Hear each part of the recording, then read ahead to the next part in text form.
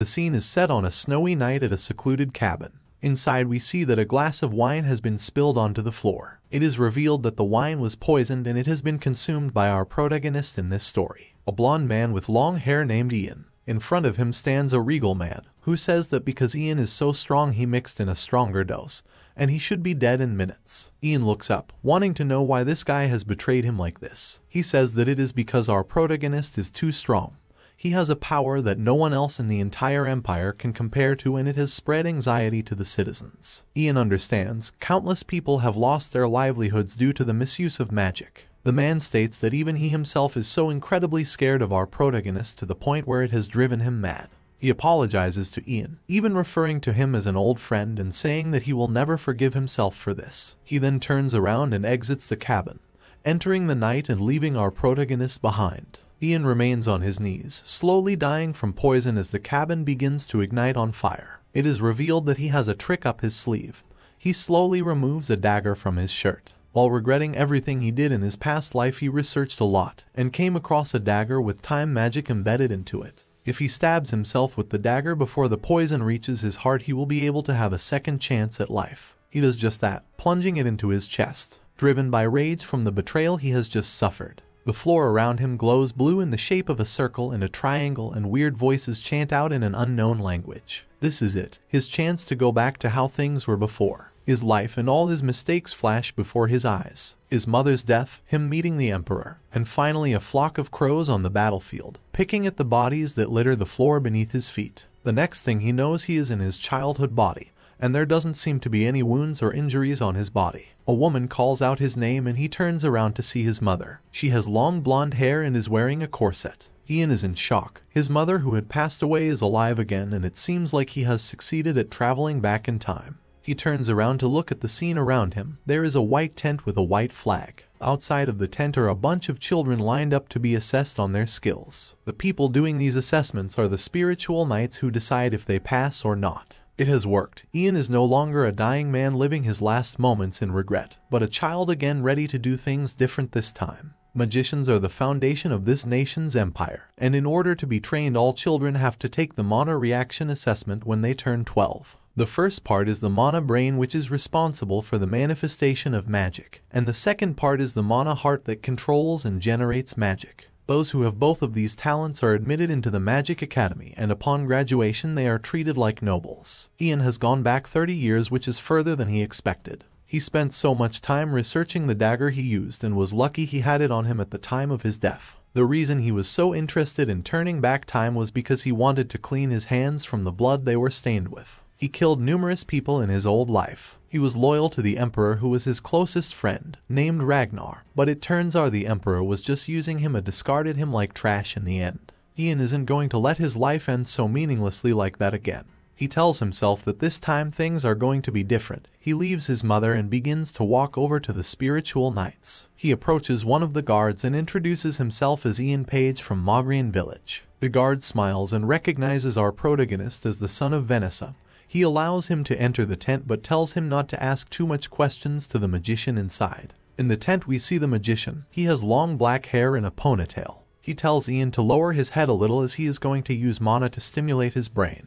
Ian does what he says and feels a little dizzy for a moment but it is only temporary. The magician smiles. He has discovered the mana brain and the mana heart inside Ian and says that his life is going to change for the better from now on. Ian doesn't seem happy about this information, probably because he was already expecting it. He tells himself that it is not enough for him to just get into the academy. He begins showing off his skills, lighting a fireball in one hand and manipulating water in the other, casting two spells at once. He tells the magician that he was just randomly able to do this one day. The magician can't believe it and asks if Ian is sure someone didn't teach it him. When Ian says no, the magician gets serious and leans forward, asking Ian to speak the truth. He is able to use interrogation magic that can determine if a person is lying or not by analyzing the body's reaction. He tells Ian not to lie or he will be known as a traitor to the Empire, and his family may even get executed. Ian doesn't get flustered though and stands by what he said. He learned how to do that without being taught. The magician is impressed. His interrogation magic doesn't find any lies, and he wonders who this kid is. They are interrupted by the sounds of Ian's mother screaming, and he looks out the tent to see what's going on. Vanessa is being bothered by the guard that was standing outside the tent. Grabbing onto her arm, he says that she has been widowed for seven years and shouldn't be playing hard to get at her age. The magician and two knights exit the tent demanding to know what all the fuss is about. The guard gets scared, telling them it is nothing and some lowly kitchen maid was just causing problems. This makes Ian furious. How dare this punk call his mother lowly? It looks like he is about to do something. However, he is stopped by the magician, who tells the guard that since Ian has the power of mana he and his family are now equal to nobles, and insulting nobles is a crime that could lead to execution. The scumbag guard falls to the floor, begging them to grant him mercy and let him live. He then turns around to Vanessa and does the same, apologizing for the words he said and asking for forgiveness. Ian approaches the guard and tells him to listen carefully. Ian says that he knows all about the disgusting things the guard has said and done in front of his mother. He threatens the guard telling him that he should also warn all his scumbag friends. If any of them do something like that again he will have their head.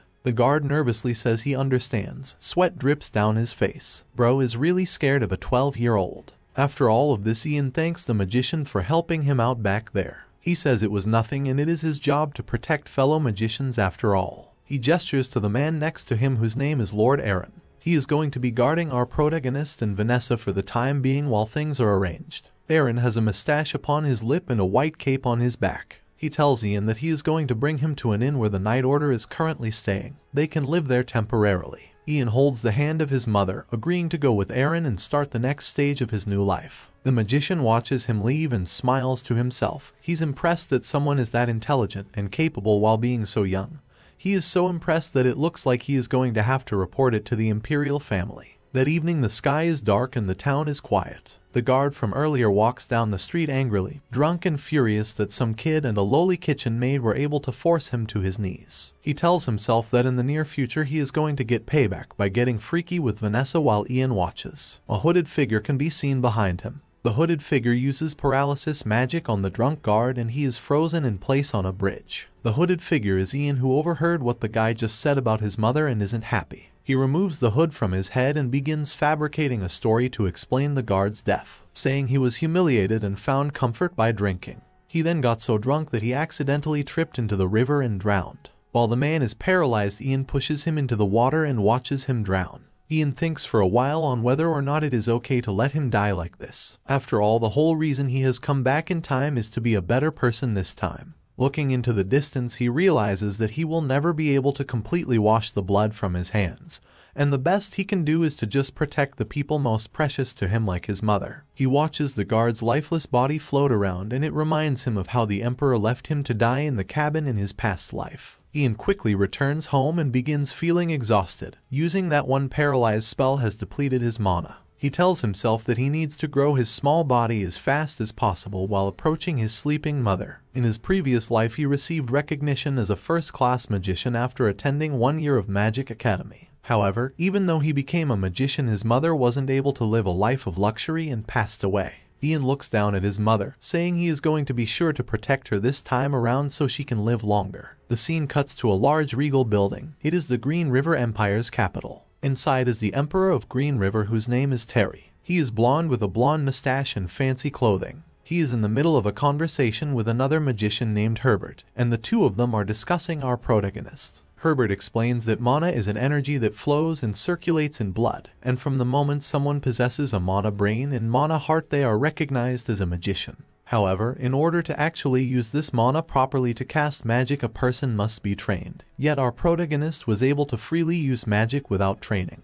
He compares our protagonist to someone called the first magician. This was someone long ago who taught himself how to use mana. He discovered how to manifest magic by himself and became known as the first magician. Terry scoffs, thinking that there is no way there is someone alive today using magic without going to an academy. Herbert agrees that it is suspicious and even he finds it hard to believe what he has heard. He says he will be going to confirm it with his own eyes. The Emperor thinks to himself for a moment, knowing that if it is true then our protagonist must possess a dangerous ability. He calls to the prince who is standing outside and has been listening to everything. In walks the Prince of Green River. His name is Haydn and he asks his father why he called for him. Terry says that since it has been five years since the prince has left the castle he should go outside. Dude needs to touch some grass. Terry tells his son that he is going to give him 300 soldiers and 3 magicians, and he should go and collect a boy named Ian Page. For a moment he hesitates, thinking it foolish for him to trust his son with something so important. However Haydn insists, saying he can be trusted and will complete the mission. The emperor tells him okay and that he should go and start preparing immediately. The journey to Moghrein is a long one. Herbert, who is still standing in the room, jokes, saying that he should go and prepare too since it's going to be hard for him to find three magicians that actually want to go outside. As soon as he leaves the room his face turns serious. His assistant next to him asks if he is going back to the tower to find the magicians but Herbert says no. He begins walking ahead with his eyes focused, saying that there is somewhere he needs to head first. The scene cuts back to the place where our protagonist is staying. He looks out the window as if he is expecting someone. He knows the Imperial family should be coming for him very soon and things are moving as planned. Ian knows that the magician must have been impressed by his skills and immediately reported it to his superiors, and that once the current emperor found out he would have sent the prince with a bunch of soldiers. He suspects Herbert will likely come too, he is the master of the ivory tower, and sooner or later there is going to be an internal war between the imperial castle and ivory tower. Ian knows this from his past life. He doesn't know which side he is going to help though and just knows that he doesn't want to be exploited by anyone this time. His thoughts are interrupted by the Imperial Order who have arrived much sooner than he expected. Outside he is greeted by the magician from earlier who is holding a magic orb. He says that the emperor has issued an imperial order. Ian follows the customs and gets down on one knee while putting his fist over his chest. A message from the emperor appears from the magic orb and the magician begins to read it aloud. It states that the Emperor has heard of the high abilities that have been displayed by Ian Page, and as he has received recognition as a magician in this empire his name will be recorded in the Ivory Towers registry. The Emperor also invites Ian to visit him at the Imperial Castle, and he is sending his eldest son to accompany him there. Once the message has been read Ian begins to rise to his feet. He is immediately greeted by a knight named Arnold, who informs our protagonist that he and his fellow knights have been assigned the honor of serving him, and will be escorting him to the Lord's castle while they wait for the prince to come. The Lord of the Magrian territory, Marcus awaits their arrival. He has a full beard and a fur coat. He looks over to his children telling them to be mindful of their speech. Although Ian is young he is still a magician and the Emperor is interested in him so Marcus wants to leave a good impression. He extends his arms wide for our protagonist, welcoming him to their castle. Ian spends the next few weeks at the castle. He becomes a hot topic and even the maids begin to talk about him. They are impressed that someone so young is able to create fireballs with his bare hands. We see Ian at the training grounds where he has been spending the majority of his time. He practices his magic by raising his hand and summoning a Frost Nova. It looks like he's got himself a fresh new fit too. His Frost Nova worked and around him is now a bunch of ice and snow. However, Ian isn't happy and thinks that this isn't good enough. If he was in his other body he would be able to freeze the whole castle, and not just the training grounds. His powers are limited and he needs something to make up for his lack of mana. Someone interrupts his training, rushing over all out of breath like something is wrong. The man has a monocle and gray hair. He asks for Ian's help saying that the Lord Marcus has gone missing. He has yet to return after he went to hunt goblins yesterday. His son and all the knights that went too have also not returned. Ian tries to think back to his previous life to find out where they could be but he is unsure. He knows it's not time for them to die yet. Lord Marcus died at a later date when he was assassinated by an enemy empire right before a big war. His son would abandon the Moghrein territory after his father's death to escape the war, and he would later be beheaded for his crimes. Each territory in this empire has its own stationed magician. Ian tells the man to go and ask their magician to help instead. However, the old man informs Ian that the magician that was stationed here has been assigned other missions and is not currently in the Moghrein territory. They are alone. Ian is shocked. It's rare that a magician would leave his assigned territory. He wonders if it is related to him and if he has altered the timeline by doing something. For example, he could be away giving information about our protagonist to Herbert the Tower Master. This could be dangerous. Ian's most powerful weapon right now is his ability to know what's going to happen in the future. If the timeline gets screwed up then he would lose this weapon. Ian looks at the old man telling him he will help them look for Lord Marcus, knowing that if the Lord dies it will create dire changes to the timeline. He immediately gets ready to leave and puts on his cloak. However, someone calls out his name. It's his mother who has heard what is going on and is worried that it is too dangerous. Ian is still a child after all. Ian tells his mother not to worry. He may be a child but he is also a magician now and he'll be back before she knows it. Lord Marcus's daughter also approaches our protagonist. She begs him to bring back her mother and father, saying she will do anything for him if he is successful, whether it be money, land, or servants she will make it happen. Ian notices a specific ring on her finger and says that he will bring them back, but asks to borrow her ring as he can feel mana from it. He says it will help him in finding them so the daughter agrees and hands it over. Ian puts the ring on his finger and can't believe it. It looks just like the one he saw in his previous life. It's known as the Magrian Ring, a low-grade artifact that increases the mana of the person who wears it. It looks like the Lord passed it down to his daughter. She tells Ian that she wants it back after as it is important to her. With the ring now on his finger Ian gets a party of knights and heads out to find the missing Lord. The Mogrian ring will make up for his lack of mana to a certain extent. The knights take our protagonist out to where they tracked Marcus to. There is a bunch of goblin corpses on the ground but there are no humans to be found. The knights suspect that a monster must have caught them. Ian scratches his chin. They must have been ambushed by hundreds of goblins and he needs to find them before it's too late. He begins to use his magic to summon a wolf. What he is doing is blocked by a bright light and the knights watch in amazement. After the spell is cast out appears a cute little wolf with a fluffy body and wagging tail. In Ian's previous life a huge wolf appeared but he guesses he isn't strong enough to summon a full-sized one yet. He points to some blood on the floor, asking the wolf to pick up the scent and follow it. The wolf does as it is told, getting a good sniff of the floor and leading the way. The scene cuts to Lord Marcus who is still alive and slaying goblins. They are green and ugly, with long tongues, pointed noses, green skin, and red eyes. Marcus and his party are surrounded and they are coming from all angles. If this continues they will all be annihilated. Marcus turns to his son, telling him to escape to the castle while he distracts the monsters. While the two of them are talking a goblin begins approaching from behind with a club in its hand.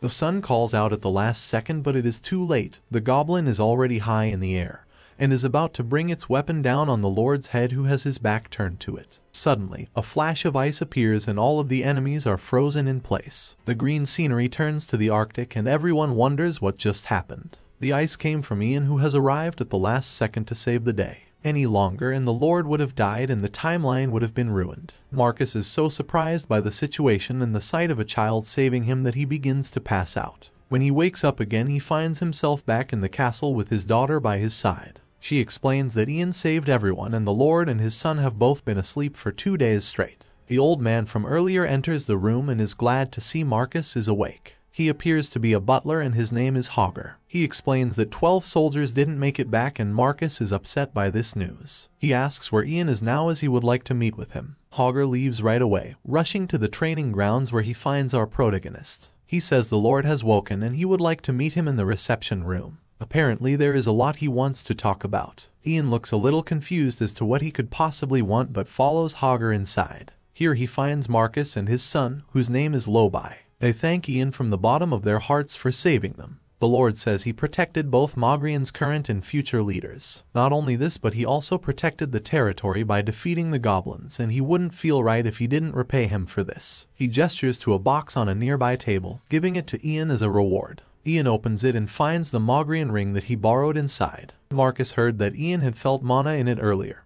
He thought it was just an old family treasure and asks what kind of power it possesses. Ian explains that it is just a ring that gives the wearer the power to increase their mana, and it helped him greatly in defeating the goblins. The Lord says he can keep the ring and he should think of it as a token. A token of promise that from now on the Mogrian family will serve him forever as an eternally honored guest. Ian is always welcome to visit and they will always stand by his side whenever he is in need of help. Marcus and Lobai lower their heads, saying that this pledge will last for future generations and will go on for a thousand years. Ian is grateful and asks the Lord if there is an alchemist in this territory who is skilled in making elixirs. Marcus informs him that there is an alchemist named Letio in a place called Royd Village. He was originally from the capital but moved further north because of a rare medicinal herb. Ian heard of the name Letio in his previous life, he knows that he needs to get his hands on some elixirs that can help make up for his low mana levels. He heads out with a small group of knights to find this Royd village that the Lord told him about. When they reach there they become shocked at what they see and one of the knights points over to the village. It's completely on fire and is in the middle of burning down. Something bad is clearly happening.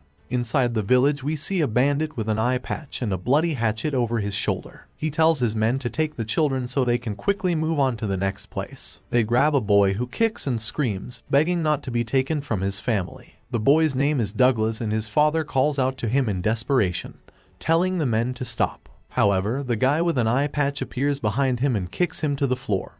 He keeps his foot on the father's back so he can't move. Douglas continues to struggle, trying his best to get free of the villain's grasp, but it's no use. The guy with an eye patch pulls out a knife, saying he is going to kill Douglas's father to punish him for putting up a fight. He gets ready to swing his knife. A sudden piece of ice comes seemingly out of nowhere though, striking the villain in his back and taking him out. Douglas can only watch, still stuck in the grasp of another man. The remaining villains all look over wondering what just happened. A piece of ice really just appeared on a sunny day. More pieces of ice begin to rain down from the sky, like they were sent from God himself. The men all flee in terror, not wanting to die like their leader. It is revealed that this ice has come from our protagonist, who is perched on the edge of a nearby cliff looking down on the situation. It seems like his new ring really does help and has increased his mana a bunch. He looks down at it, wondering if it allows his mana capacity to reach that of a third-class magician. He walks down to join the people in the village who are mourning over citizens who were killed by the bandit attack. Luckily none of the knights were injured. Ian wants to know if the alchemist they came for named Letio managed to survive. He hears someone in the distance calling the alchemist's name and he immediately turns around to see who it is. It's Douglas, and it seems like his father is the alchemist our protagonist has came here for but he is in bad shape. Ian pushes past Douglas wanting to get a better look at Letio. He sees that he has a pale complexion and strands of whitened hair, and he can tell this is mana poisoning. Mana poisoning is a disease also known as God's curse. If someone who has a mana brain and not a mana heart is injected with more than their body can handle, the overflow of mana will stimulate the brain and cause great pain continuously for the rest of their life. Ian knows it's impossible for Letio to inject mana into himself and so this must have been the work of a magician with ill intent. He raises his hand to the alchemist's forehead and tries to alleviate the pain a little. It works and Ian gets ready to leave, seeing that there is nothing more he can do. However, the boy Douglas grabs a hold of him and asks what he just did and if his father is going to be okay. Ian unfortunately explains that his curse can't be cured and he only provided temporary relief. Eventually, he will just go back to being in pain again and will face a tough decision. Either he finds a magician to keep alleviating his pain for the rest of his life or he dies. Douglas looks heartbroken. He says that he needs to quickly go and find a special flower so that he can make some medicine for his father. He says this flower can help neutralize the mana in his body. He pushes past Ian and rushes to go and get it. At this moment Ian remembers where he heard the name Douglas before. In his past life Douglas was one of the most outstanding alchemists in the entire empire. Although he had a tough childhood, he was a genius and eventually became the emperor's closest aide. However, he had a deep hatred for magicians after his father was poisoned by one and may have even been the alchemist that helped to poison Ian in his past life. After realizing this Ian turns around and catches up to Douglas. He grabs a hold of him and tells him that he can't go into the forest alone as there might still be bandits out there. Douglas objects, saying if he doesn't get this flower then his father will die. A tear runs down his cheek. Seeing he isn't going to stop Ian uses his magic to put the kid to sleep. After a few seconds he is out cold and collapses onto Ian's shoulder. He takes the kid to a discreet location behind some bushes and lays him down, thinking about what he is going to do. He looks at the boy thinking that he should just kill him now, that way the poison will never get made in the future. He quickly pulls himself together, the timeline could get screwed up if he acts too rashly. Douglas possesses the talent to become the best alchemist in the history of the Empire, and our protagonist might even be able to convince him to join his side. However, even if he does this there is still no guarantee that he won't betray him in the future. Ian's thoughts are interrupted by one of the knights that has come over to check if he is okay. He notices Douglas on the floor and is confused. Ian says that he just put him to sleep because he was about to do something reckless while there is bandits about. Ian tells the guard he can carry him back to the village now, then he begins walking away into the forest. When the knight asks where he is going, Ian says there is something he needs to do alone. The scene cuts to nighttime back in the village. Letio approaches Douglas who is awake now and lying in his bed. Letio has heard from a knight that he tried to do something stupid earlier. Douglas explains that he just wanted to find a flower that could help. Letio shakes his head, telling his son that it was reckless to try something like that when there are still bandits around the village. Douglas gets angry. Rising out of the bed he asks what else he is supposed to do. The two of them have been searching for this special flower for over a year with no luck. If they don't find it then Letio will die. Douglas begins crying, wondering if this flower even exists. Suddenly, a voice calls out to them from outside. They both turn their heads at the same time asking who's there. It's a cloaked man who says he heard they were looking for a flower known as Randier's flower. The man enters the building and removes his hood. Of course it is our protagonist who apologizes for disturbing them. He introduces himself and puts an object down on the table. Letio looks speechless when he notices exactly what it is. It's Randier's flower that has been encased in ice. Ian must have found it in the forest earlier. Ian says he will give them the flower if they answer a question first. He wants to know how they learned about a flower like this whose effects are unknown to others. Letio reluctantly reveals that he read about it in a book that was passed down by his father. It sounds hard to believe. However, he pulls out this book and flips to a specific page, then he begins reading from it. Randier's flower is a plant that can neutralize mana and can only be found in the northern lands. It has 12 deep purple colored petals, and its leaves and stem are very poisonous. If you pull it directly from its roots it will wither immediately so gathering and cultivating it is almost impossible. Letio explains that his father researched alchemy too, and it is a family business. Ian assumes that this must mean that he knows about this flower's other use, which is that it acts as a deadly poison to magicians who possess both a mana heart and mana brain. Letio insists that his family would never make elixirs that could be used to harm people and he won't be poisoning any magicians ever. He even swears it on his entire family's honor. Ian looks over to Douglas on the other side of the room. He looks a little nervous at the topic of conversation being discussed. Ian picks up the flower and begins to melt the ice. He thanks the alchemist for answering his question but also apologizes to him. Once the ice melts the flower withers, and Ian reveals he wasn't able to harvest it properly and was only able to preserve its shape by freezing it. Letio feels let down and betrayed. He wants to know what kind of sick joke that was. Our protagonist only bought the flower over to prove that he can actually find it. He proposes a deal to the alchemist, saying that he will continue to alleviate his pain using magic while searching for a way to harvest the flower. However, in return Letio must follow him into the capital, where Ian wants him to produce special elixirs that can help his lack of mana and to also make medicine for his mother when she gets sick in the future. Letio is confused. He asks why he can't just get someone else to do it since he isn't even that great of an alchemist. Ian insists that he needs someone who is going to stay by his side and make custom elixirs. He tells the alchemist to take a moment to think about it, and that he should consider his family too. Since earlier today Douglas was about to risk his life just to find the flower, and he doesn't want that happening again.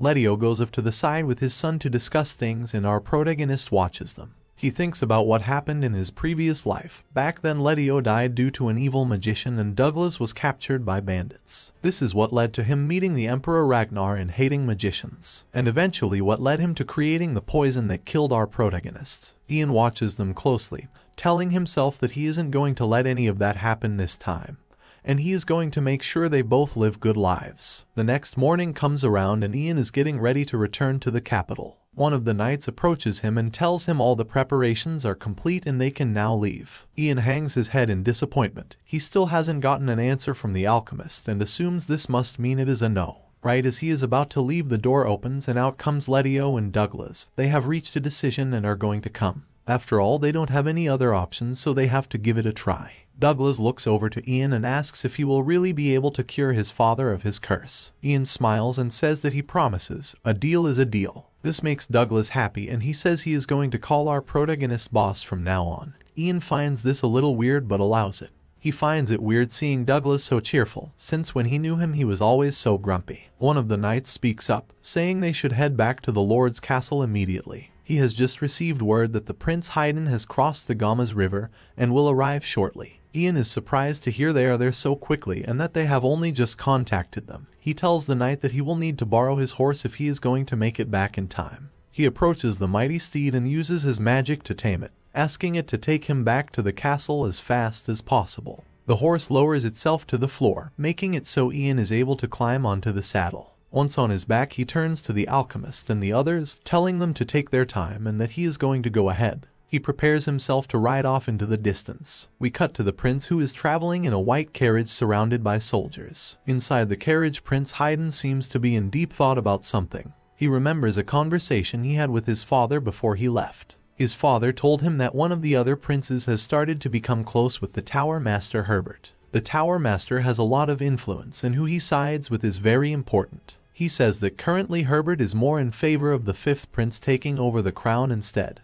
whose name is Ragnar. The emperor tells Haydn that if he doesn't want to lose his position to his brother then he better not screw this up. He needs him to do his best to get Ian on their side. Haydn remembers this conversation while in the carriage and it makes him stressed. He's angry that the magicians at Ivory Tower don't support his claim to the throne, and instead they want his brother Ragnar to take his place. He thinks to himself about what he is going to do when he finally becomes emperor, saying that he is going to get rid of all those annoying magicians at Ivory Tower along with their tower master Herbert. It is also revealed that Prince Haydn didn't tell the Lord Marcus he would be coming until two days before his arrival on purpose. He smiles to himself, wondering how the great Mogrian Lord is going to prepare for his arrival with only two days' notice. This dude just seems like an all-around terrible person I'll be honest. Currently at Lord Marcus's castle there is a lot of panic and rushing. Marcus orders his maids around telling them to make sure there isn't even a speck of dust anywhere. It needs to be perfect for the prince. He had no idea they were arriving so soon and has had barely any time to prepare. The butler Hogger approaches, informing him that most of their party has arrived and the prince won't be far behind.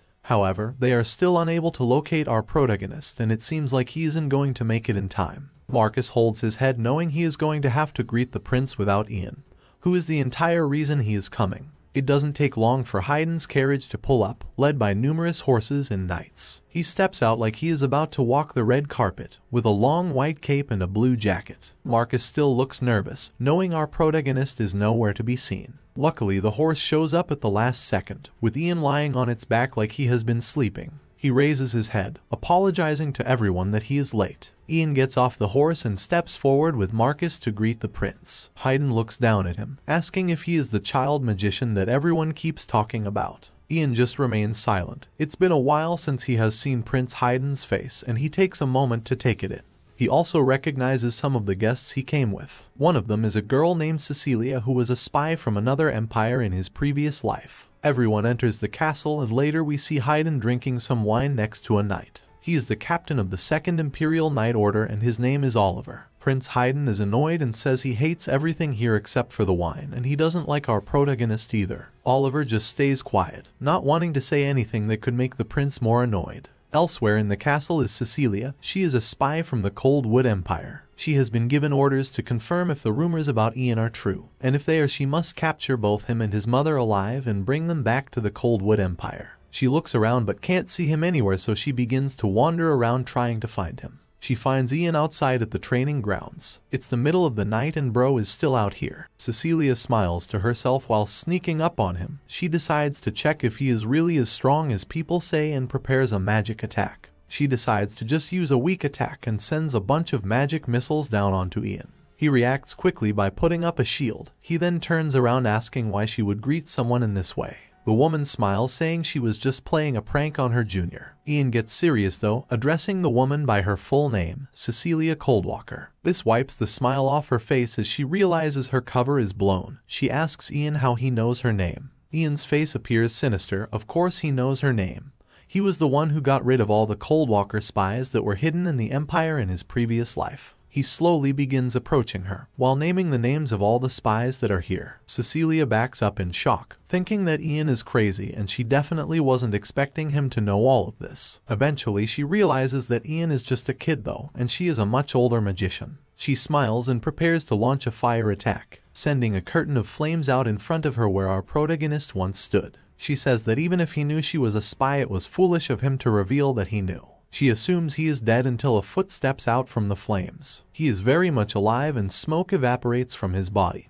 He begins to charge up a magic attack of his own. Cecilia looks up at the sky and her eyes grow wide. She wonders who exactly this kid is and why he is so strong. The moon is blocked out by a bunch of ice crystals that are about to rain down. Ian tells Cecilia that he was expecting her to come and find him, and he was waiting at the training grounds just for her. He raises his hand, launching the ice crystals forward like bullets. Cecilia quickly reacts and puts up a shield, protecting her from the incoming projectiles that strike it with great force. Things don't look good for her and the shield begins to crack when faced with the power of Ian's attacks. Ian doesn't stop with ice. He summons a huge fireball in the palm of his hand. He then pushes it forward in the direction of his enemy. It's at least three times the size of him. Cecilia can only grit her teeth and hope for the best as her shield slowly breaks down. She isn't able to move while it is up. Some of the attacks break through, slicing at her arms and legs. She realizes she isn't going to be able to keep this up. as the fireball comes crashing and she releases her shield and tries to run out of the way before it hits her. She collapses onto the floor and is just grateful she is still alive. Her body is covered in wounds and her cheek is cut. Cecilia thinks that Ian's mana should be depleted by now,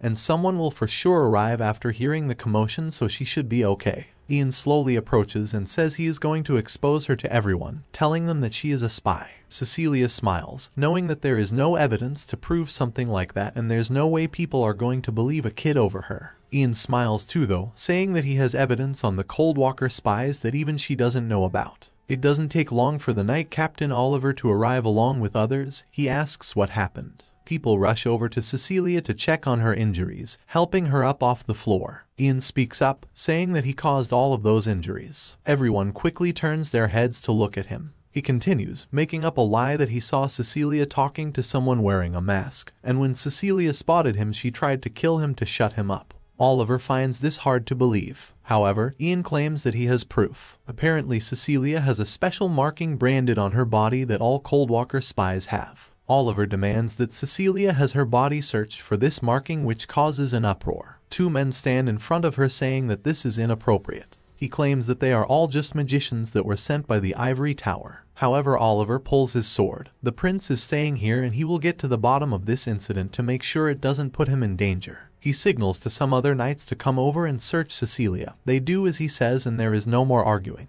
After the search, Cecilia looks unhappy. Blood still covers her clothes and she is badly injured, needing immediate medical attention. The knights inform Oliver that they couldn't find anything on her body that resembled a marking. The knight captain looks over to our protagonist, wanting to know if he was lying. Ian assures him that he wasn't. He walks up to Cecilia and places his hand on her back. He casts a magic spell and a blue light emits from his fingertips. Cecilia looks worried and asks what he is doing. Suddenly, the marking he was talking about appears on the back of her neck. It's a circle with a triangle in the center and weird symbols. Cecilia didn't even know she had this and Ian smiles to himself. Coldwalkers are sent to training institutes while having a mark branded on their body from when they are babies. Even they themselves don't know this information. Ian found this out in his previous life after interrogating an administrator. Oliver and the others are shocked, however they have no idea what the marking means and haven't seen it before. Based on the current situation, he thinks it would be best to treat Cecilia's wounds first,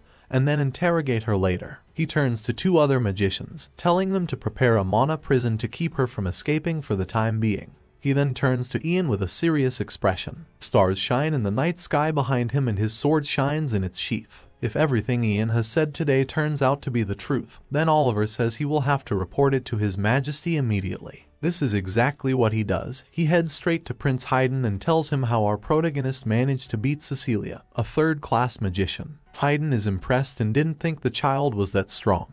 He asks Oliver what his opinion on Ian is. Oliver states that it seems like the rumors about his skill are true, however the way he speaks and behaves is unusual for a child. The prince wants to meet and talk to the boy so he can find out for himself. It doesn't take long for Oliver to get Ian and bring him into the room. Ian lowers his head and greets the prince with respect. Based on what Haydn has heard, our protagonist has discovered that one of the magicians sent by the Ivory Tower was a Coldwood spy. Since Ian exposed the spy and beat her in battle Haydn says he has contributed greatly to the Empire, and he would like to reward him. He wants to know if there is anything specific that Ian wants. Ian becomes suspicious, thinking that the prince must be asking what he wants so he can find out what he is up to. Ian looks up, saying if the prince is okay with it he would like to visit the old ivory tower's site on the way to the imperial castle. Haydn is baffled, wondering why this kid wants to visit the old abandoned ivory tower site as a reward. There is nothing to see there. He ends up agreeing though, when Ian says it is a place he has only heard about and he has always wanted to visit. Ian smugly smiles to himself. It looks like he's going to be able to attain it much sooner than he thought. In the deepest basement of the old ivory tower site there is an item known as the Dragon Tongue Book. The dragon's language in the book played a crucial role in his research of time magic in his previous life. This one book contains the records of the essence of time magic. He found it a few years before he died but was only able to understand a very small part of it.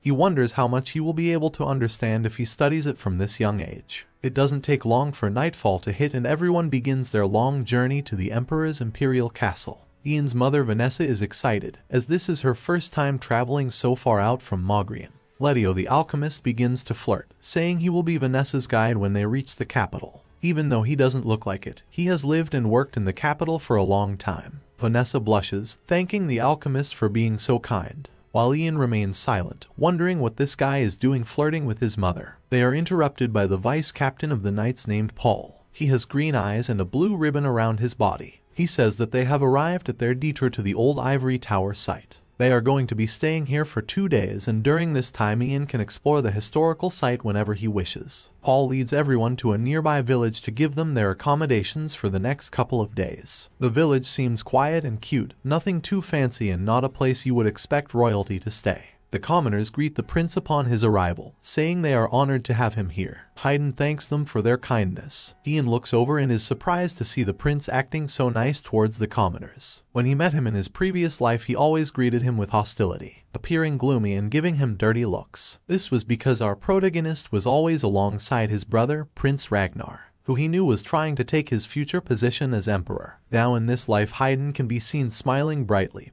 having conversations with commoners who are not nobles or royalty. A part of Ian begins to understand why the current emperor is so fond of him. A voice calls out Ian's name. It's Douglas who wants to know when Ian plans on going into the old ivory tower because he would like to tag along as well. Ian sighs, knowing that he probably won't be able to find the book in the basement with Douglas by his side. He can't bring himself to say no though and agrees. Douglas's eyes grow wide. He's super excited to go inside. Their parents are both watching them from a distance. They are glad to see their children are getting along. Letio turns to Vanessa, asking her if our protagonist has always been so mature. He doesn't act like other 12-year-olds. Vanessa reveals that he matured early. He remembers her late husband a lot and is very thoughtful and considerate. Even though he doesn't say it, Vanessa can see him trying to fill the absence of his father in the family. His father wasn't a magician like him and was just a normal person named Prayan.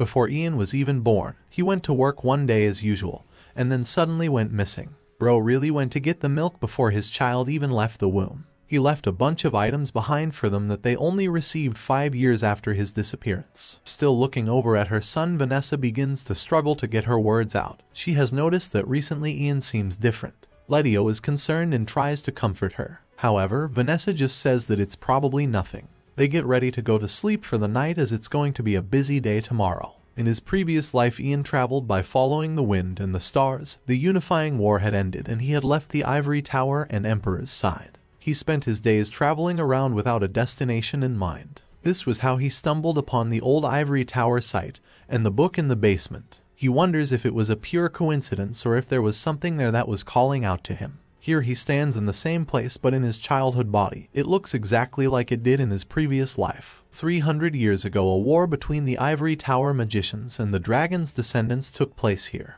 The dragon's descendants were known as Dragonians. Their gargoyle squad and powerful black magic was strong and it seemed like they were going to defeat the Empire. A skilled magician and the prince of the Empire at the time named Mitchell led the Ivory Tower. They actively suppressed the Dragonians and annihilated the Gargoyles, protecting the peace within the Empire. After the war Mitchell refused to become emperor, and instead became the Ivory Tower Master. He built a new tower in the current capital and this old one was abandoned. It has been a long time since people have even cared to step in this place and it has fell into ruin. Ian walks around the rubble searching for a specific spot that he remembers from his previous life. When he finds it, he waves his hand, casting magic to open a secret passage. The passage is dark and has a long staircase leading downwards. He follows it. Upon reaching the bottom, he uses his magic again, this time to light up the room that is hidden from any sunlight. In front of him stands a gargoyle statue, its wings spread wide and teeth sharp. Ian was surprised when he first saw this gargoyle statue, but it's not going to catch him off guard this time. Suddenly, the gargoyle comes to life, its eyes glow purple and it lets out an echoing roar. It leaps into the air coming straight for Ian. In his first life he had no idea that a gargoyle he thought went extinct 300 years ago would be hiding here. Things are different now though and he uses his magic to summon a ball of water. He launches it at the stone monster, striking it in the chest. It flies backwards and crashes into a nearby wall. It's not dead though and recovers. In his previous life Ian was able to blow it away in a single breath, but with his current abilities he is going to have to use more power. The gargoyle comes charging in again, eager to cause harm to our protagonist who readies his next attacks. He summons his ice spears to shoot out of the ground and pierces the gargoyle's rocky body. He then uses a lightning attack to zap the beast. Bolts of yellow electricity crash down from above. That seems to have done the trick and the gargoyle has stopped moving. Ice surrounds it and smoke comes from its body. After it is defeated another secret passage opens up to Ian's right, which is exactly what he expected to happen. He jumps into the hole, using his magic to stop him from taking fall damage. He has found what he came here for. The book sits alone on a nearby surface with a light shining down on it. Ian has reached the Great Dragon Tongue book sooner than he expected. He has no idea who put it here. Whether it was the dragons or the first magician it doesn't matter, because it is his now. He holds the book in his hand. It is written in Dragon Tongue which is an unknown language that he wasn't able to fully decipher in his previous life. If he could understand it in this life then there will be no limit to his power. Ian becomes shocked though when he opens the book and discovers that all of its pages are empty. He begins frantically flicking through it, wondering what could have happened. He realizes that the pages are probably empty because he already used the book in his previous life. Using it to turn back time probably erased everything. Ian closes the book in disappointment. He still remembers some of the magic that was written in the book though and tries to recite some of it. To his surprise he can't get his voice to come out. Dragon tongue isn't a language that people can simply just speak. It's a language that is rooted in magic and requires strong magic to speak it. Ian looks down at the book in deep thought. This means that he won't be able to use the time magic in this book again, meaning he can't return to the past again. He thought he would be able to keep going back again and again and retrying, but that isn't the case. The second life he has been given has all of a sudden become much more important and he needs to take it seriously. A few days pass and Ian completes his journey to the capital to meet the Emperor. He looks out the window of his carriage and the scene around him. Tall buildings made from stone and a bunch of citizens that seem happy. He looks over to another carriage he has been traveling with and at the back is a cage. Inside this cage is Cecilia. Ian knows he needs to make sure she doesn't escape or else she will go back to the Coldwood Empire and tell them that he knows all about their secrets, which would cause problems for our protagonists. The party continues riding into the capital making their way to the Imperial Castle until they are blocked. It is Herbert the Tower Master, who is standing at the gates alongside a row of magicians. He demands that they stop. Oliver gets off his horse, asking what authority Herbert has to be blocking the path to the castle. The Tower Master explains that he has a direct order stating that he is in charge of everything related to Cecilia's investigation. Oliver seems suspicious, wondering how he managed to get an imperial order for something like that before she even arrived in the capital. Herbert puts his hand on the knight's shoulder, saying that all rebellions should be dealt with as quickly as possible, and that the ivory tower will handle this interrogation. Oliver knows something fishy is going on but can't argue with a direct order. He tells his men to hand over the criminal Cecilia to the tower master. Upon hearing the word criminal Herbert turns around seriously. He says that she has not yet been proven a criminal and so should still be treated like a regular magician. He tells Oliver to be mindful of how he speaks towards her. The other knights aren't happy with the situation either. They worked hard to catch Cecilia and the Ivory Tower magicians are just going to take her away. Ian looks over and understands what's going on. He knows that the Ivory Tower isn't trying to protect her just because she's a magician. They just don't want the knights interrogating one of their own. He knows that Herbert will probably just lock Cecilia up in the deepest prison, and it will be near impossible for her to escape from that place. He looks out the carriage with his mother, not bothered at all that Cecilia is being taken. Someone approaches our protagonist, saying they need to visit one more place before going to the Imperial Palace. They go there and it is a large regal mansion with a water fountain at its center. Ian recognizes the mansion. In his previous life it was gifted to him by the fifth Prince Ragnar. This time it is Prince Haydn who is handing it over. He tells Ian that the Emperor specially made arrangements to give him the mansion during his stay. Ian is grateful. He lowers his head and thanks His Highness for his generosity. He didn't get the mansion until he was 26 in his previous life, yet here he is as a child. Haydn tells Ian that his family can stay here with him for the time being but now the two of them must go to the imperial palace to see the emperor. Ian understands, but asks if he can show his mother around his new mansion first. Haydn accepts and Ian takes his mother inside. She is stunned by everything she sees. It's all so expensive and shiny. She becomes even more stunned when Ian tells her that this is going to be their new home. No matter how great of a magician he was in his previous life, he couldn't bring her back to life. Now that she is alive again, things are different, and he is going to do all the things he wanted to do before. He was never able to see her living a normal life and vows that this time he is going to make her happy. Vanessa can't believe her own eyes. She says the place is so big that she has no idea how she is going to clean it. She really is a true mother, thinking only about cleaning. Ian informs her that she isn't going to be doing any housework. She is going to be so comfortable that she won't even think of having to clean.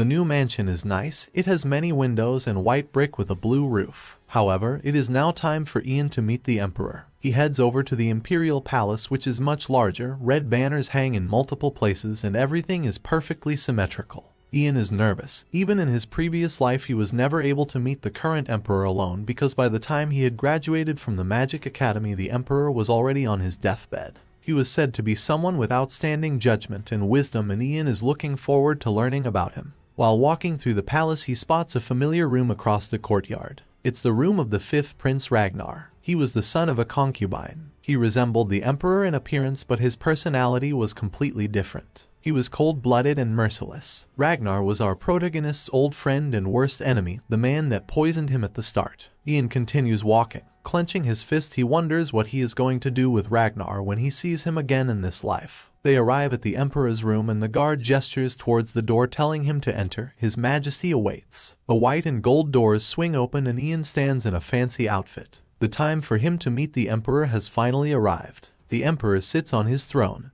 It's tall and made from white marble with red cushioning. Upon entering Ian immediately kneels down to the ground. As a humble servant he wishes the Emperor health and peace. The Emperor Terry tells him not to try so hard and to rise. Ian has achieved so much in so little time and there is no need for him to use manners. Ian does as he says, remembering that the Prince Ragnar said the same thing to him in his previous life when they first met. Next to Terry is his son Prince Haydn who waves and smiles, asking if our protagonist likes his new mansion. He does, it's more luxurious than he ever could have imagined. Sweat drips down his face as he is still nervous in the presence of the royals. Terry asks if Ian knows the reason he has brought him here, and the reason he was gifted a mansion as soon as he arrived. Ian doesn't know what to say. Should he be more direct and speak his mind or hold back and be respectful? He remembers the Prince Ragnar liked people that were honest and straightforward, and there is a high chance the Emperor is the same. However, he ultimately decides it is too soon for him to act so confidently and for now he should just continue acting like a 12-year-old.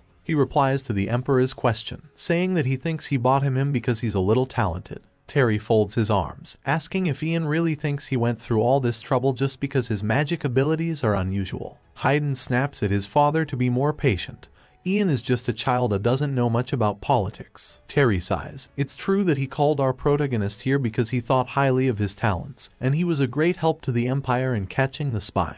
The Emperor sits on his throne saying that Ian should be rewarded for his achievements regardless of his age and that is why he is here. He asks what he wants. Ian looks down at the floor. He was expecting a reward from the Emperor and has spent a lot of time thinking about it. If he was an adult what he is about to ask wouldn't make sense but since he is just a child he can get away with it. He tells Terry that he would like to go sightseeing around the Imperial Palace, so he can tell his mother about all the beautiful things he sees. The Emperor finds this request a little unusual, however Haydn informs him that he also asked to go sightseeing at the old ivory tower and it must be a passion of his. It's normal for children to be curious after all. Terry grants our protagonist's wish and hands him an imperial seal. It's golden and shaped like a ticket. Using this he should have access to most of the imperial palace, and if he shows it to a royal guard they can guide him around. The Emperor continues, saying there is more stuff he would also like to reward Ian with. He has his servants bring in a giant chest filled with gold. I don't know how they carried that thing it looks really heavy. He also gifts Ian a bunch of maids, saying he will send them to his mansion to make sure his stay is as comfortable as possible.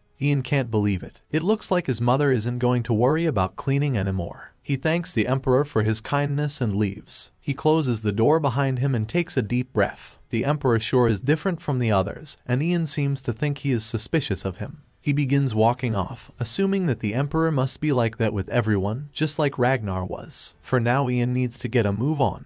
He doesn't have much time and wants to use his Imperial Seal. He goes outside and shows it to a guard, asking if he can show him the way to the garden. The guard obliges. After some help he arrives in the place he wanted to go, the Imperial family's safe haven. He remembers it from his previous life. Ragnar described it as a sacred place where people would serve the Emperor and Empress, and only the most elite can enter. Ian sneaks inside. He peeks around a corner trying to see if there are any guards around. There are a few but they are all sleeping. They've got to be the worst guards ever. Ian sneaks up to them and uses his magic to make sure they are really unconscious. He then begins to walk around looking for something. It's unclear what he wants but he knows it's somewhere around the first emperor's coffin. It takes a while. He checks everywhere using his magic to light the way until he eventually finds it. His eyes grow wide and he is unable to even believe what he is seeing. This is the whole reason he wanted to explore the palace. The item he has found is stone heart mushrooms. They are brown and capped and are sticking out of the floor next to a coffin. Ian rushes over there and harvests them. He puts them inside a brown bag thinking that this should be enough for what he needs. Suddenly he hears the voices of two people talking nearby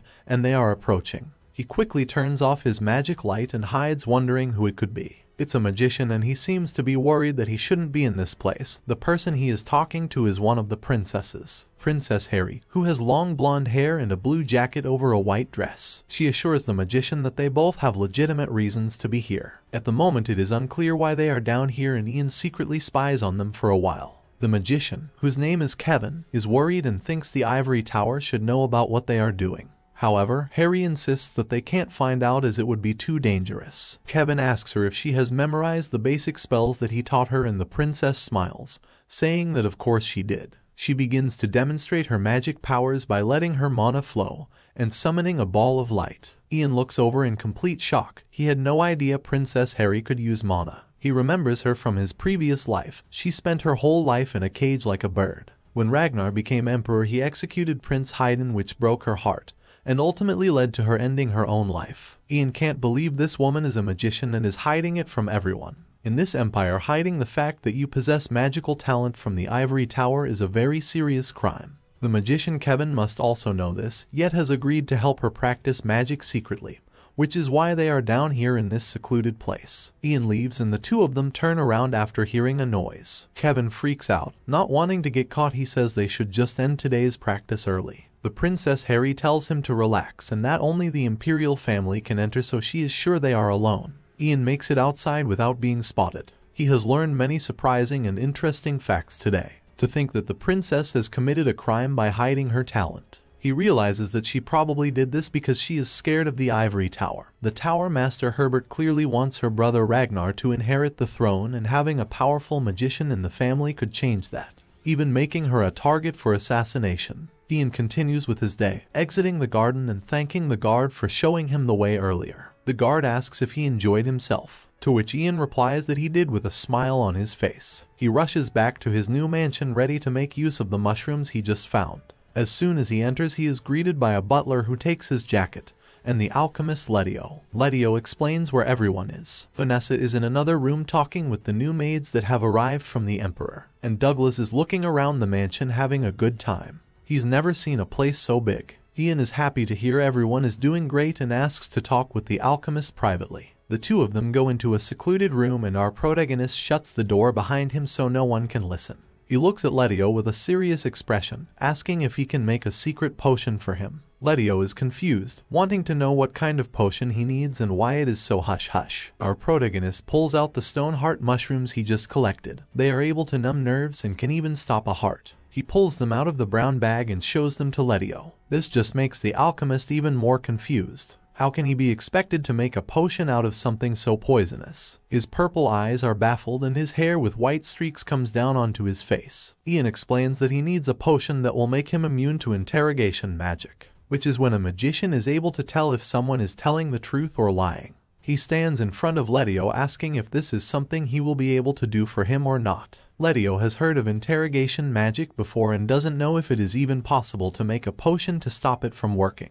He says that he is going to need to run a lot of experiments to get it right and that it is going to take him a while. Our protagonist expected an answer similar to this, knowing that it is not an easy thing to ask. He tells the alchemist to just do his best and to take his time. While they are discussing this someone knocks at the door to the room they are in. Upon opening the door Ian sees that it is a maid. She lowers her head to show respect and is holding a tray with a letter on it. The letter is addressed to Ian. He removes it from the envelope and begins reading it. He sees that it is from the Ivory Tower. It states, Dear Magician Ian Page, just like the Imperial family, the Ivory Tower eagerly looks forward to meeting you. We would like to schedule a meeting with you before you start attending the academy. You are already a decent magician who possesses abilities beyond the average magician, and it will be hard for you to relate to the students who can still only use beginner's magic. Therefore, we would like to arrange a simple meeting with you exactly a week from today. After reading this letter Ian gets a little worried. If he is going to be visiting the magicians at the ivory tower soon then he needs to prepare. He changes his mind to what he said earlier, telling Letio the alchemist that he will be needing the potion in a week and he should move quickly. He needs it before his meeting at the ivory tower. Letio thinks that this is going to be impossible and that even if he sacrifices his sleep he is going to struggle. He wonders what on earth he is going to do in order to get it finished in time.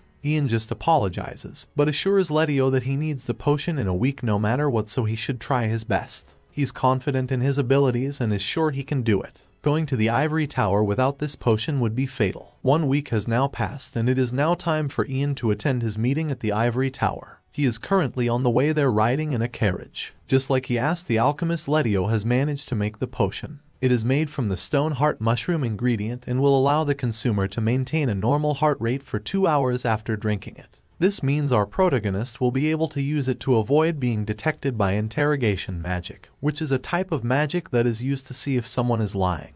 Ian looks out the window at the ivory tower. It's tall and white and in the shape of something dirty that I can't say on YouTube. He remembers it so well from his previous life and now he is back again. The carriage pulls up to the front entrance and the driver informs our protagonist that they have arrived and he can exit. Upon stepping out of the carriage he is greeted by a female magician who welcomes him. She has large glasses, freckles and her hair is braided. She tells Ian that she will take him to the Tower Master Herbert. He follows her inside and they enter the entrance hall. The woman begins describing the layout but Ian already knows all this. The place hasn't changed at all from his previous life. It's the same in the present and the future. The woman gestures over to a golden disc that is on the floor. This device is called a mana elevator and can help people travel to different floors in the ivory tower. Just sounds like a regular elevator to me but okay. The golden elevator is able to reach the top floor immediately and is exclusively used by high-ranking magicians. The woman tells our protagonist to step on the golden disc. On the top floor he will find the Tower Master's room where high-ranking magicians will be waiting for him. Ian does as she says, and a beam of golden light shoots straight up. I guess it's not a normal elevator then. As he is traveling upwards Ian pulls the potion out of his pocket and holds it up. He raises it to his mouth and throws it back like he's taking shots at a club. The effects will last for two hours from now. The elevator completes its journey and comes to an abrupt stop, the gold light still shining to the heavens. In front of Ian is a large door. This must be the Tower Master's room. He gets ready to go inside. Upon entering, the first thing he sees is the Tower Master Herbert. He greets our protagonist and thanks him for accepting the invitation. He tells him not to just stand by the door and to come and sit closer. Herbert isn't the only person here and when Ian looks to his right he sees a bunch of other men all with serious expressions like they aren't here to mess around. The scene is similar to his left, except instead of men there are women. He is told not to be scared or intimidated. This is just tradition for those that are accepted as a magician in the ivory tower. He approaches a lone chair in the middle of the room and sits on it. Looking at the atmosphere in here he can tell these guys are trying to instill obedience in him right from the start. Herbert summons some kind of script from the palm of his hand and begins giving a speech, saying that after hearing of our protagonist's exceptional abilities everyone has become quite suspicious. However, as magicians all share mana they have a bond even stronger than that of blood brothers. They have invited Ian here today to start fresh and get rid of any suspicions they may have. Ian jokingly asks if this means they are going to torture him or something. Herbert's serious tone is broken for a moment when he smiles a little. Of course they're not going to torture him. The ivory tower doesn't use such barbaric methods. They are just going to ask him some questions and he needs to answer them truthfully. Herbert's eyes glow blue as he activates his interrogation magic that can detect lies. They get ready to begin. Herbert and our protagonist sit opposite each other while everyone else sits on the sides. They're really going through this much effort to intimidate a 12-year-old. Herbert begins reading Ian's biography out loud. His full name is Ian Page born in the year 488. His father's name was Pran and was a wandering adventurer. His mother Vanessa is a servant in the Lord's castle. The Tower Master asks him to confirm if this is all accurate and Ian nods. Some bald guy speaks up, asking what Ian's relationship is with the alchemist Letio. The light shines on his hairless head. Ian informs the Baldy that his mother has a frail body, and he needed an alchemist that could constantly provide him with medicine. Someone else asks another question, wanting to know why he visited the old ivory tower in part 1. He actually went to find a rare spell book but of course he doesn't tell them this. He lies saying that he heard a lot about the place and just wanted to check it out. A man in a green jacket brings up Cecilia, the spy from the Coldwood Empire that Ian helped capture in part 1. Ian made up a story saying he witnessed Cecilia talking with another spy, and that she tried to kill him after he saw them. The man in the green jacket wants to know if this story is really true, as he hasn't been able to get Cecilia to confess to anything yet. Sweat drips from Ian's cheek. He lies through his teeth saying the story is true. He can't tell them that he really knew she was a spy because of his previous life. The questions keep coming. It's like he's being interviewed by the police. An older woman wants to know if he has really never been taught magic by anyone before like he claimed. Usually people who possess magic power need to go through vigorous training at an academy to learn to cast spells. However, Ian was able to use fireballs, spirit summons, and even frost nova spells supposedly without ever being taught. The woman wants to know how something like that is possible, and she wants a real answer not just something vague. Ian gets ready to tell yet another lie. Bro really put on his acting pants today. He says that the spells just appeared in his mind. All he did was imagine burning fire above his palm and then one day it became a reality. He demonstrates this to prove his point. The room bursts out into chaos, with many of the people there shouting that this is impossible and his story is absurd. The room is filled with shock and disbelief until they all turn to the Tower Master Herbert, who has his head resting on his hands. He confirms that it must be true. He is using the most powerful interrogation magic available in the Ivory Tower, and he isn't able to detect any lies from our protagonist. Ian's skills are so impressive Herbert even thinks he might be the reincarnation of the legendary first magician. Either that or he is a high-class magician who is able to bypass interrogation magic. However, since Ian is only 12 he thinks it's impossible for a small boy to have the amount of mana to be able to do something like that. With his head still resting on his hands Herbert just stares at our protagonist. Silence fills the room for a moment. The silence is broken when a woman with red hair stands up from her chair in a loud manner. Her name is Helene and she yells out that this is stupid and everyone is asking such trivial questions. The others tell her to calm down but she wants the truth. She marches right up to Ian with her hand on her hip. She asks him the question everyone in the room is dying to know. Who exactly are you? She wants to hear who he is from his own mouth. Just who exactly does he think he is to keep spouting these ridiculous statements? Ian knows Helene from his previous life. She really is that kind of woman. She was the youngest fourth-class high-ranking magician before Ian arrived. She's also very aggressive and temperamental. Her attitude has even earned her the nickname, the Woman of Fire. Ian decides to clap back at Helene's aggression, saying that everyone already knows who he is. It's all written in the text the Tower Master pulled up earlier. He begins reading from it. His name is Ian Page and he was born in the year 488. He asks the woman if she knows how to read. Why would she ask such a stupid question? Of course this makes Helene furious. She begins to bubble with rage, ready to teach our protagonist a lesson for acting so cheeky. Herbert stops the situation from escalating though, he yells out enough and his voice echoes through the room. Everyone turns to look his way. The Tower Master gets ready to ask one final question. By the looks of things it's going to be a good one. He brings up the guard that Ian met all the way back at the start of part 1. His name was Jonathan and he insulted our protagonist's mother. That very same soldier was found dead the next day, drowned in a nearby lake. When they found him they detected trace amounts of mana on his body meaning that this was the work of a magician. Herbert wants to know if Ian had anything to do with his death. He watches closely with his interrogation magic. He sees that Ian's demeanor hasn't changed. A normal person would have lost their composure when being suspected of murder, but not our protagonist. This is all due to the effects of the potion though. Deep inside Ian is worried, thinking that if his heartbeat were to remain normal in a situation like this it would be even more suspicious than if it was raised. He gets ready to answer, wondering if he should dispel the potion's effects now. He tells everyone he is going to give them the answer they want to hear. With his hand on his heart he says he had nothing to do with the guard's death. Interrogation magic fills the room and all the magicians look over in his direction. It's as if they can all tell that he is lying.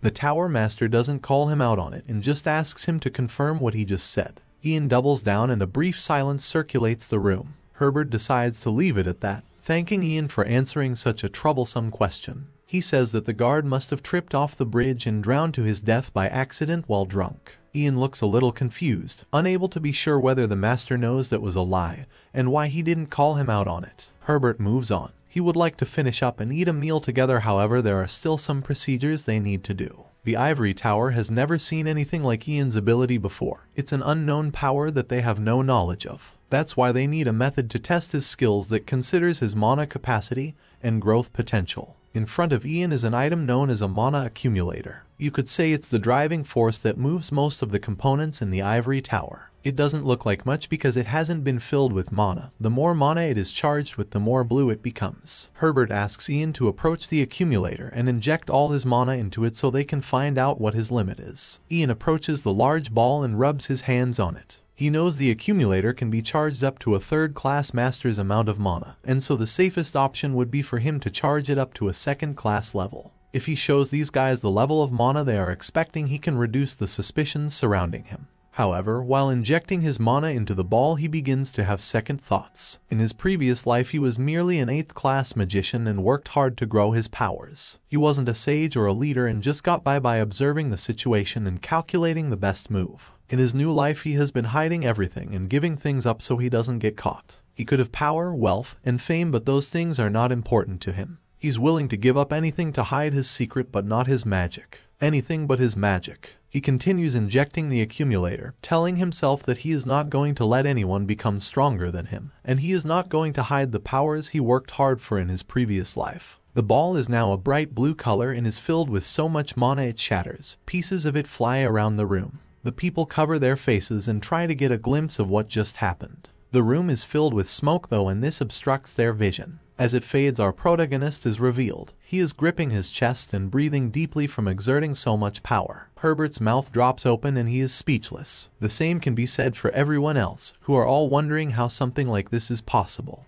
The redhead Helene bends over and picks a broken shard of glass up from the floor. She looks over to Ian. The limit of the mana accumulator was that of a third-class master's level. Since Ian broke the device, that must mean that his abilities are even higher than that. The last of the smoke begins to clear from the room and Ian recovers from his exhaustion. There's no going back for him now, they know how strong he is. Sometime later all the other magicians go into a private room to discuss the situation. A fist slams down onto the table. All the rumors everyone has heard about our protagonist is true. He must be at least a fourth class master, meaning he is on par with everyone in the room except for Herbert the Tower Master. And when he said he didn't kill Jonathan he was definitely lying. The Ivory Tower must learn to control Ian or they risk him becoming a very dangerous person. A magician suggests that they make him exempt from the Academy's admission, and instead focus on making him loyal to the Ivory Tower as quickly as possible. Herbert admits this would be harsh but it would probably be best. It would be a waste of time if Ian joined the academy and his outstanding abilities would just make the other students feel out of place. Even the highest ranked magicians at Ivory Tower were left bewildered by his abilities. Imagine how young students who have barely started to use magic would feel. Herbert says that whether or not he killed the guard is not important right now. As long as they have interrogation magic he won't be able to lie to them. Yeah bro I wouldn't be so certain about that. The Ivory Tower's goal is to maintain its status as the elite. The stronger its magicians are, the higher the status of the ivory tower will be compared to foreign empires. Therefore they are going to recognize Ian Page as a high-ranking magician and let him sit among them, announcing the birth of a new fourth-class magician. Considering his age and abilities, Herbert thinks it would be best if he received personal training from other high-ranking magicians. Everyone in the room agrees. Herbert is glad they are all on board. He is about to choose which magician will be in charge of our protagonist's training.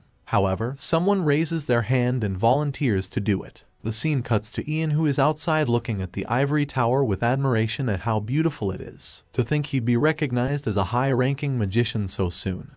He sort of expected it to happen but not this fast. Someone interrupts his thoughts by calling out his name and he turns over to see who it is. It's the woman he met when he first arrived. She heard the news and is so happy to hear Ian is now a fourth-class high-ranking magician. It's incredible that he has come so far when he is only 12. She concludes that this must mean the crazy rumor is true. Ian looks a little confused, wondering what kind of rumors are spreading round about him. The woman moves on, saying that she is going to be his assistant magician for the next year and will guide him around. She looks forward to them working together. Ian tells her that she doesn't need to speak so formally. After all, she is his senior. In that case, as his senior, the woman offers to give him a tour of the place. The first place they go to is the Tower Academy. It has a lot of pillars and a Roman aesthetic. This is where he was supposed to enroll at the academy, but instead he will be receiving personal training from high-ranking magicians. Ian knows that personal training is just a fancy word. He knows that they are really just trying to keep him on a tight leash. He thinks it was probably Herbert's idea to turn him into an obedient dog. He notices something while walking through the academy. It's all his old friends that were training in the academy at the same time as him in his previous life. He remembers that all of them were killed during one of the first wars and he thought he would never see them again. Ian knows it will be difficult for him to be as close to them as he was before, but he is for sure going to greet them if he gets the opportunity. His guide shows Ian to his personal research lab. She gestures to a wooden door with golden markings saying she used cleaning magic to make sure the room was tidy. Our protagonist enters the room and can't believe it. A grand piano can be seen in the back and a desk with flasks can be seen on the right. This is the same lab that he used in his past life. The woman explains that 300 years ago when the ivory tower relocated there were 24 high-ranking magicians. However, now there is less than half of that so there are a lot of rooms available. She informs Ian that the Tower Master has given him this one to use as a research lab. She tells Ian to wait here for a moment while she goes to get the magician who will be teaching him. She exits the room and closes the door, leaving our protagonist alone, in the same room he spent so much time in during his previous life. It's been such a long time since he was last here. He didn't get this room until he was 19 before and here he is at age 12. He begins thinking of a long-term plan. Now that he has the authority of a high-ranking magician, there is only one thing left to do. He needs to create a new group within the Ivory Tower. During the next six years, Prince Ragnar is going to start making moves to become emperor. This is the same man that betrayed Ian in his previous life by poisoning him. The Tower Master Herbert is going to be in strong support of Ragnar becoming emperor, so Ian needs to establish a group that can fight against this. It's going to be difficult as the magicians are all so loyal to their Tower Master, mostly due to his overwhelming power and high class. Ian realizes that in order to influence people he needs to become stronger than Tower Master Herbert. Our protagonist is going to work hard and there will come a time when he rules over all of the Ivory Tower. Until then he should just act like an obedient little kid, as he knows it's going to be a while before he gets stronger with this small child's body. While he is thinking of his master plan someone bursts through the door like they are the FBI conducting a raid. Ian quickly turns around. It's the redhead Helene, and it looks like she is the magician who volunteered to teach our protagonist. Upon seeing her Ian lets out a sigh. It really had to be her of all people. Helene enters the room and has a smile on her face, knowing she is about to have some fun with this. She greets our protagonist by calling him an arrogant brat. Ian just looks over annoyed, like he is already done with this childish behavior. Helene changes her mind, saying he isn't simply arrogant but is something way beyond that. She begins to approach telling him how things are going to be. Things like basic mannerisms, history, and magic theory would have all been taught at the academy. However, the Tower Master wants our protagonist to learn all these things without attending the academy. The excuse he gave was that our protagonist would make all the other students feel discouraged or something like that. Helene uses her magic to flick a bunch of books from a nearby bookshelf. Saying that these things are all useless she throws them to the ground. Doing lame things like that isn't her style, and she is going to let the old folks teach Ian about all that. Helene leans in close to Ian and mentions Cecilia the spy from the Coldwood Empire that our protagonist caught in part 1. Helene remembers her from the academy. Cecilia was quite known in the field of magic combat, and given time she could have been on the same level as Helene. Yet she turned out to be a spy of all things, and was even defeated by a child. Ian just stands there still. He hasn't said a word since Helene entered and has just been listening to her gossip and insults. Helene decides that since she is going to be Ian's teacher she should at least teach him something. There are many different types of magicians. Magicians trained for combat and are aggressive. Magicians that are supporters and are more defensive. And some magicians spend their whole life simply researching. She explains that a magician that doesn't fit into any of these categories is just considered trash. Looking at Ian, she asks him to guess what kind of magician she is. Ian looks uninterested, finally opening his mouth and guessing that she is probably the first type, a combat magician. Helene confirms it. There is no one that is better than her in the combat field, and she is different to all the other magicians. Since she is different, she is going to be teaching Ian in her own way. She tells him to follow her, knowing he doesn't have a choice and has to do as she says. They head outside in the sun and into an open area to get started. The reason they are out here is because Helene wants to battle. She tells Ian to come at her like he is fighting for his life. Only then will she teach him. Ian is reaching his limit. He can't believe this woman is exactly the same as she was in his previous life. Back then she would always keep pestering him for battles too. Ian's eyes turn blue. This time he's not even going to give Helene the chance to start and will put a stop to her nonsense right here. Spectators begin to gather, wondering what is going on and why some 12-year-old is fighting someone as strong as Helene. The redhead smiles at the crowd, already assuming she is going to win. Since she is the teacher, she says that Ian can make the first move. Ian removes a piece of clothing from his body and begins approaching slowly, asking his opponent if she is sure. Helene just scoffs, saying he shouldn't be getting scared now when he was so cheeky earlier. Ian can't wait to shut this woman up and the battle begins. He raises his hand and a blue glow appears. Helene thinks he is deploying some kind of barrier or shield. She laughs saying that no matter what barrier he deploys she will destroy it in an instant. Flames surround her getting hotter and hotter as she prepares an attack. Ian uses an ice block spell that causes a shard of ice to wrap around his body and protect it. Bro has got to be chilly in there. Helene is unimpressed and walks right up to him knocking on the ice. Is this really the best he could come up with? She wonders if he is intending to just sleep in there until his mana runs out. Ice Block is the most powerful barrier that can protect magicians, but it causes magicians to go into a half-conscious state where they are unable to use any other magic. Helene shrugs her shoulders, thinking she was foolish to expect a decent fight from a child. Suddenly a sound begins to emanate and the ground shakes. All the spectators look around wondering what is happening.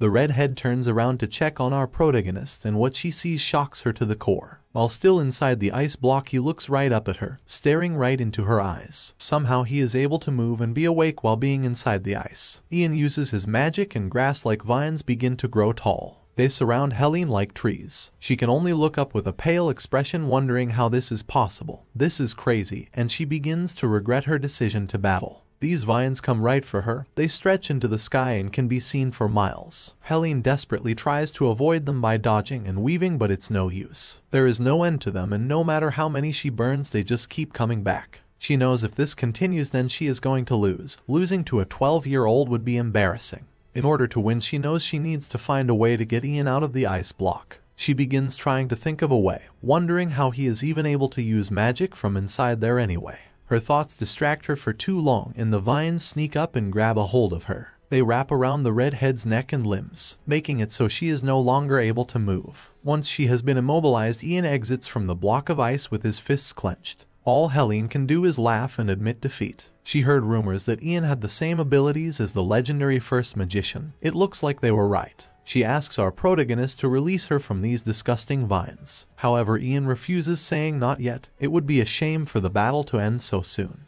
Helene appears a little frightened. She already admitted her loss yet Ian is planning to do something else. Ian slowly raises his arm into the air with his palm facing behind him. The sky begins to crackle and dark clouds begin to form over the two of them. Helene gets desperate, begging him to stop. They were only supposed to be sparring and it's all over now. Ian ignores her though. He summons lightning from the cloudy sky, pointing his finger down at Helene. Bro is ready to cook her like a chicken strip. The roar of thunder booms and a flash of yellow lightning comes crashing down. For a moment everyone expects the worst and watches with worried expressions. Many of the spectators have sweat dripping down their faces. It is revealed that the lightning missed the redhead and instead hit the ground right between her legs. She gasps while out of breath from the sheer panic of the situation. She's just thankful she survived and begins to calm down. However, Ian gets closer and kneels down which just makes her start panicking again. She yells at him to stay away from her. He comes in real close with a smug look on his face, asking if there is still anything that Helene would like to teach him. The redhead doesn't respond and just hangs her head in shame, not wanting to do anything that could get her killed. Seeing that she is now well and truly defeated Ian releases her from the vines and walks away.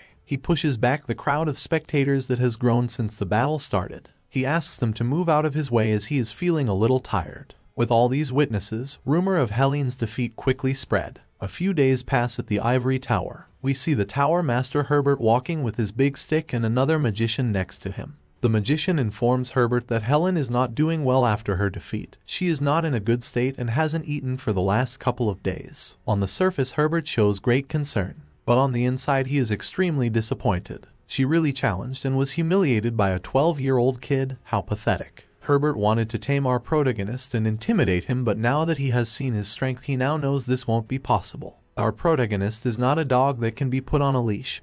He's a wolf and it'll take a while before they can turn him into a tool they can use. Herbert continues walking and thinking about what he can do until he reaches his destination. He enters a room and greets someone inside, apologizing for his tardiness. The person he is speaking to is revealed to be Prince Ragnar the fifth prince who became the emperor in our protagonist's previous life. The two were close friends until Ragnar betrayed him. Upon seeing the Tower Master has arrived Ragnar closes his book and puts it down. He looks at Herbert and asks what information he has for him today about the popular magician Ian Page. It seems like Herbert has been informing Ragnar about everything that has been going on and the two are planning something.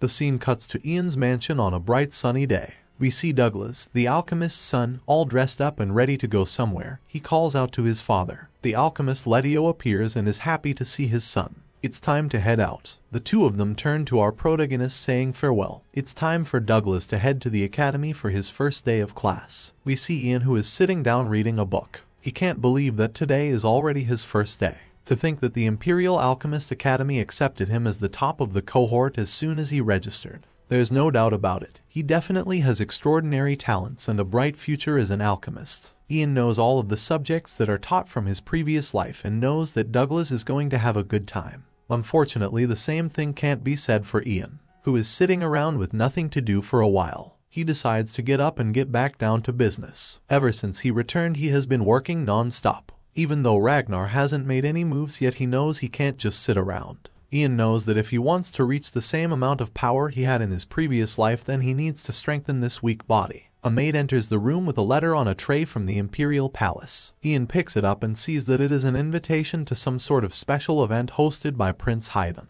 He can't believe it and begins getting ready. That night he arrives at the location still finding it hard to believe he was invited to an event like this. It is an unspoken rule that a magician cannot be invited to social events if they aren't born from nobility, yet here he is. Ian finds it surprising that Prince Haydn is hosting this event himself. In his previous life when it came to interacting with the nobles, Prince Haydn always did so half-heartedly and never hosted events for people of high statuses. Because of his lukewarm attitude, he lost his opportunity to enter the political world, and all of the empire's nobles turned their backs on him. Prince Ragnar was different though. Not only was he active in the kingdom's political scene, but he also made it a point to become friends with other nobles and make connections with them. This is ultimately what led to Prince Ragnar stealing the throne from his brother once their father had died. Ian doesn't know why Haydn is acting so differently now, but he doesn't care as it works to his advantage. Anything that can prevent Ragnar becoming emperor is good to him. Ian approaches the door and prepares to enter the event Haydn is hosting.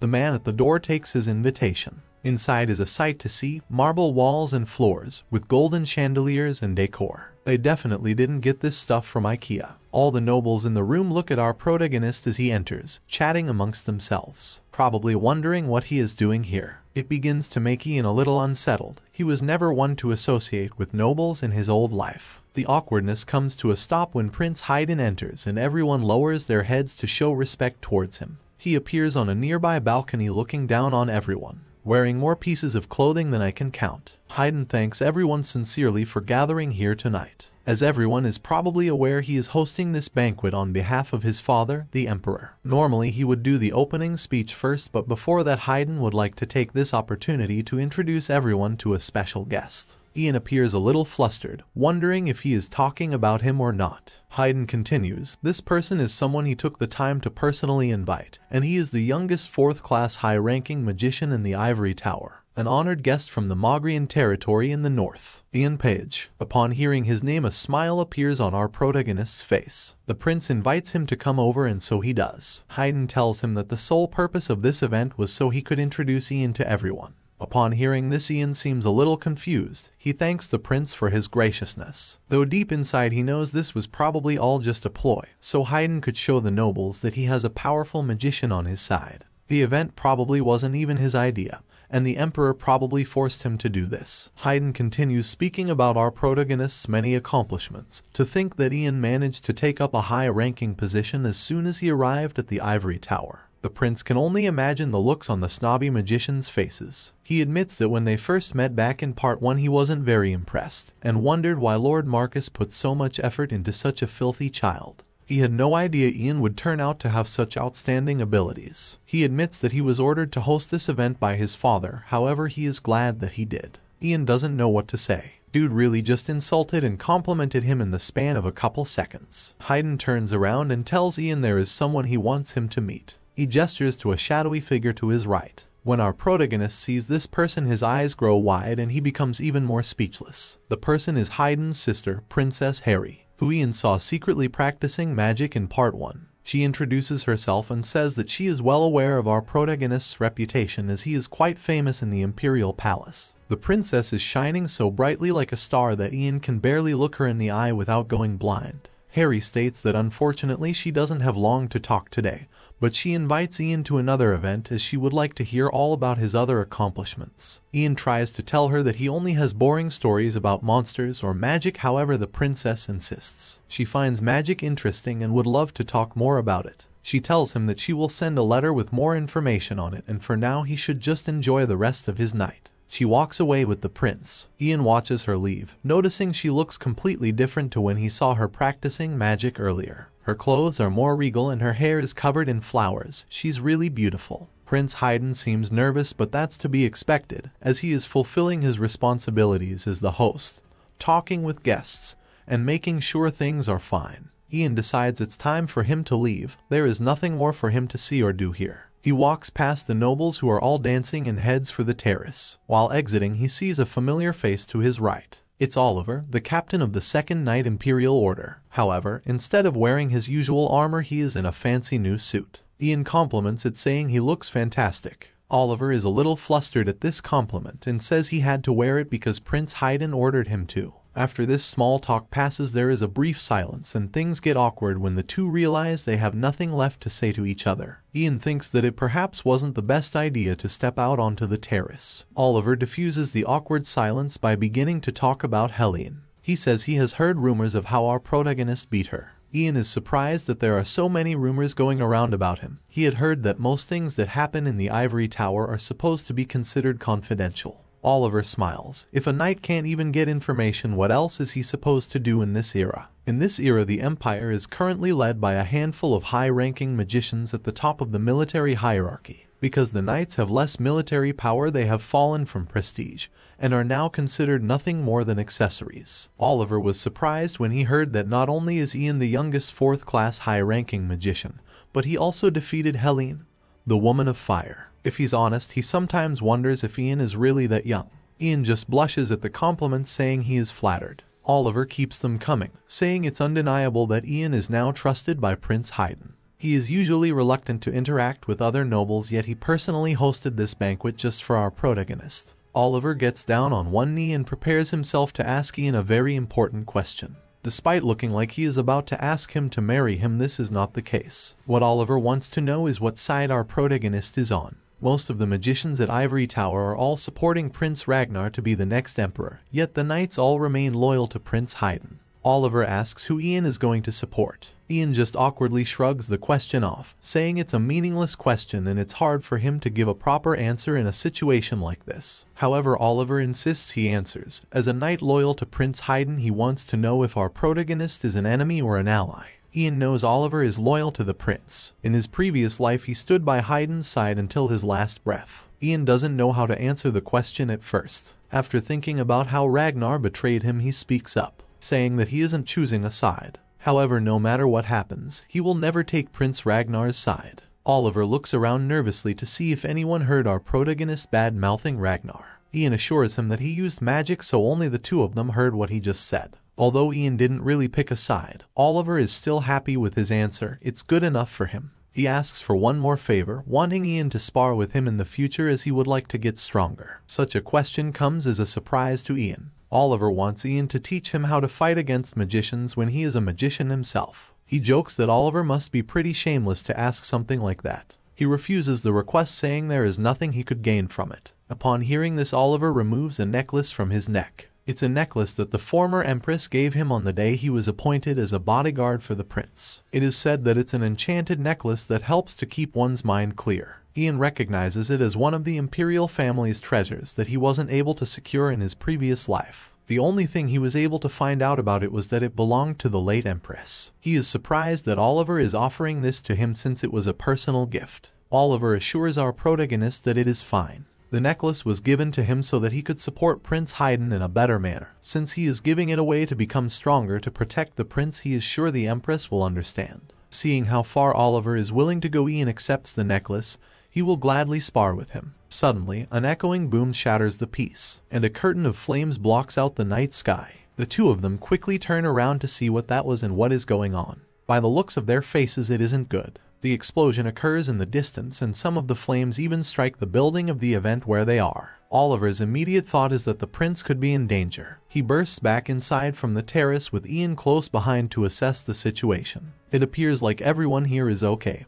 Haydn has his arm out to protect his sister. Those explosions all happened at the Sun Palace and he wonders what they could have been. Oliver rushes over to the royals frantically, asking if either of them are injured anywhere but they are fine. More knights burst through the doors. It is revealed by one of the knights that multiple explosions were detected in the Imperial Palace, and they have activated something called the Emergency Communication Zone. All troops are currently looking for the cause of the explosion. Ian has heard of this emergency communication zone before. All of the Templars' headquarters and the Imperial Army's barracks operate in a network connected by Ivory Tower which is available to troops so they can focus on protecting the palace. If the emergency communication zone is activated all of the Imperial troops are to gather around the Imperial Palace. Ian wonders if this was the goal of the explosion to begin with. He immediately activates his magic powers and summons a mana barrier to protect the royals. He turns to Princess Harry and asks her if she is able to support this barrier since he knows she can use magic. Princess Harry tries to pretend he doesn't know what he's talking about but Ian insists since it is an emergency. She admits that she learned a bit so she can probably do it. Ian exits the barrier leaving her to handle it. He approaches a nearby maid and asks them if someone by the name of Isabella has come here recently. The maid is shivering from fear at the whole situation. She gets her words out, revealing that someone named Isabella did in fact come here. This is just as our protagonist expected. He assumes people have come here to rescue the spy Cecilia. After blasting the palace, the plan was to disperse the troops and approach while the ivory tower surveillance was preoccupied. It doesn't matter what happens to Cecilia, but Ian knows she has valuable intel on him and he doesn't want this falling into the hands of the Coldwalkers. We see that Ian's theory was correct. While everyone is distracted with the explosion someone has approached Cecilia's cell. He removes his hood revealing he is a man named Daniel with long hair parted down the middle. He is disappointed in Cecilia and thought she was a competent magician. Cecilia, happy to see him, leaps up to the bars and asks him to let her out of here quickly. She hasn't snitched on any of the other spies. She tells Daniel that our protagonist just knew about everything from the start, about the existence of Coldwalker spies, and even the affiliation list. He also knew about the mana imprint that all Coldwalker spies have on their back, which even she had no idea about herself. Daniel doesn't seem to be in a rush and asks if Cecilia has any more information for him. She doesn't. There isn't time to chit-chat right now and she wants to be let out. Daniel obliges her request and opens the door to her cell. It creaks as it is swung open. A smile radiates on Cecilia's face. It's unclear how long she has been down here but now she is free. Free to go into the afterlife I guess, because Daniel slashes at her with his weapon. She falls to the floor gripping her fatally wounded neck. While she was imprisoned in the ivory tower the other Coldwalkers had long discussions about what they were going to do with her. Since she is a precious third-class magician for a moment they really considered rescuing her. Alas they ended up deciding against that and came to the final decision of just executing her. Daniel bids her goodnight and goodbye, weirdly happy about what he just did for some reason. A voice whispers behind him in a deathly voice, saying you too. Daniel quickly turns around and throws his dagger in the direction of the voice. It slams right into the wall next to our protagonist's face, even grazing his cheek on its way past. Daniel asks who he is. Ian notices Cecilia's body on the floor. Daniel has already taken care of her and thanks to that he has one less thing to worry about. He uses his ice magic to freeze Daniel in place. He met this man in his previous life. He slowly approaches. It was quite lucky of him to meet Daniel here, since he wanted to kill him with his own hands. Now he can finally avenge the tragedies of his classmates. Daniel has no idea what he is going on about. He's never killed any of our protagonist's classmates. Clearly he hasn't yet but Ian knows it is bound to happen in a decade. His ice grows and grows, moving up the spy's leg and wrapping itself around his entire body. Ian has made a decision since coming back to the past a decision that he is going to put everything back where it was. He taps on the ice and it shatters into a thousand pieces. Daniel falls to the floor with a thud, frozen and presumably dead. Even defrosting him can't bring him back. Ian waves his hand on the back of his neck to reveal that he also has a mana imprint. He knows this will be sufficient to use as an excuse. Magicians come around the corner after hearing suspicious noises. They can't believe what they see. Ian stands and on the floor beneath him lays Cecilia and Daniel, both dead. The Coldwalker marking glows on their necks. The scene cuts to the Emperor who slams his fist down onto his throne. Two people have already disappeared from within the palace. He is talking to Herbert the Tower Master. From the palace maids to the secretaries everyone is in danger. He wants to know what the ivory tower is doing while these scumbags are just walking around. Demanding an answer, an audience watches awkwardly as the Emperor scolds Herbert. He entrusted all of the authority in regards to the searching of spies to the ivory tower with the guarantee that they'd pull out all the rotten roots. The Emperor Terry states that he can no longer trust the ivory tower's guarantees, and from today onwards all authorities that were given to the magicians in regards to the search will be taken back. Bro isn't messing around. Still yelling, he tells the Tower Master to pass on all the information he has collected up to this moment to the Imperial family and the Knight's Order. Everything he knows must be shared with the Empire's army. Herbert understands that the magicians have failed in protecting everyone and he says he will do as the Emperor requests. The Emperor waves him away saying he can leave now, he has much to do. Terry has given himself a headache from all his shouting. Herbert shamefully walks out of the throne room while everyone stares at him and whispers about him. An assistant to the Emperor calls for our protagonist to step forward and pay his respects to his majesty. Out walks Ian, the esteemed guest of the North. The Emperor is happy they are meeting again. Ian lowers his head, they were able to maintain the security of the Empire thanks to Ian's outstanding competence this time around. If it weren't for him they would have lost so much intel to an unknown enemy that they are unable to catch. In the end the Empire and Imperial family would have been reduced to nothing but a laughing stock across the world if their sloppiness had been exposed. The Emperor will not overlook what our protagonist has done. He is grateful and would like to give Ian something personally for the contribution he has made towards the Empire's protection. A man approaches Ian with a case. He wonders what his reward could possibly be this time. It's a robe. It belonged to the Emperor's ancestor and the Imperial family's only magician named Mitchell. The magician that founded the Ivory Tower. This is the only relic he left behind. Ian is amazed at such a gift. His eyes sparkle while looking at it. Usually this is not an item that could be given to another that is not a part of the Imperial family. So the Emperor tells Ian that he is not giving it to him but just lending it. He wants the robe returned to the imperial family when Ian eventually dies, or until the moment when he no longer wishes to possess it. Mitchell was the Empire's imperial family's first and last magician. Mitchell was not only a hero that saved the Empire, but was also a tower master that was acknowledged for his competence in magic. This robe is an item that Ian has never seen before even in his past life. As it is a robe he doesn't have to take any of his clothes off and tries it on right away. He pulls it out the case and throws it onto his back. As nice as it is, it is way too big. The Emperor giggles. It's too big now, but give it a few years and it'll fit. While wearing the robe, Ian notices that it has a spell technique engraved. He'll definitely try to make it fit now. Using his magic, he waves his hands and the robe shrinks down to size. All of a sudden, it is a perfect fit. The people in the room look over in amazement, wondering how something like that was even possible. The Emperor is equally amazed. He compliments our protagonist saying the blue looks astounding on him. Ian kneels to the floor with his brand new robe thanking the Emperor for his kindness. This robe will for sure help him get the phone number of some hotties. He exits the Imperial Castle and gets on with his day. While walking out he is approached by Princess Harry who wants to talk. Harry says it's nothing important but she just wanted to tell him something. She struggles to get her words out and is clearly hesitating.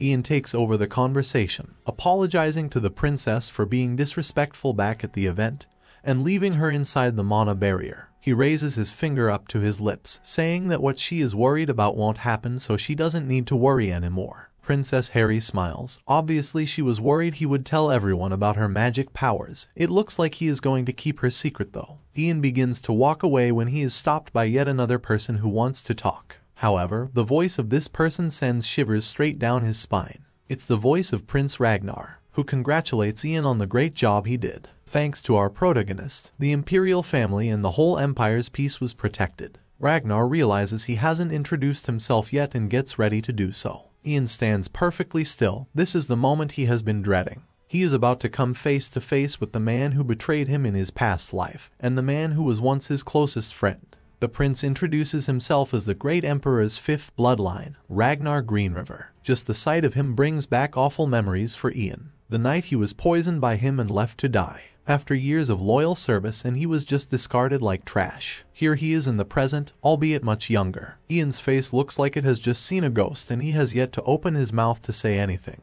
It's too early and it shouldn't be time for him to meet him yet. Ragnar congratulates Ian on becoming one of the Ivory Tower's high-ranking magicians. He sincerely offers his respect to Ian for his outstanding work he has done, from helping the Lord in the Mogrian territory to catching the Empire's spies and protecting the Empire's security. As a member of the Imperial family Ragnar offers his thanks and invites Ian to lunch today. He asks if he is available. Ian's fists are clenched tightly. It seems like he is ready to get his revenge right now. However, Princess Harry pushes in front of him, saying that she already has plans with our protagonist today, so he isn't available. In that case, Ragnar hopes he will be available tomorrow instead. Ian finally calms down and opens his mouth, saying he won't be available tomorrow either. Ragnar understands and thinks it's a pity. It looks like they will have to make arrangements for another time then. He is still happy to have met our protagonist though. He walks away with his guards leaving Ian with the princess. Ian just stares at him walking and there is a long pause for a while as he tries to take in what just happened.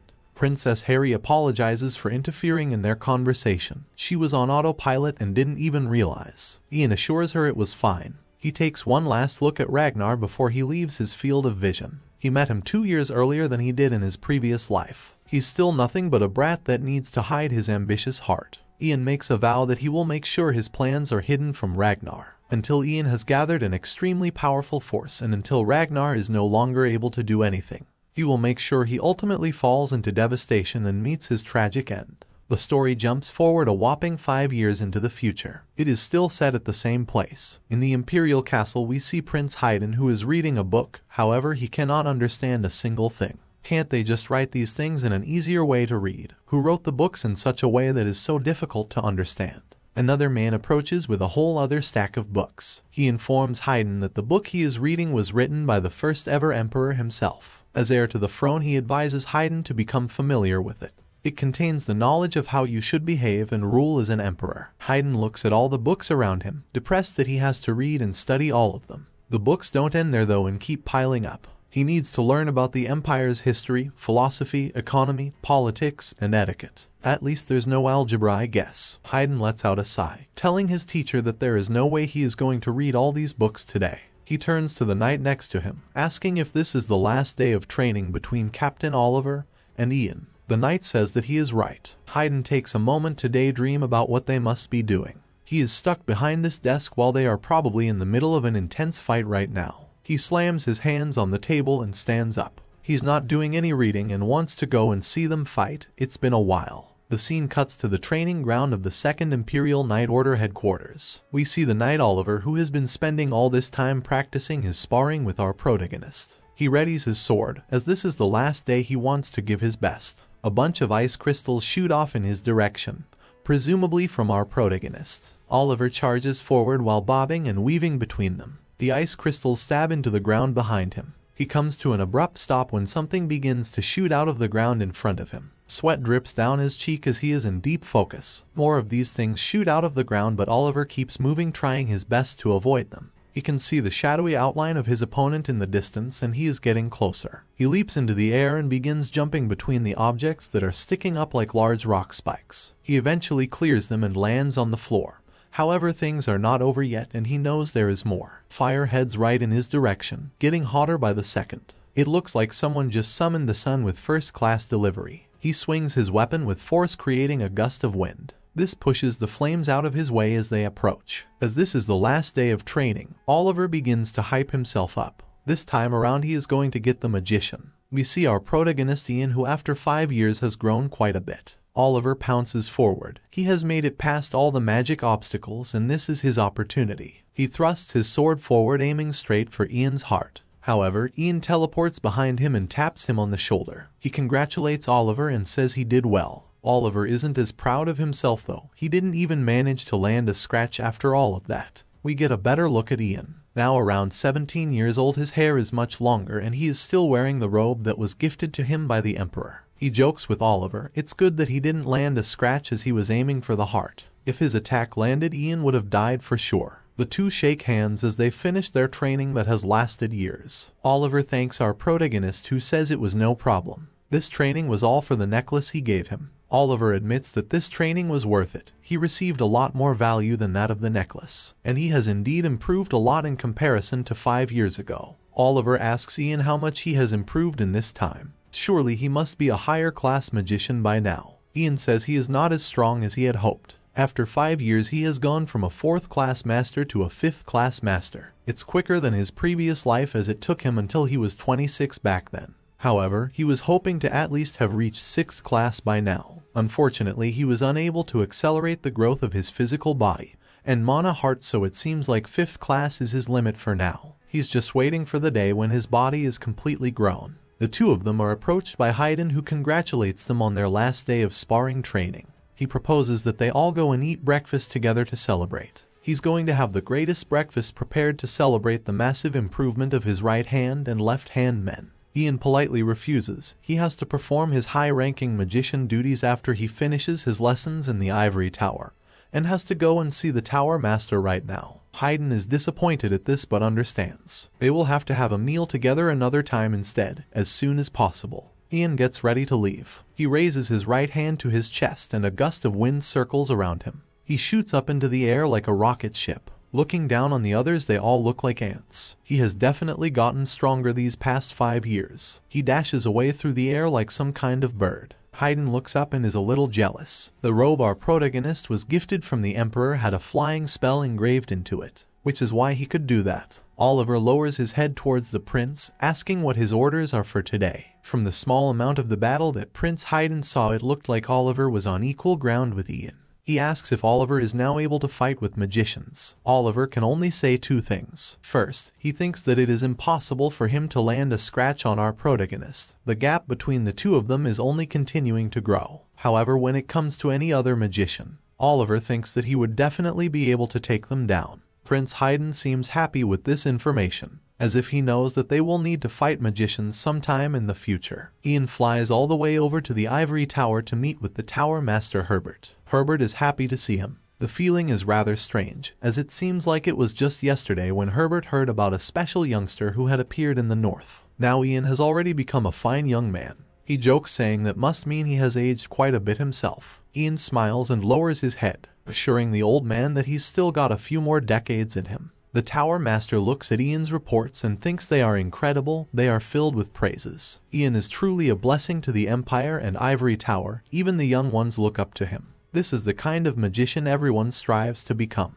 Ian is flattered by his comments. Herbert tells him he won't be flattered for long. As our protagonist already knows, this is his last day. If he was a normal student of the academy he would have been placed in another estate as soon as the graduation ceremony was over. But his case is a bit different. Although it is Ian's last day he has to spend it talking to an old man like Herbert, what a shame. Ian assures him that it is not a shame and is instead an honor. Herbert is thankful for his kindness, even if those were empty words. He reaches over to his side and removes something from a box. He congratulates Ian for carrying out his duties and becoming a full-fledged magician handing him some kind of metal rectangle with a cross on it. Using this Ian may now have soldiers and local residents in any area that he pleases. Herbert is sure he will make good use of it. Ian looks up, wanting to know if there are any places that need high-class magicians. There are more than he can imagine though. They have lost a lot of magicians. With Helene gone they are more desperate than they have ever been. Herbert doesn't want to pressure our protagonist but he could really use his help. There is lots for him to do. He is practically the most skilled magician of the Ivory Tower so he will have much responsibility. But since this is his first time Herbert says he will let our protagonist choose. He waves his hand and three blue texts appear in front of him each with a different estate on. The first is Lord Meyer Estate, which contains the largest port city in the empire. Next is the Benson Estate, the estate that produces the largest amount of iron. And Ian knows the final place all too well. It's the Pyrrhic Estate, and it was the estate he was sent to in his previous life. The mage who was originally sent there accidentally died so Ian was sent there to replace him. He stares at the state. As it is from his previous life it is the one that piques his interest the most. Herbert informs him that out of the three, that is the estate that is the most desperate for help. Although they were sent three full classes of magicians and the Imperial army it still wasn't enough. The monsters from the savannah seem as if they are raging. Herbert slides Ian a piece of paper. The details are all written on it so he should read through it thoroughly. The Tower Master would like to hear his decision by the end of the day. As if he changes his mind he will have to look for someone else. Ian doesn't need the day to decide and immediately says he will go to the Pyrrhic estate to help. He returns to his mansion where he still lives, that was gifted to him many years ago. Inside is the alchemist Douglas who has now also grown into a young man. He is shocked that Ian's first dispatch is to the Pyrrhic estate. That place is known for having all sorts of monsters. Ian gives him a stern look from across the table, as if he doesn't want him to talk about how dangerous it is. That is because his mother Vanessa is sitting at the table with them and she begins to get worried about Ian leaving. Ian assures her that it isn't that dangerous, it's just a temporary dispatch and he will be back in a few months. Vanessa's worries are put somewhat to rest. However, she is still upset about her son leaving next week. The large mansion is going to feel so empty without him. Ian continues to comfort his mother, saying he will try his best to finish quickly and return. Douglas speaks up again, calling our protagonist boss. Bro is really still calling him boss after all these years. He tells Ian to come by the laboratory before he leaves as he has made some useful items that could come in handy during battle. Douglas's father Letio is also at the table. He tells his son that now he is grown up he should stop calling Ian boss. Douglas doesn't see a problem with it but looking around he sees that everyone else finds it awkward. He decides to come up with another nickname and asks everyone at the table if he should call him brother instead. Everyone's faces become dumbfounded. He went from calling him boss to calling him brother. Douglas doubles down, calling out to brother Ian with a smile on his face. Ian can't believe this guy is really the famous alchemist that created the poison that killed him in his previous life. Vanessa joins in on the banter, saying Ian is super lucky to have a cute little brother like Douglas. And now she also has another son. Letio gets flustered at this statement, since for Douglas to be her son it must mean that the two of them are in a relationship. This whole situation is just crazy. Letio slaps his son at the dinner table, telling him he should just address Ian properly like a normal person. The two get into a little argument and playfully shove each other. Vanessa looks over and giggles at the scene. Ian is happy to see his mother so happy and can't help but smile at the sight of it. He looks around the table at everyone realizing he has got himself a nice little family here, and everyone seems to be having a good time, which is a lot different to his previous life where the parents both ended up dead and Douglas ended up bitter. It's a wholesome moment. Ian ends the arguing by telling Douglas he can call him anything else but brother. The next week goes by pretty quickly, and it is now almost time for Ian to leave. He is talking to Letio who asks when he is going. Ian says he just has to drop by the ivory tower first and bid farewell to the tower master then he will head for the Pyrrhic estate. He begins explaining to Letio how to work the mansion's security systems. However, Letio just laughs and says he already explained them yesterday so there is no need. There is no need for our protagonist to worry and Letio will protect the mansion and Vanessa with his life should anything happen. Douglas rushes over to the two of them screaming brother. When they look at him with stern expressions he quickly changes back to using the nickname boss. Douglas hands Ian a red potion known as a harp elixir. It's one that his father makes however this one Douglas made all by himself. He leans over to whisper into Ian's ear that this one is probably way better than any his father makes. Ian thanks him for the gift and looks at him, finding it hard to believe how much he has grown. There are three years left until Douglas graduates from the Imperial Alchemy Academy, yet he has been ensured the position of an Imperial Alchemist through his own talent.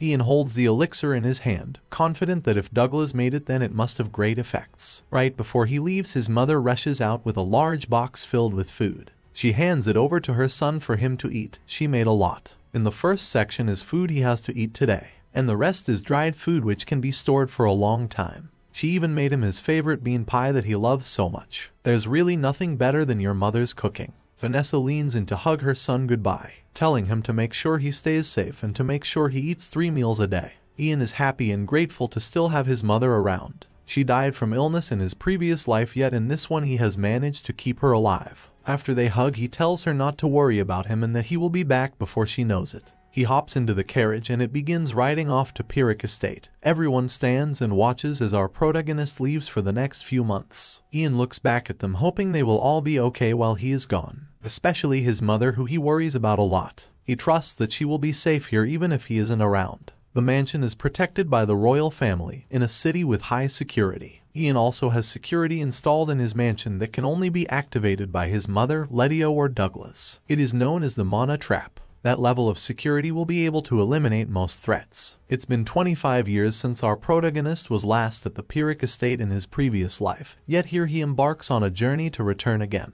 We see rocky cliffs and a battle going on down below. Wooden watchtowers are dotted around the battlefield. There are green goblins and orcs that are charging forward and they are being held back by knights. One in particular has red hair and a scar on his cheek. He orders his men to bring him the heads of the enemies. They shouldn't even think of dying before they are successful. The knights do as he says, running forward with their swords in hand ready to slay some monsters. There's too many though and someone arrives on a horse, informing the redhead that the rearguard has been attacked by orcs who have climbed over the mountain. This is not good news and the redhead knows it. Those orcs were supposed to be at the front line yet somehow they managed to reach the rearguard. He begins making orders to his men. Sections 2 and 3 should stay here with the magicians to protect the front gate. Section 1 should follow him over to the rear. He climbs atop his horse and gestures forward with his sword. It's time to kill some orcs. The horses gallop away, their hooves pound on the floor like a heartbeat thumping. Orcs aren't intelligent creatures, but they move systematically. Experienced knights would be able to defeat the orcs, but they can be very threatening in the rearguard, which is fully composed of inexperienced volunteers. The redhead charges forward as fast as he can with his men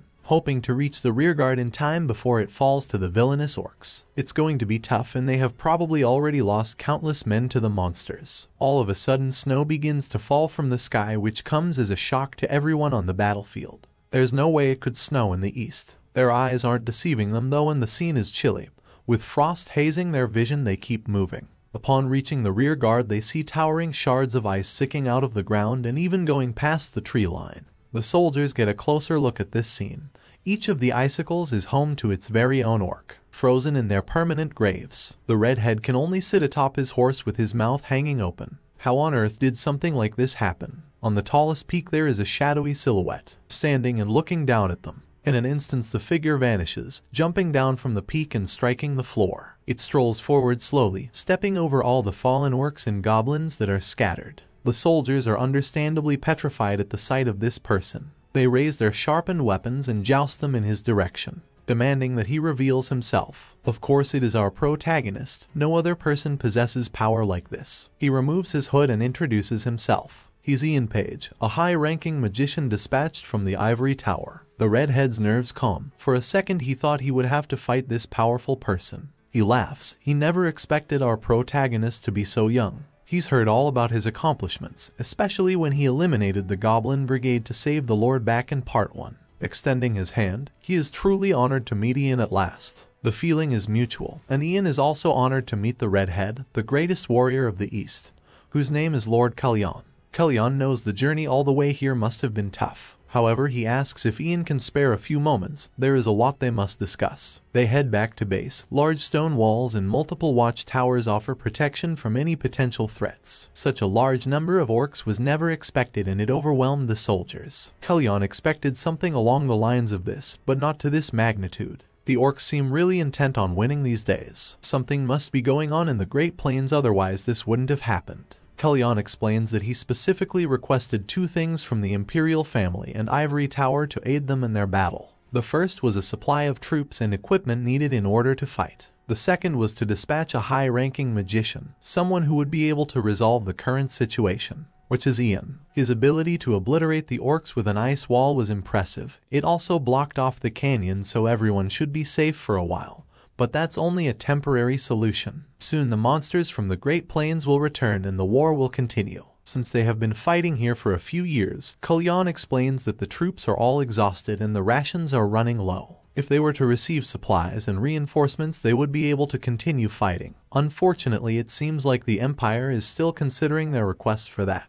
In any case, the second request has been granted and a high-rank magician has arrived. Kalyan wants the two of them to work together and come up with some feasible plans for the upcoming fight. Ian understands, the ice wall will secure them for another 10 days. As long as they keep watch for monsters coming in the mountain paths they should be safe for the moment. He volunteers to go to the Great Plains alone within the next 10 days, with the goal of finding the cause of this situation and if possible, a way to resolve it. Kalyan is happy to hear he is so confident. However, they have been dispatching numerous troops to the Great Plains for the last several months and have been unable to find a cause. The only thing they have discovered is that there are various types of monsters out there who all share the same goal. Instead of attacking each other they have teamed up, and their bare fangs are only used against humans. It's not just the Green River Empire that is under attack either. These monsters are simultaneously invading the Coldwood Empire in the north, and the Principality of Roe in the west. The paths leading to the other regions are narrow so they won't be as heavily affected by the monsters. However, there is a huge path known as the Grand Snake Canyon, and the monsters from this canyon are concentrating their attacks on the Pyrrhic estate. The strange thing is the monsters aren't attacking the south of the Great Plains where the native tribes live. It's as if the south has something that's preventing the monsters from approaching them. There are suspicions that the South is responsible for whatever is causing the monsters to act strangely in the Great Plains. However, no soldiers have been able to go there to investigate as there are monsters blocking the canyon.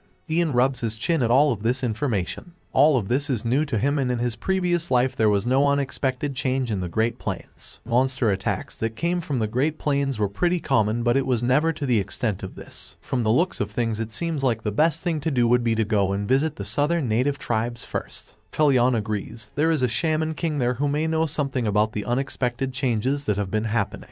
The plan is set in place and the knight looks down on the castle after a long day. Ian stares right back at it, thinking about the Great Plains and what it was like in his previous life. There should still be an item there that he is interested in. The Staff of the Great Plains. This artifact was given to the Shaman King who leads the natives. Ian really liked this staff as staffs made from birch wood are pretty rare. In his previous life when the monsters in the plains got out of hand, the Green River Empire, the Coldwood Empire, and the Principality of Roe all joined forces to subjugate the monsters of the Great Plains. Most of the monsters were exterminated and the rich resources of the Great Plains were shared among the three of them. And in that process the Shaman King vanished and his natives became servants. All of this craziness that is happening now never happened. It seems that since Ian has come back to the past differences have been occurring in the timeline. The unexpected changes in the Great Plains is one of these things, and Ian fears it might have something to do with him. The next day he prepares to leave. In 10 days the ice will melt and he aims to find the cause and solution for this situation by then.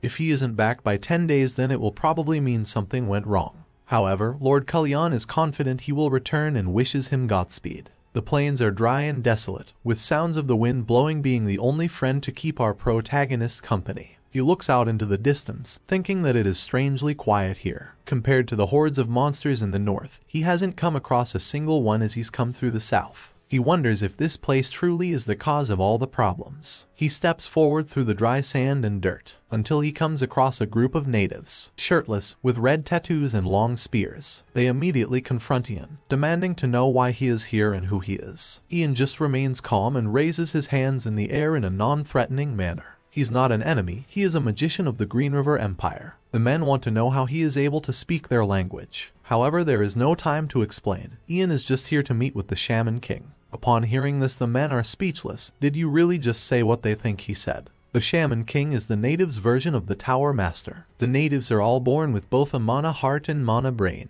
However, the way they control mana is more basic so they are labeled as shamans instead of magicians. The Shaman King is the leader of these people, the greatest in their ranks. Seeing the men aren't moving Ian continues explaining his arrival. He's come to discuss the situation regarding the monsters in the south. The Shaman King must already be aware of what's happening so he just wants to speak with him. The men violently jab their spears towards our protagonist. How dare a dog of the Empire act so arrogantly? There's no way the Shaman King would meet with someone like you. They threaten Ian, telling him to return back to the Empire. One more word from his mouth and they are going to sacrifice him to the spirits of the Great Plains. Getting impatient Ian narrows his eyes. Does he really look like someone who is going to leave just because they were told to? One of the men dash forward with their spear in hand, ready to follow through with their threats. Ian just uses his magic abilities to create a sword from ice. Using this sword he slashes at the tip of the spear, slicing it off. It falls to the floor and the man is left holding his stubby stick that is no longer capable of hurting anyone. With his ice sword raised, now Ian begins to make the threats, demanding they take him to the king or it will be their heads next. As he says this someone calls out and steps forth. The voice asks why a person of the empire is here. Ian recognizes him instantly. He has a long braided beard and a bald head. The birchwood staff sits in his hand and is taller than him. He is the Shaman King. Ian doesn't waste time and begins his questioning right away. The monsters of the Great Plains are now invading other empires, yet not a single monster can be found in the south. He was hoping the king might know the reason why the monsters are only targeting the north. Monsters invading borders happens quite frequently, and the shaman king says he has no idea why this is happening. However, Ian knows he is lying. His eyes are bright blue and he is using interrogation magic, informing the king that his lies won't work on him.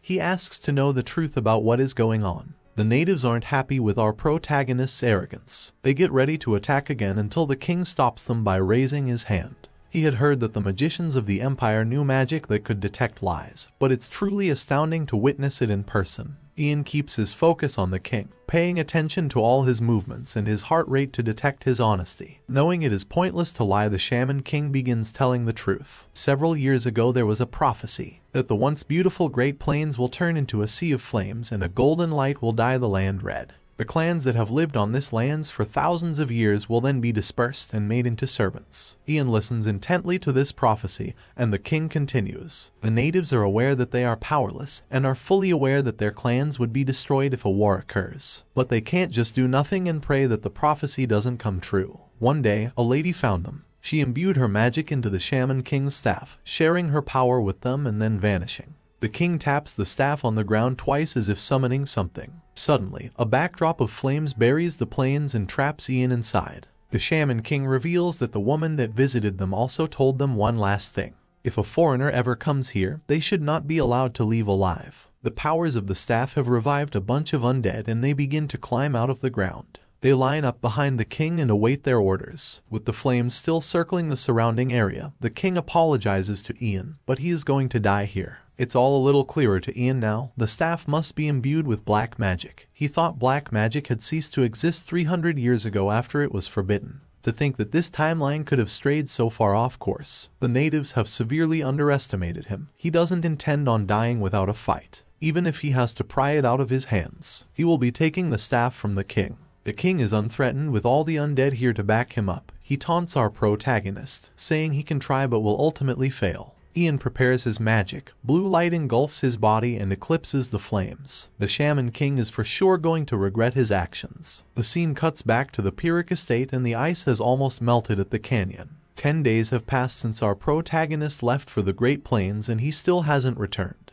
The block of ice is about to turn into water and the canyon will soon open up. Lord Kalyan turns to one of his men. It's time for them to prepare for battle. All the troops and catapults should be readied. The man lowers his head and will do as his leader commands. He is nervous though and a drip of sweat glides down his cheek. Kalyan slams his sword in the ground and closes his eyes, giving himself a motivational speech. He can stop the orcs. He will protect the land of his people and in order to do this he needs to become the strongest shield of the empire. Lord Kalyan looks out into the canyon as the ice fades away. The soldiers behind him set up the catapults for immediate use. However, what they see emerging from the canyon is our protagonist. He pushes through the mist and fog whilst gripping his chest tightly. The redhead's eyes light up and he calls out to Ian, glad he is alive and back. Ian is in bad shape though, and is carrying the staff imbued with dark magic. He stumbles forward and can only say one thing before passing out, warning the men to never touch the staff. He crashes to the ground and his vision collapses into darkness. His eyes open some time in the future, sunlight beams through a circular window and he gets a hold of his surroundings. He recognizes this place as Yongjuseong. A bandage is wrapped around his chest and he lays in a large bed. Leaning up he holds his pounding head. The first thing that crosses his mind is the staff and what happened to it. Lord Kalyan bursts into the room wearing a large fur robe. He is happy to see that our protagonist is finally awake. He has been unconscious for three whole days. They begin to approach asking how Ian is feeling. The doctor said he shouldn't be moving around yet however Ian sits up wanting to know where the staff he came with is. Lord Kalyan informs him that some magicians put it inside of a box. It is said to be a storage box made with a similar principle to a mana prison. Ian approaches this box that glows blue. He's happy to hear they have handled it well and he is about to take it out again. Kalyan and the man beside him appear worried at Ian's condition. The doctor told them that his mana and energy were all depleted and if he had arrived a second later his life would have been in danger. Kalyan knows it is impolite to bother someone who is still recovering. But he has to know what exactly put Ian in such danger. Ian holds the staff in his hands, explaining that this staff is the cause of the abnormal change in the plains. It is imbued with black magic spells and the Shaman King used this black magic alongside illusionary magic to control monsters. This information shocks Kalyan. He was under the impression that black magic perished 300 years ago. Despite retrieving the staff Ian was unable to discover who exactly the perpetrator behind all this is. They have no idea who originally imbued the staff. After the Shaman King died all of the black magic and illusionary magic was dispelled. The Great Plains monsters then started to attack our protagonist, the new owner of the staff. Ian assumes it's probably because a curse was placed on them to destroy the evidence. Thanks to that it was extremely difficult for him to come back with the staff in hand. Kalyan is curious as to why Ian didn't just destroy or throw the staff away then. Ian smiles while looking at the staff. He raises his hand and begins using magic on it. The reason he didn't leave it behind is because he likes it. Bro really risked his entire life just because he liked the look of a glorified stick. With the waving of his hand Ian is able to erase all of the dark magic techniques that the staff was imbued with. Suddenly he gets a sharp pain in his chest which causes him to drop the staff to the floor. He grips his heart and grits his teeth. His world spins and his vision fades. The redhead rushes over to help. Something is happening to Ian's mana heart. Eventually the pain subsides. However, looking down his chest is covered in blood and some of it has even began to pour out of his mouth. Kalyan yells out for the doctor thinking that there is some kind of emergency happening. However, Ian is okay and that was just something called shedding. It's something that happens when one's mana heart that hasn't grown enough breaks through to a new class. It looks painful but it's nothing to worry about. This must mean that Ian has ranked up, going from a 5th class to a 6th class master. He feels an enormous amount of mana that feels different from what he had previously. His mouth upturns into a subtle smile. Finally it has happened. Kalyan is relieved, but still thinks it's best to let the doctor take a look just in case. He also has something that he needs to give to our protagonist. Three days after Ian left for the Great Plains he was sent a letter from the Ivory Tower. They were told to hand it over to him once the mission was over but since Ian has only just regained consciousness they were only able to give it him now. Ian picks up the letter, which is in the form of a blue magic orb, wondering what it could be. That's not all though and there is one more thing Kalyan has to give him. It's a letter that came directly from the Emperor via a horseman. Kalyan was given strict instructions to hand this over personally. The Emperor didn't send this message through the ivory tower, but used a horseman and a paper letter instead to use a method that could be late in its delivery, with a high possibility that it might not even arrive at all is unusual. Ian thinks it could contain information that the Emperor doesn't want the Ivory Tower discovering. He decides to read the Ivory Tower's message first, picking up the blue orb and glancing at a text that appears. It states, Hear this high-rank magician Ian Page. As the contents of this letter might affect your current mission, we have asked for it to be given to you after it has ended. It was an inevitable decision that has been made. I hope you understand our situation. There has been a slight commotion within your household and an unknown suspicious person invaded your mansion. But we were able to keep your family and assets safe by mobilizing the Imperial troops. Reading this letter causes Ian to begin worrying about his mother, wondering who could possibly be invading his mansion. It continues reading. Currently, the Imperial family and Ivory Tower are providing protection to ensure the safety of Ian's family. This letter has just been sent to inform him that there is no reason to be worried. The letter ends here and Ian isn't happy about it. Why would the Ivory Tower send him such a worrying letter and then expect him not to get worried? The Tower Master Herbert must be up to something. Before jumping to conclusions, Ian decides to read the paper letter from the Emperor. It states, To my dear magician Ian Page, if this letter reaches you safely, then it means that both me and my son aren't out of luck yet. We give thanks to the goddess of luck, and I'd like to make a request of you. The treaty that will be made by the three countries in regards to the subjugation of monsters in the eastern part of the Great Plains will take place in the free city named Demitora. The Crown Prince Haydn, the fifth Prince Ragnar, the Ivory Tower Master Herbert, and the Empire's great General Duncan have all been selected to be a part of the delegation. By the time you're reading this the delegation should have started their march towards Demitora. In the delegation this time, there isn't anyone who is on the Crown Prince's side. Therefore, I'm making a request to you Ian Page, a friend of the Crown Prince. Please head towards Demitora and support the Crown Prince. I will invite your precious family into the Imperial Palace and promise to grant them the highest possible protection possible. Ian finishes reading the letter from the Emperor. He wasn't expecting the treaty between the empires to be taking place already. In his previous life it wasn't supposed to happen for another three years. The Demytera Treaty was the first stage where Prince Ragnar started to fight for the throne succession. And it's also the start of the fall of Prince Haydn. Ragnar displays exceptional diplomacy during this treaty, and even manages to get the Green River Empire an advantageous position. Because of this the nobles and commoners recognize Ragnar's abilities. It's also the crucial part in history where the public notices just how incompetent Prince Haydn is when it comes to political matters. While thinking about both the letters he has received Ian can tell something is wrong. Everything is happening so differently than it did in his previous life. The change in the Great Plains that caused the monsters to group together and attack. The Shaman King that received black magic spells from an unknown woman. And the Three Countries Treaty that's happening three years too early. Ian can't help but thinking that this is all related to the Tower Master somehow. He also thinks that the suspicious person Herbert said invaded his mansion could just be a distraction. It's possible that the Ivory Tower have figured out his secret. Usually he would be more worried about a possibility like this, however something no one expected has occurred. Ian's mana heart has ranked up, and he now has access to 6th class magic that can only be used by a 6th class magician. Magic that even the Tower Master couldn't have expected. Magic that's not recorded anywhere in the world. He turns to Kalyan who is still in the room. Bro really stood there in the corner while he read through two letters. He asks the redhead if he can do him a favor with a smile on his face, as if he has a plan. The scene cuts to Demytera, the city where the Three Countries Treaty is taking place. Prince Haydn stands with his arms crossed. He is frustrated and wants to ask Ian to come.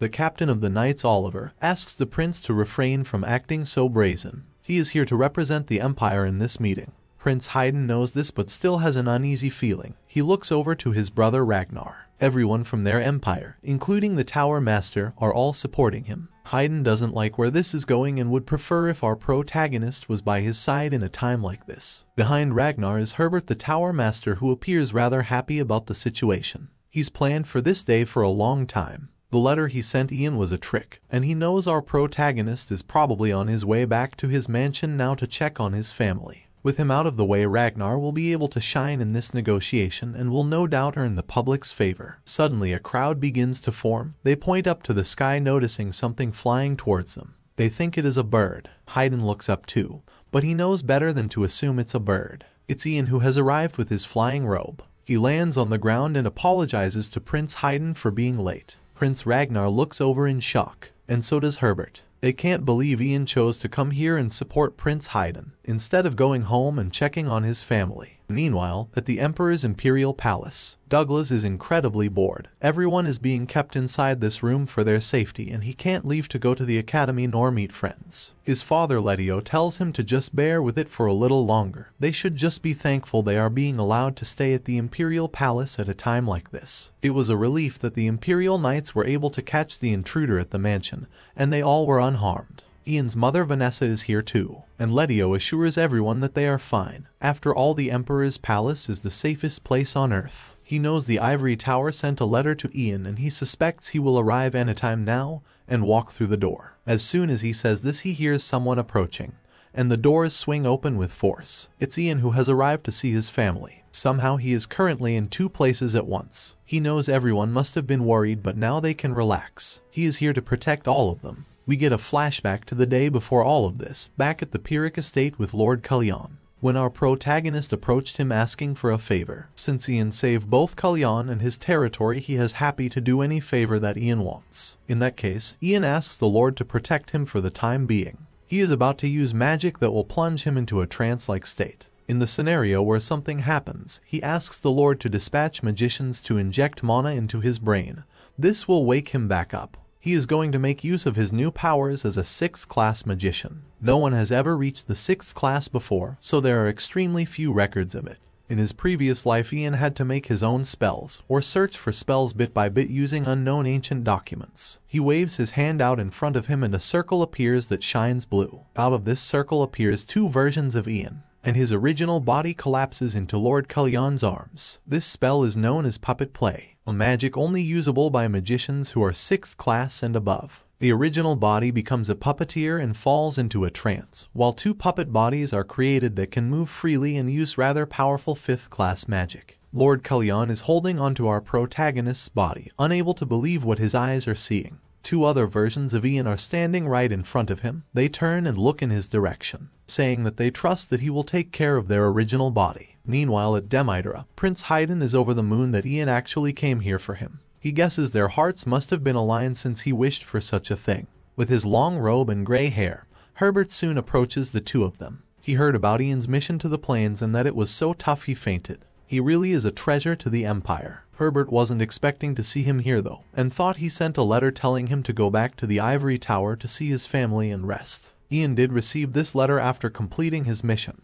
However, he explains that he also received an imperial order to join the delegation and assist Prince Haydn immediately. He pulls it out and shows it to the tower master, who isn't happy with what he's seeing though he doesn't show it on the surface. He closes the Imperial Order explaining that it is impossible for Ian to join in when it is already underway. Haydn yells out in disbelief, there's no way he is disobeying his father, the Emperor's, orders. However, this is a matter concerning the trust between the three countries. The number of people and bodyguards involved has already been set and they can't be changed. These numbers were negotiated previously, and for Green River Empire to just add a high-ranking magician could cause problems. Though the Emperor ordered it, Herbert thinks he would understand why it can't be allowed. Ian knows the Tower Master isn't wrong. Although they are not at war now there is a history of conflicts between the countries. It took a lot of negotiating and trust to even get each country's nobles to be gathered here today. There's a total of three high-ranking magicians who are here currently, including the Tower Master. If one more were to be added, especially one as strong as Ian,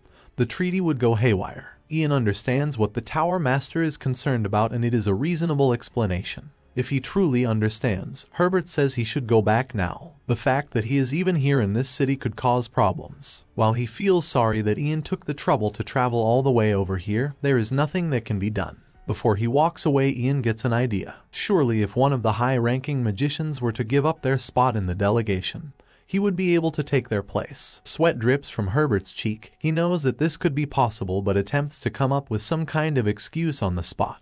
Before he can do this one of the high-ranking magicians named Ronan speaks up, giving up his place to our protagonist. As a citizen of the Empire, he has no desire to disobey imperial orders, and he knows by handing his spot to Ian it would assist both in the treaty and in the completion of the Emperor's orders, Ronan turns to Prince Haydn, requesting His Highness for permission to make this change. Of course Haydn agrees and is deeply impressed by Ronan's sincerity and loyalty to the Empire. Ronan will receive safe travel back to the Ivory Tower. He turns to Ian, entrusting his position in the delegation to him and asking that he fulfills this mission without fault. Ian is grateful and can only thank his senior while grinning widely. He remembers the high-ranking magician Ronan from his previous life. He was one of the few decent magicians. Though he was extremely uncompromising in all matters, he made his own choices and his actions were not blindly based on loyalty to the Ivory Tower and Herbert. His only concern was about his own magic abilities, and Ian was easily able to win him over to his side just by teaching him a few rare magic spells. Ronan lowers his head preparing to leave. A high-ranking magician who isn't a part of the delegation could cause problems. It's what the Tower Master said after all. Herbert can only awkwardly laugh with nothing more to say. He can't believe it. He thought Ian was just some kid that didn't know anything, but it seems that he's already begun influencing the members of the Ivory Tower. Herbert's brow furrows. He won't allow for a kid like Ian to spoil his plans. His plans to take over the Green River Empire and turn it into Ivory Tower's empire. Someone also watching our protagonist closely is Prince Ragnar. He looks over with a neutral expression purple gemstones sit around his neck and it is unclear whether he is angry or intrigued. Demydra is a neutral and free city that doesn't affiliate itself with any other country. Due to this it acts as a diplomacy bridge between the three countries, the Green River Empire, Coldwood Empire, and the Principality of Roe. It has been a symbol of freedom and neutrality for more than a hundred years. The current mayor is a man named Ingolo, who wears a monocle along with white attire. He gestures towards a large mansion. Each country gets their own individual VIP mansions. This is the one that will be used by Green River, and not far from it is a separate mansion where Prince Haydn will be staying.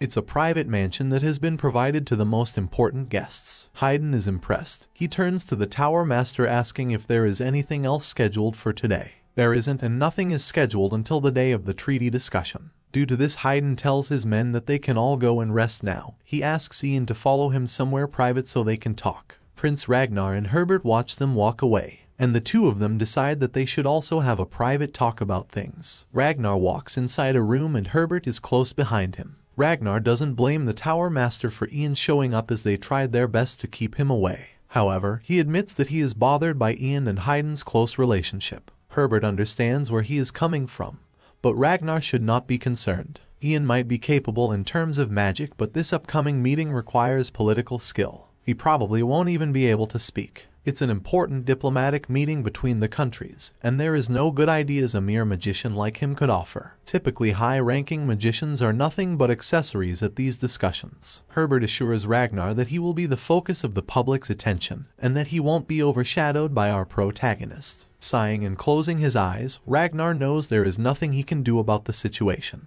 He's tried countless times to get Ian Page to be on his side, but Ian has always pushed him away and stood by Prince Haydn. Ragnar is certain that our protagonist is going to cause big problems for them in the future, and he trusts that Herbert will deal with him as quick as possible. Herbert lowers his head telling Ragnar not to be concerned. Everything will soon work out as planned. Meanwhile, Haydn is cheery and sits on a chair in his new room. The nightlife in Demeitra is fabulous and there are really good street performances. He is looking forward to the fun he is going to have. Of course, he will need to wear a disguise so he doesn't get recognized. He is about to ask a servant to go and fetch some for him. However, he notices Ian and Captain Oliver who don't seem excited, and their minds seem preoccupied with something else. Ian in particular has a scary look on his face, unable to believe Haydn is acting this way at a time like this. He explains to Haydn that he is here to represent the Green River Empire, and he is also the successor to the throne. Haydn is also the person responsible for negotiating at the treaty discussion. There is no time to play and he must start preparing from this point onwards. Haydn's dreams of going out and having fun have been crushed. He turns to Oliver hoping that he will say something.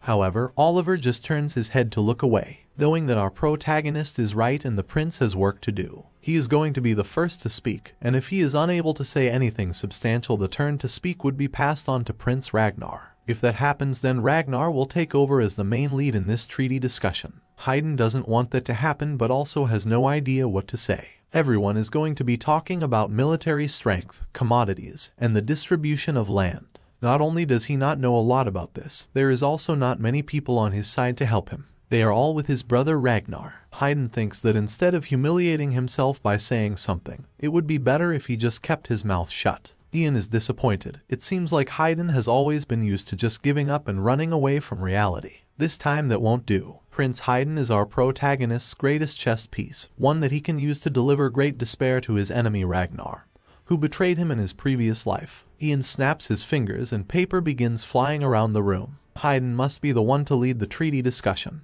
The Emperor has tasked Ian with supporting the prince, giving him specific orders not to allow Ragnar to steal the show and to help Haydn take control of all the discussions by ensuring he knows how to answer and respond appropriately. Using magic he begins writing on the papers in the air, and he slams the doors to the room shut, locking them. From now to the day of the treaty discussion, he is going to make sure Haydn stays inside and memorizes all of these lines no matter what. A week passes and it is now the day of the three-country treaty discussion. Ragnar and the Tower Master are on their way now discussing Haydn. They haven't seen him leave his mansion for the whole week. Herbert was curious about this and placed surveillance over the mansion.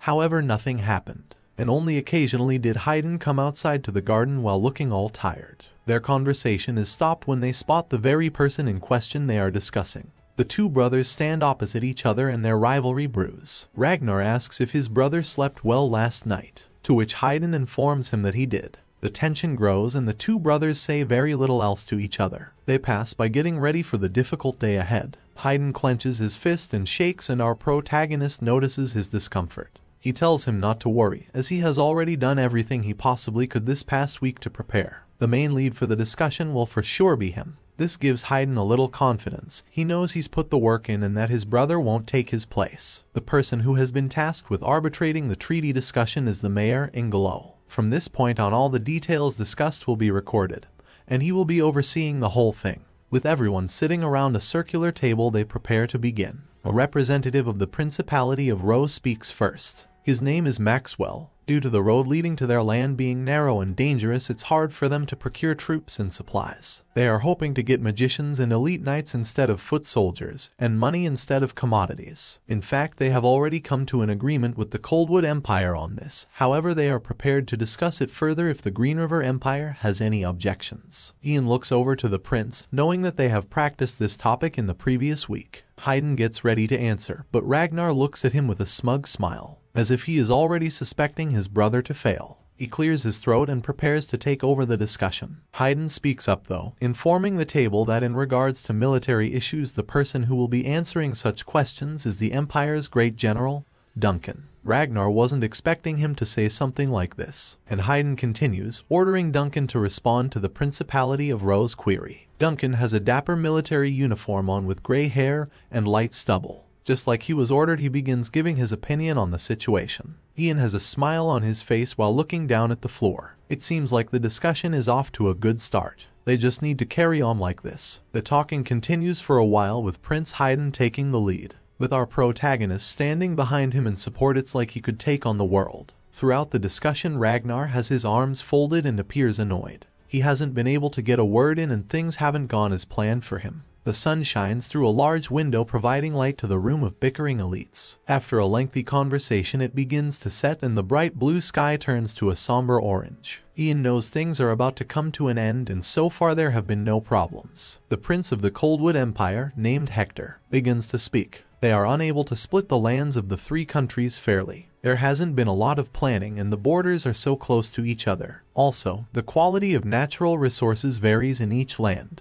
Someone could land a rich piece of land and strike the jackpot, whereas someone else could get a total dud, with nothing below the surface. Something like this isn't fair and could lead to jealousy, or even cause a war to break out. This is the most important topic of the discussion and our protagonist knows it. The negotiation on the division of the lands and natural resources. Prince Hector states that the Coldwood Empire doesn't want any trouble, and would be happy to maintain peace for the next 10,000 years as long as they are given a good deal the Principality of Ro begin to mutter among themselves, holding up pieces of paper and crossing their arms. Prince Ragnar looks over to the Tower Master as if wanting approval to speak. Herbert nods in his direction. This gives him the confidence to raise his hand, wanting to share his humble opinion with the table. However, Haydn slams his hands down creating a loud sound that overpowers his brother's words. This gets the attention of all the other countries who look in his direction. Prince Haydn stands up, claiming that he knows just the method they can use to divide the land.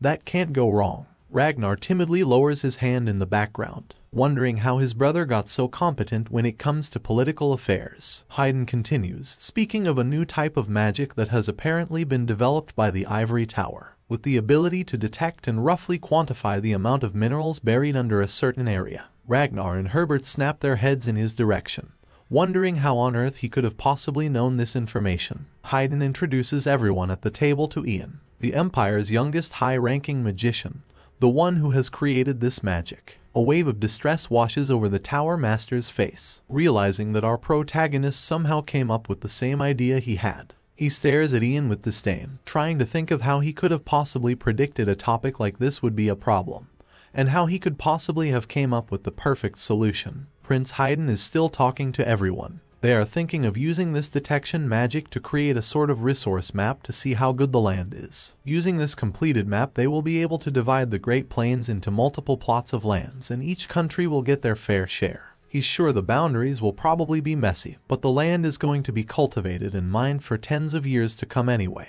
This is the best solution they have. Also looking at Ian with disdain is Ragnar whose fists are clenched and gaze narrow. Ian can see him staring and just smugly looks back at him, with a light smile on his face, knowing he has ruined all of Ragnar's plans today. The discussion ends here for now, with Haydn's proposal for the creation of a resource map. Everyone exits the room where they have been trapped this whole time. The first thing Haydn does is go and find Captain Oliver proud of himself of how he was able to keep control of the meeting as its lead speaker. He wishes Oliver was there to see the sour faces of Ragnar and the Tower Master. Oliver is just happy that everything went well. The two get ready to go out to have a drink and tour the city to celebrate. They turn to Ian asking him to come with them. Ian accepts this offer, which is something they didn't expect. They're glad as this is how it should be. Ian will be an adult soon and so should accept drinks that are bestowed upon him. Haydn hasn't stopped smiling since he left the discussion. He can't wait to teach Ian how to drink. His smile fades when Ragnar calls out his name and approaches from behind.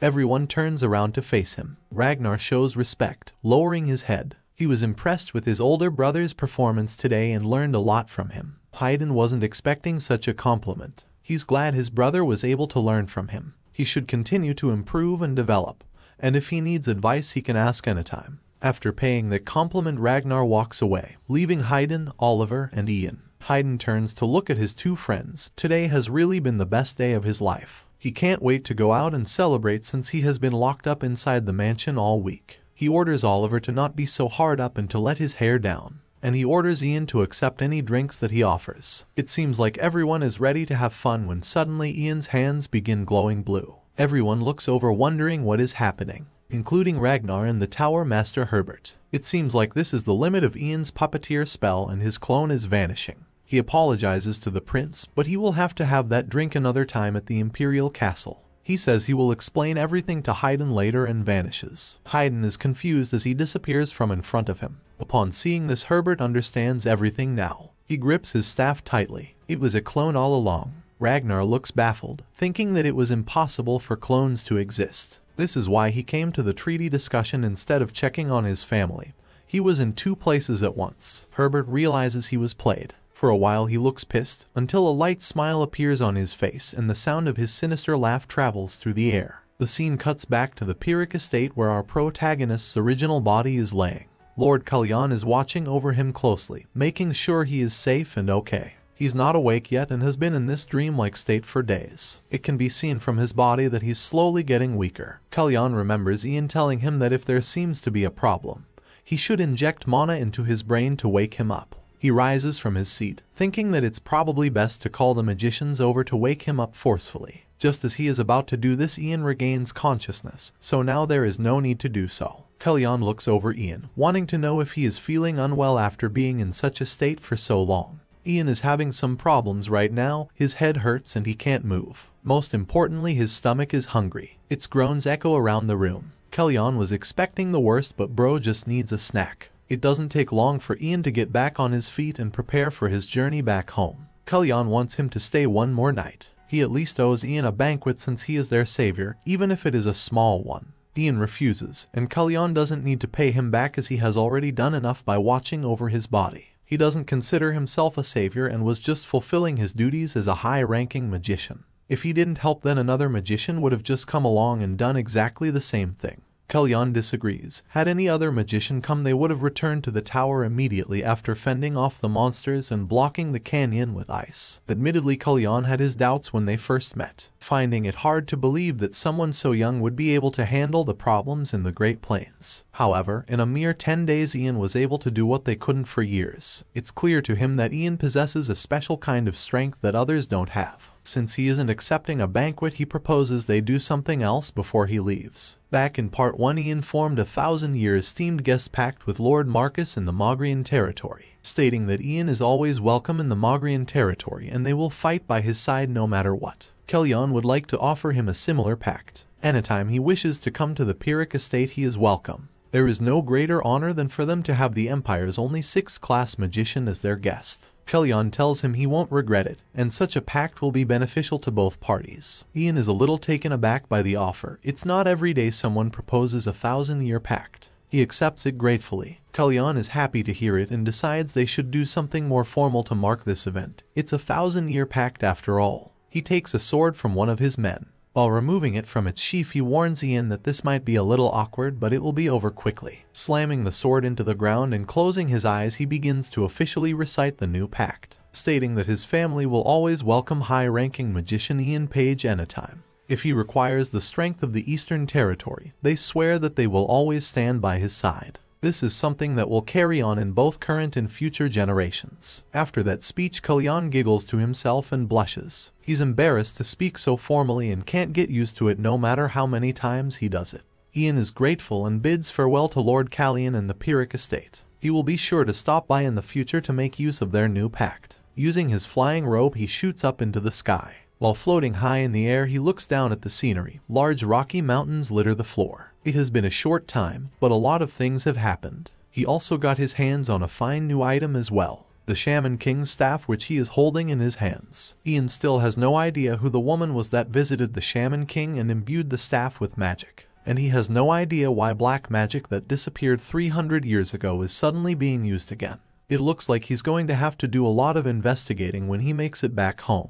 When he arrives back at his mansion he is almost immediately greeted by his mother. She runs down the stairs voicing how much she was concerned about her son, especially when the clone he sent to check on her suddenly disappeared into smoke. Seeing Ian she notices that he has gotten a lot thinner and the size of his face has almost halved. This is seriously upsetting to her, thinking about how her son must have gone through a really tough time while away for him to get so thin. Ian calms her down. He got distracted and just needs to eat a little more to gain back the weight he lost. It's no big deal. He begins to remove something from his pockets to hand over to her. It's a mana communicator that's made from a mana crystal ball. He had it specially made at the workshop. Ian has his own and his staff, and in the future if they are at a close enough distance they can communicate through it. He apologizes for causing his mother so much worry, and from now on he will always be by her side. The wholesome moment is ruined when Douglas bursts into the room calling Ian boss again. He bombards our protagonist with a flurry of questions, wanting to know what type of magic he used to appear in two places at the same time. Was it mirrors, clones, or something similar? Ian tells him to slow down and to just ask his questions one at a time. To put it simply, that type of magic was only possible because he is a 6th class magician now. His family are bewildered by this information, knowing that this must mean Ian is now the highest ranked magician in the Empire. Letio knew our protagonist was extraordinary when they first met but he had no idea it was to this extent. Ian doesn't want them to see him as someone so superior, stating that nothing has changed so they should just treat him as they would usually. In that case, Douglas is about to test out some new potions he just made in the research lab. He wonders if Ian would like to join him. He can't though and will have to do it another time, as right now he has already been invited to another appointment. Wearing more casual clothes he leaves his mansion and enters some kind of pub, with many people sitting around having a good time. He is welcomed inside by Prince Haydn, who reveals that this is a celebratory banquet that he has prepared for our protagonist. When Ian was asked to wear his casual clothes it made him curious as to what kind of banquet he was going to. He looks around a little surprised at the scene. Inside is also Oliver and another knight who are both out of uniform drinking from large wooden cups. One of these drinks is slammed onto the table for Ian to drink. He looks down at it awkwardly. Haydn has arranged this banquet to celebrate Ian upgrading to a 6th class magician. He has bought barrels of the best beer into the Imperial Palace specially for this. This kind can't be easily found outside. He asks Ian to enjoy himself and drink up. Ian appears a little hesitant. He was never one to drink a lot back in his past life since he was loyal to Ragnar back then. Ragnar always said drinking would cause one's thoughts to become dull and would cause a person to let down their guard. For this reason he avoided it. He and Ragnar are obviously not friends in this life, so Ian picks up the large cup and raises it to his lips, chugging it down like he's a frat boy. Upon finishing he slams it back onto the table and wipes the excess from his mouth, surprised that it actually tastes quite good. Prince Haydn is happy to hear it. A gleeful smile radiates on his face as life has been going so good for him the past couple of days. Some men at the bar call out to him, asking the prince to come over and tell them all about the successful treaty discussion in Demydora. He rises from his seat and obliges their request, getting ready to brag about his political skills. He approaches the men leaving Ian sitting alone. Bro really got abandoned at his own celebration. Fortunately, he is approached by Oliver who offers him a refill. As this is our protagonist's first time drinking he warns him not to overdo it. He jokes, after all if Ian gets too drunk and things go wrong, he could accidentally fire a magic missile and kill everyone. Looking around Ian is surprised by how casually Prince Haydn is acting with all of the knights at the bar. He wonders if it is okay for him to hang around with them like that. Oliver knows everything is fine though. All the knights here have sworn their loyalty to the prince and can be trusted. Ian holds his head in his hand. Seeing Prince Haydn's relationship with the knights has reminded him of his old relationship with Prince Ragnar in his previous life, one built on trust and loyalty that was ultimately betrayed. Noticing he appears melancholy, Oliver starts a conversation with Ian, saying he knows why our protagonist doesn't have any friends. Dude really started up a conversation with an insult. Oliver remembers the first time he met Ian very well. It was the night he captured the Coldwood spy Cecilia back in part 1. Even though Ian had just captured a spy who was a third-class magician, Oliver remembers that his face was completely emotionless. Kids at that age shouldn't be able to hide their facial expressions nor true feelings in such a manner. Oliver couldn't read any form of expression in his face, almost as if he was a soldier who had received several years of training to not expose their true feelings. That's when Oliver first realized Ian was a closed-up person even though he was so young.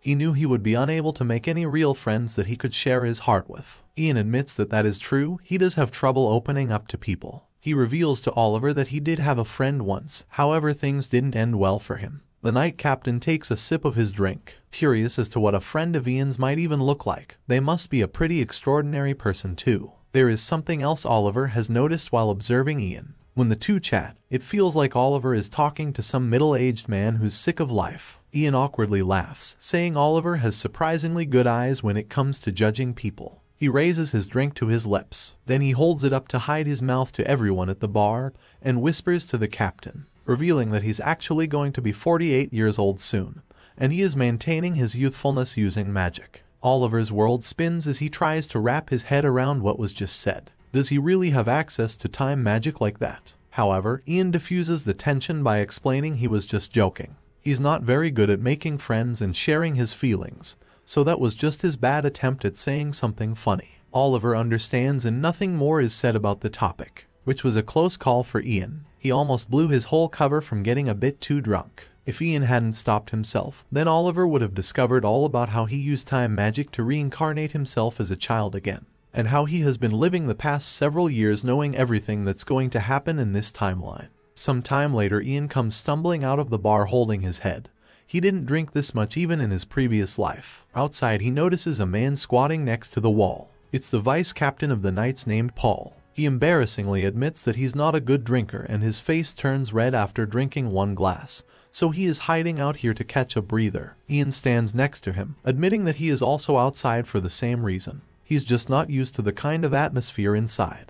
He looks over to the vice captain Paul remembering him from his previous life. He was a great swordsman, second best to Oliver. Although he was born a commoner he was able to rise up to the rank of a vice captain, all due to his swordsmanship and loyalty to the imperial family. He's a man that both Prince Haydn and Captain Oliver trust. Making conversation, Paul asks Ian how drinking was for the first time, to which Ian replies that it wasn't too bad, he just has to pace himself better next time. Paul is glad to hear it. The Knights are thankful to have him here and he is welcome to come drinking with them again any time in the future. He reveals that both Captain Oliver and Prince Haydn have been really cheerful since Ian started to support them. Ian is thankful for the kind words. He's just trying to give them a slight push in the right direction so that things can be better in the future. Though he admits that seeing them so cheerful has made him feel a lot closer to the two of them. Their peaceful conversation is interrupted when the door to the bar opens and the banter from inside invades the street. It's one of the knights who has come looking for the vice captain. Apparently Prince Haydn is looking for Paul, and if he doesn't come back inside and have another drink he is going to demote him from his position as vice captain. Realizing he has to get back inside Paul leaves Ian leaning up against the wall, the party awaits him.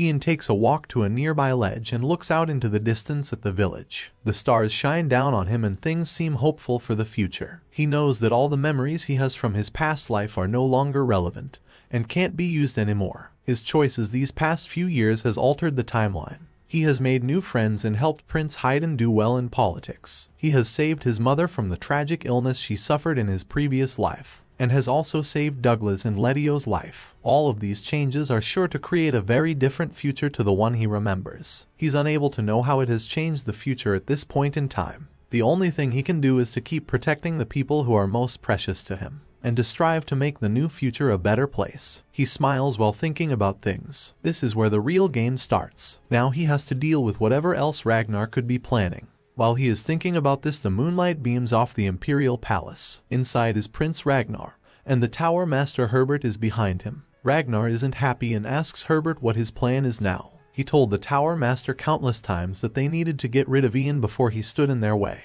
And every time the Tower Master would just tell him to wait. That's how he always replied. Now his waiting has caused them so much trouble. Ian has got in the way of all of the plans they had. Herbert admits he was wrong. He should have taken care of things in a swift manner, but he was too late. He didn't expect that our protagonist would make the moves he did. He's not going to make any more excuses, and this is the last time that he's going to ask Prince Ragnar to wait. Since all of the preparations are done, Ragnar wants to know what this old guy is talking about. His question is answered when a person in a hooded cloak appears from behind Herbert. A subtle hint of red hair can be seen within her hood. Upon seeing this person Haydn's face lights up with fear and distress. This mysterious person begins to remove the hood from their head and reveal their identity. It's Helene, a high-ranking magician that disappeared a few years ago after she was defeated by Ian in part 2. However, now Helene has a death-like appearance, with pale skin, red eyes, and chapped lips. Herbert tells Ragnar not to be so frightened.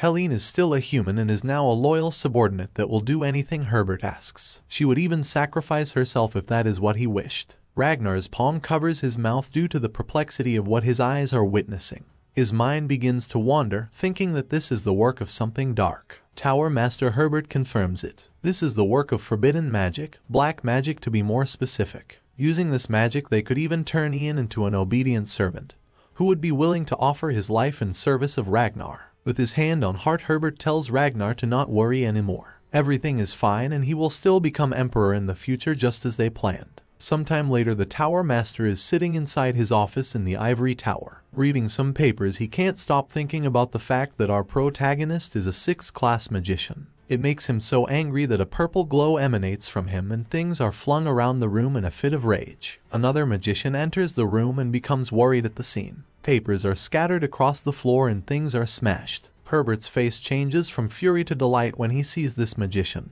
whose name is Marco. Marco wonders if anything is wrong judging by what he sees around him. However, Herbert brushes off his question and begins talking about something else. Marco was abandoned when he was a child and Herbert found him wrapped in a cloth. It has been 20 years since that day already and Herbert remembers it vividly. At that time it was too early for him to know what Marco would become. Yet here he is 20 years later a full-fledged magician. Herbert is proud of him. Marco smiles brightly and thanks the Tower Master for his kind words. In order to pay him back for taking him in, Marco states that he is willing to do anything. Herbert considers Marco to be like a son and he says he doesn't even need to think of paying him back. However, he does want to ask a favor. He asks Marco to stop by his mansion later tonight to find out more details, and the young magician says that he will do just that.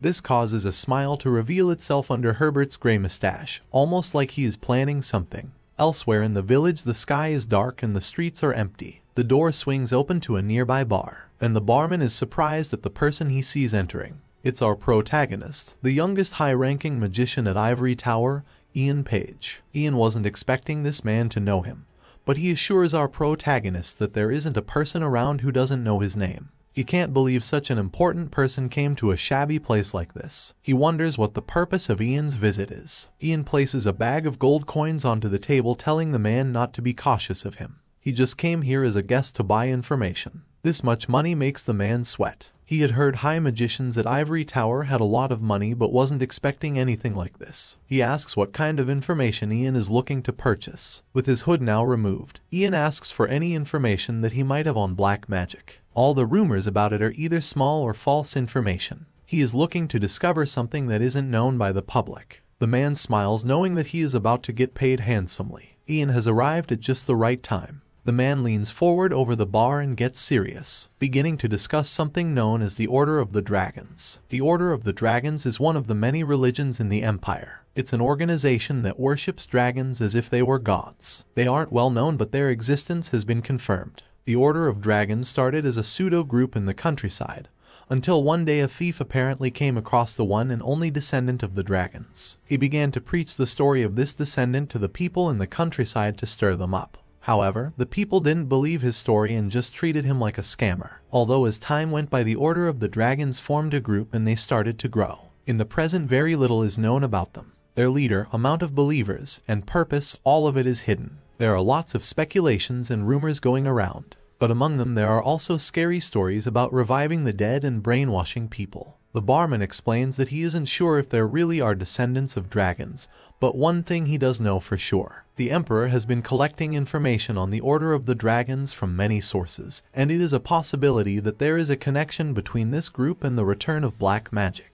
There has even been discoveries of people in this very nation with connections to the Order of Dragons. Since black magic requires a lot of mana and inhumane resources it is only available to high-ranking people. Due to this, the barman suspects there to be high-ranking people currently using black magic in the area, with the ability to brainwash and manipulate people. Unfortunately, this is all the information he has at the moment, but if he is able to obtain any more he will be sure to send a letter. Ian understands and walks out of the bar with his hood back up. He returns to his mansion late at night, where he sits thinking about the information he just received. The Order of Dragons is not a name he heard in his previous life, which is unusual as they have supposedly existed for over a hundred years. He looks over to his staff that he got from the Shaman King in the Great Plains. It once had black magic engraved into it. Ian scratches his chin in deep thought, wondering what other high-ranking magicians could be using black magic. It's only speculation but the first thought that comes to his head is the Tower Master Herbert. It's entirely possible that he has connections to the Order of Dragons. Ian leans back and holds his head. Many things have changed from his previous life and it's not just the future but the past too. How could he not have heard about a group around for 100 years? There is a high probability that this entire world is changing little by little. And the differences between our protagonist's past life and current one are only getting bigger. His thoughts only get deeper and deeper. All the changes that have happened could be an effect of him messing with time. After all, the time magic he used to be reborn was taken from a dragon tongue spellbook. Ian fears that he has messed with something that he shouldn't have and opened Pandora's box. He sits at his desk and removes the glasses from his face. He now realizes that he has been too relaxed, relying on the memories of his past life. From now on the future and even the past is unknown. He places a key into his desk drawer and unlocks it, removing a plain brown box from inside. He places his hand over the top of the lid and prepares to remove it. He looks down at the contents, a golden necklace with a blue teardrop-shaped gemstone in its center. Ian tells himself that from now on he has to be prepared for every possibility. Elsewhere on this same evening, the magician Marco is meeting with Herbert inside of his mansion. Herbert prepares to tell him why he has asked him to come. He snaps his fingers. This causes the door to slam shut and lock. What he's about to say should not be spoken to another soul. The tower master rises from his seat asking the young man to follow him. Marco seems puzzled by the whole situation. Herbert pulls a red book from a nearby bookshelf and opens it up, claiming that it will lead them to where they need to go. A blue mist surrounds its pages and grows more and more by the second, until a large portal-like doorway appears in front of the two of them. The inside is pitch black and its border is made up of the same blue mist. The tower master turns to Marco telling him to come over now. He enters the black abyss soon after. Marco is confused and frightened. Sweat drips down his cheek and shivers invade his body. The Tower Master Herbert is like a father to him though, so he trusts him and follows close behind, walking right into this unusual portal that leads to the unknown. Darkness plagues their vision and the sounds of metal clanging and subtle groans is the only thing to break the eerie silence. Herbert chants out the spell Luminous and a bright light is summoned from the palm of his hand which reveals where they are. Metal cages hang from the ceiling and large barred doors line the walls. It's almost like some kind of prison. Inside cells are people, scrawny and frail, with raggedy clothes, and no shoes to protect their bare feet from the ice-cold floor. Marco can't believe it and struggles to even get his words out. Herbert tells him not to be so surprised. These people are just raw materials. Marco looks around at everyone to try and make sense of things. He notices a familiar face in one of the cells. With white hair and a missing arm his name is Chris. A while ago he almost died due to an accident during a magical experiment. In fact, most of the people here are magicians that faced a similar fate. Either they died due to a mission gone awry or they were involved in an accident while experimenting. Some of them are even here due to illnesses. Some magicians have also been transferred here from other countries, and anyone here who is not a magician was found in the alleys. Their lives were trash anyway so at least here they can be of use. Herbert explains that here there is a multitude of people from different walks of life, even criminal magicians who use their magic to harm other people. Here everyone is used as a raw material. This way they can at least contribute to the ivory tower. A villainous look can be seen on the Tower Master's face. He raises his staff into the air and a red mist wraps itself around Marco like a snake. His face is petrified and body frozen from fear. Herbert claims he isn't going to let Marco end up like the others here. After all, he is like a son to him. The red mist gets darker and tighter around the young magician's body, causing him to cough violently and tremble in pain. Eventually, he collapses to his knees and the mist releases its grasp and slowly fades away. It seems like whatever just happened is over. Looking down at him, the Tower Master tells the young magician to stand up and look him in the eye. He does just that, and the two stand opposite looking into each other's eyes. For some reason, Marco isn't hostile towards Herbert despite just being attacked with magic. His attitude is calm and compliant. Herbert throws a small dagger to his feet and it clashes against the brick floor. He orders Marco to pick up the dagger and use it to sever one of his fingers. And Marco does just that. Herbert watches as Marco's finger detaches from his hand and goes flying through the air. It's almost as if the young magician has no free will and is forced to obey the commands of the Tower Master. Herbert is happy with what he is seeing. Now he can truly think of Marco as his son. Sometime later they leave this wretched dungeon and the sun shines down on the ivory tower on a new day. Many magicians can be seen standing around having a conversation about things that have been happening as of late. Tower Master Herbert is in support of Prince Ragnar inheriting the Emperor's throne, whereas our protagonist Ian is in support of Prince Haydn. These magicians are the two strongest in the whole of the ivory tower, and the others don't know who they should side with. The young magician Marco can be seen walking past them expressionless and carrying three red books. He approaches a large door and knocks. Inside is Ian with his legs crossed and a stack of books at his desk, clearly doing some research. He is happy that Marco has finally arrived. Marco stands at the opposite side of the room, informing our protagonist that he has bought the books over that he requested. Marco seems like a shell of the person he used to be, and a bandage covers the hand where he severed a finger. He places the books on a nearby table and Ian is grateful. These books are something that he has been looking for for a long time. Realizing he hasn't seen the Tower Master around recently, he asks the magician if everything is fine. Marco explains that it is nothing he needs to worry about. However, before he leaves Ian notices the bandage on his hand and is curious. Marco brushes off his concerns. It's just a little accident he had while practicing magic and it's not something worth worrying over. Ian can sense something isn't right. He feels a sense of disparity, almost like Marco has become someone else. He's talking with the same face and voice but he's different from before and is keeping his distance. Ian gets an idea for a way he can test Marco. He begins to bring up old memories of the first time they met six years ago which was back at the very start of this story in part 1. Marco was the first magician that Ian visited. That tested him to see if he had a mana heart and mana brain. Ian remembers this moment well, and apparently so does Marco. However, Ian brings up a second memory that Marco wasn't around for. When he saved Lord Marcus of the Magrian territory from a bunch of goblins, this was also in part 1. Despite not being there when this happened, Marco acts as if he was, falling into Ian's trap. Now Ian knows that something isn't right. It's as if Marco doesn't have any memories of the past and is just going along with everything Ian says. He rises from his seat. He stands before Marco with his staff in hand. Waving it around he uses Dispel Magic. A bright blue circle appears as he chants out the spell. Then the red mist begins to appear around Marco again.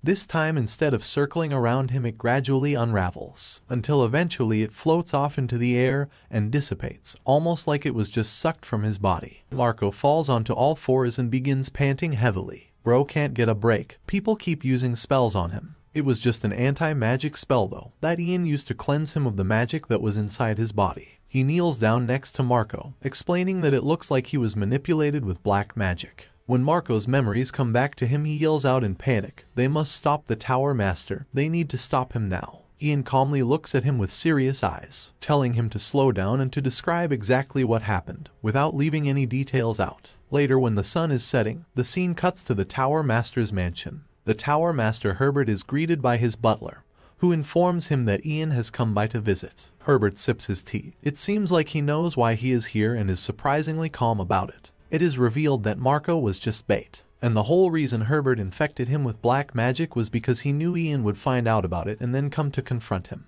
Everything is going perfectly as he planned it to, and Ian enters the room. At first nothing of substance is said. The two just sit opposite and drink tea, commenting on each other's health and doing some catching up after not seeing one another for a while until Ian spits out what he came here to say, confronting the Tower Master. Marco revealed to him that there is a portal leading to a secret laboratory somewhere in this mansion, and that Herbert has been researching inhumane black magic there. Herbert just laughs and denies everything that was just said calling it impossible. Marco must have not been thinking straight due to his bad condition. Ian doesn't back down though, insisting that Marco told him Herbert has been using black magic. Herbert claims he has no idea what our protagonist is talking about. It's true that there is a portal that goes to a laboratory in this mansion.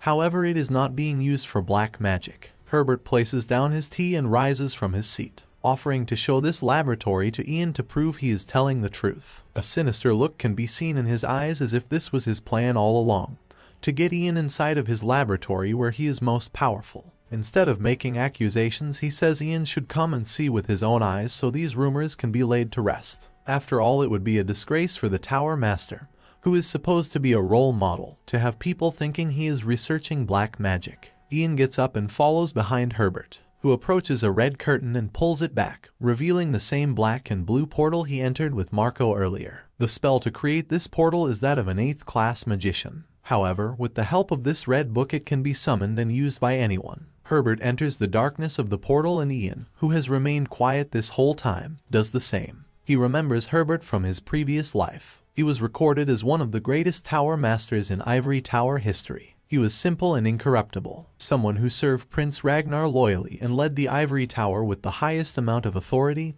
and benevolence. He was actually someone that Ian respected quite a lot. The two of them trail deeper into the abyss, with the only light being a red glow from the Tower Master's staff. He stops in front of it and sighs while looking down at the ground. He reveals that there was once a time when he wanted to be a hero, to become a magician that could be strong enough to protect the Empire and save the commoners who were suffering. However, over time he realized that he just wasn't strong enough to change anything with his power alone. That's when he came across a separate power in the world that could make him into the hero he wanted to be. Herbert grabs a hold of his staff and turns to look at Ian, the red glow now shrouding the darkness. Suddenly, a spell begins to coil around Ian's body causing him to choke and keel over in pain, similar to what happened to Marco. Herbert continues his villain monologue. With his newfound power he is able to control numerous talented magicians, and by doing this he will be able to truly protect the peace of the Empire and its citizens. He tells Ian not to resist and to just fall under his control.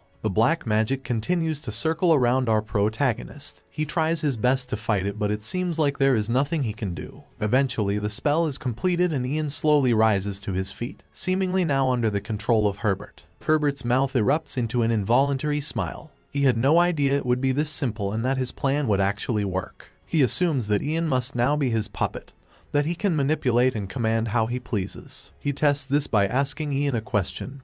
Who am I? Ian's stance is stiff and his face vacant. In a monotone voice he answers the question. You're the Empire's ivory tower master, Sir Herbert. Herbert's eyes light up and his smile continues to radiate. For a moment he thinks his spell was a success. However, Ian looks up with a smug grin on his face revealing that it didn't work. He calls Herbert a crazy rascal, and then serves him a double-crusted knuckle sandwich with extra cheese, straight to the nose. This sends the old man stumbling backwards onto his bony behind, barely able to believe what just happened. He trembles while gripping his nose, something like that should not have been possible. Ian approaches him and explains things. When a 5th class magician like Herbert uses black magic it is still only 5th class. Ian is a much stronger 6th class magician. Plus he expected something like this to happen and came down with countermeasures prepared. He reaches his hand forward to grab a hold of the Tower Master's face like a basketball. Then he uses a mana drain spell. A blue circle appears and begins to suck the energy out of Herbert. After getting drained of so much mana it should be hard for him to move around. Ian tells him to rest for a little. Plus he's pretty old, so it should take a while for his mana to even recover. Ian walks away leaving Herbert on the floor. The Tower Master can barely raise his hand let alone stand back up.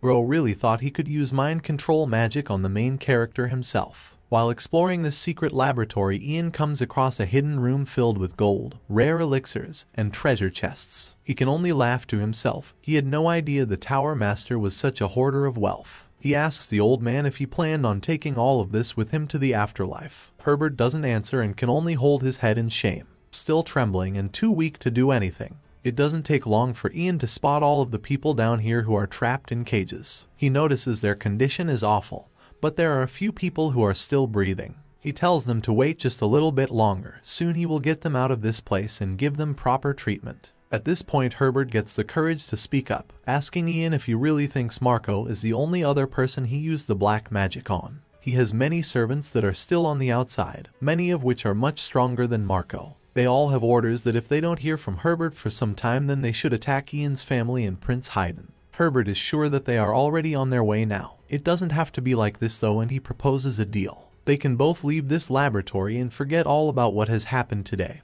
Herbert will call off his servants and Ian will keep his mouth shut. Ian straight up refuses without even giving it a second thought. When Herbert reminds him that his mother and Prince Haydn will be killed if he doesn't cooperate Ian still refuses. Looking at the Tower Master with a smile on his face, he tells him that he is free to try and take them out. Meanwhile at Ian's mansion the moon is shining in the sky. Ian's mother Vanessa is waiting on the balcony, a little worried that her son isn't back yet from wherever he is. She is unable to contact him with her crystal ball and she is sure he would have informed her if he was going to be late. The alchemist Letio steps out. The wind is getting stronger and he thinks it would be best if Vanessa came inside now. Ian is the only 6th class magician in the Empire. There is no way he is in any sort of danger he couldn't handle so there is no need to worry. Vanessa yells out. He may be the 6th class magician but he is still just a child to her. Letio apologizes for being so blunt. As a father himself he forgot to take her feelings as a parent into account. Vanessa forgives him, it's just hard for her sometimes. She feels as though Ian always has too much of a burden on his shoulders. He doesn't rely on anyone and tries to solve everything by himself. As his mother she feels as though she should be able to help lessen his burden.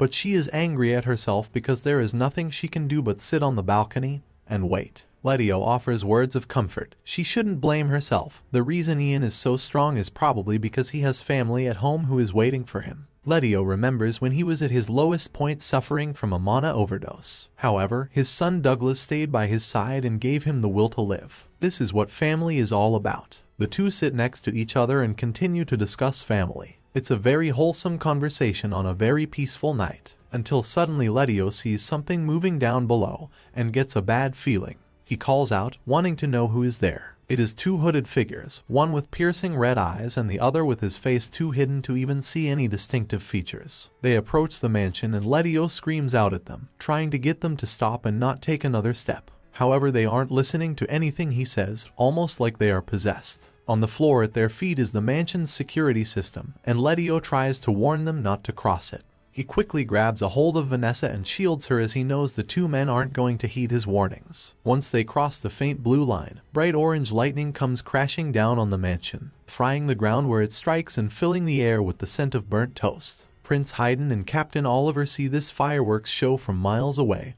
and they look up at it. Haydn is wearing a disguise so as to not be recognized in public. The lightning and thunder scared him and the two wonder why it occurred. Oliver has a bad feeling and thinks it would be best if they both return to the Imperial Palace. Haydn doesn't want to go back yet though. It took a lot of convincing to get permission from his father to be out here, and he isn't done exploring the town. He also has something he wants to learn. He awkwardly asks Captain Oliver if he would be able to teach him some sword techniques. This question catches the captain off guard, until the prince explains further. He doesn't want to learn too much just enough for self-defense. Things like fighting postures and how to properly unsheath a sword. As he is saying this Oliver unsheathes his own sword. Its blade shines in the moonlight. He senses something. Haydn becomes confused when Oliver pushes in front of him and holds his blade up. His eyes become narrow with focus and his gaze fixed ahead. Oliver swiftly orders all the other knights in the area to surround the prince and protect him no matter what. A hooded figure begins to approach menacingly and Oliver demands that they show themselves. They remove their hood and it is revealed to be Helene, an ivory tower high-ranking magician that disappeared a few years ago. Oliver is surprised to see her. With his sword still raised he asks what her purpose here is. For a moment she remains silent and an eerie tension brews in the air. She looks up with death-like eyes, stating that she is here to kill the Prince Haydn Green River. Helene darts forward and her wooden staff clashes with the captain's metal sword. Getting a closer look we can see that her left eye has turned to black. The two break their lock and Helene dashes backwards to create distance. Magicians are much better at long range. She begins using her magic, summoning a pyroblast spell, which causes large balls of flames to come charging toward Oliver. Remembering his previous training with Ian in part 3 Oliver slices the air with his sword creating a gust of wind that protects him from the flames. Helene wasn't expecting this and is staggered. Oliver doesn't hold back and hurtles forward through the flames to attempt an attack of his own. The redhead manages to block it with her staff but Oliver is determined. He rapidly comes in with a second strike, forcing Helene to use a mana barrier as protection. The captain's blade bounces from it and does no damage at all. He falls to his knee and a cocky smile appears on his face, almost as if he was hoping she would use a mana barrier. He removes a glove from his hand and it is revealed he knows a way to counter this barrier. It's something he wanted to show Ian first, but it looks like he is going to have to use it on Helene instead. Captain Oliver only has half a mana heart so he doesn't have the ability to release mana. However, he does have mana that's dissolved in his blood, that can be released only for a short moment. He taunts Helene, saying he is about to show her the true power of what half a mana heart is capable of. His sword glows a bluish hue and he swings it with great might. It swipes right through the redhead's barrier and shatters it to pieces. Her eyes become filled with bewilderment, unable to believe that a mere human was able to conjure such power. Captain Oliver follows up that strike with a jab to Helene's shoulder. It pierces her, leaving her with a grave wound. However, it isn't enough to kill her. Oliver wants to keep her alive so he can find out who ordered her to try and kill Prince Haydn. He tells her to throw away any expectations of future peace, as she is going to be in for a whole world of pain for her actions. Cutting back to the hidden laboratory, we see Ian and Herbert who is still cowering on the floor, still attempting to make threats towards Ian's family and the prince. Ian just laughs, asking if Herbert really thinks he hasn't been preparing for something like this. He has trained Captain Oliver for years and knows he is capable of defending the prince. As for his family, the mansion is surrounded by layers of mana traps. Anyone trying to enter is going to have a hard time and will probably just end up dead. Ian holds his hands up. This conversation is over and he is not looking to negotiate as the Tower Master has nothing he can use against him. He slowly approaches the old man and his body casts an intimidating shadow over him. The Tower Master will have to go on trial for his crimes and will most likely be executed. After decades of his life as the Tower Master he will lose his job. Ian reaches forward with his hand. This wasn't something he was intending on doing, but it looks like he will have to take over as the new leader of the Ivory Tower. He places his hand on Herbert's head and begins using his magic, creating bursts of blue lightning. While the old man is being electrocuted, Ian confides in him. He understands why Herbert supported Prince Ragnar instead of Prince Haydn. After all, he did the exact same thing in his previous life. Accumulating a bunch of wealth and storing it down here is also understandable. It's nothing surprising for a human to do. However, Herbert's biggest mistake was bringing Ian's family into this. This is something that he isn't going to let slide. The lightning grows and grows and its crackling thunder is drowned out only by Herbert's screams. Sometime later the Tower Master's crimes are exposed to the Emperor. Emperor Terry sits on his throne, relaying this information to the citizens of the empire. Herbert was a criminal that had lost sight of what it meant to be a tower master and indulged in black magic. That's not all. He also used human souls as sacrifices, and cruelly exploited the lives of innocent citizens and his fellow magicians. This is a grave crime that he can't pay for, even with his death. It is unforgivable, and the Emperor has no intention of showing any form of mercy. From this moment onwards all of the titles and authority that belonged to Herbert will be stripped from him, and he will be executed in public. His name will be forever recorded in the history of the Empire as the worst criminal of all time. And if he has any blood relatives or accomplices still around, Terry vows to find them and grant them this exact same fate. This is an issue he is taking extremely seriously. He will also be conducting an investigation to see if there are any other magicians who have been researching black magic. During this investigation, no preferential treatment will be shown, regardless of someone's status. Even the nobles are expected to cooperate. He understands that there are likely people who assisted Herbert against their free will, likely unaware of what was truly happening. These people will not be punished as harshly providing they are purified of black magic and returned to their original state. However, the same can't be said for high-ranking magician Helene, who attempted to assassinate the Emperor's son, Prince Haydn although she was just following Herbert's orders and didn't have control of her own thoughts. The act of trying to take out the heir to the throne is a grave crime that can't be forgiven no matter what. Due to this, Emperor Terry hereby sentences the redhead Helene to an infinite lifetime of imprisonment. Lastly, he can't end this speech without giving thanks to the two heroes that helped to stop this incident. Our protagonist Ian, who was the one that put a stop to Herbert, and the captain of the Knights Oliver,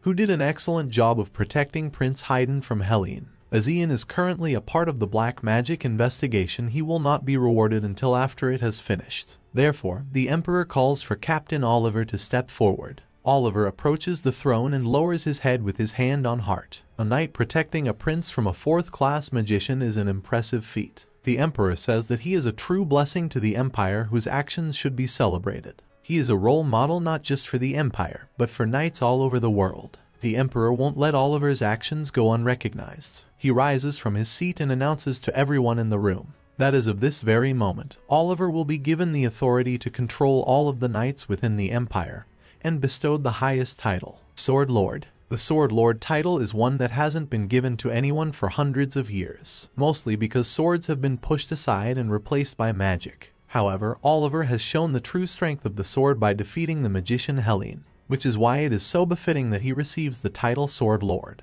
Prince Haydn watches with a smile on his face as his close friend and protector gets the respect and recognition he deserves. The Emperor removes a regal sword from its sheath. It's rather large and has a golden handle with a red gemstone. He asks Oliver politely to get down on his knees. Oliver follows his orders and the Emperor prepares to officially christen him with this title. In the name of the first stream of the Emerald River, he commands for the title, Sword Lord, to be placed in front of Oliver's name and along with it, all the honor that the title comes with. The Emperor touches the sword to the knight's shoulder, and then Oliver looks up, swearing to everyone present that as the new sword lord he is willing to give up his entire life to protect the Empire. Later the Emperor is visited by Prince Ragnar, who isn't happy about the upcoming execution of Tower Master Herbert. He tries to convince his father not to go through with it, claiming that it could cause enormous damage to the Empire. The Tower Master is a great fifth-class magician and to execute him would be the same as executing tens of thousands of magicians. And that isn't all. If the Tower Master is gone then all the other empires will find out about this. The Coldwood Empire and the Principality of Ro would be sure to capitalize on their weakness. Since the strongest magician would be dead, Ragnar claims that the empire would fall into complete disarray.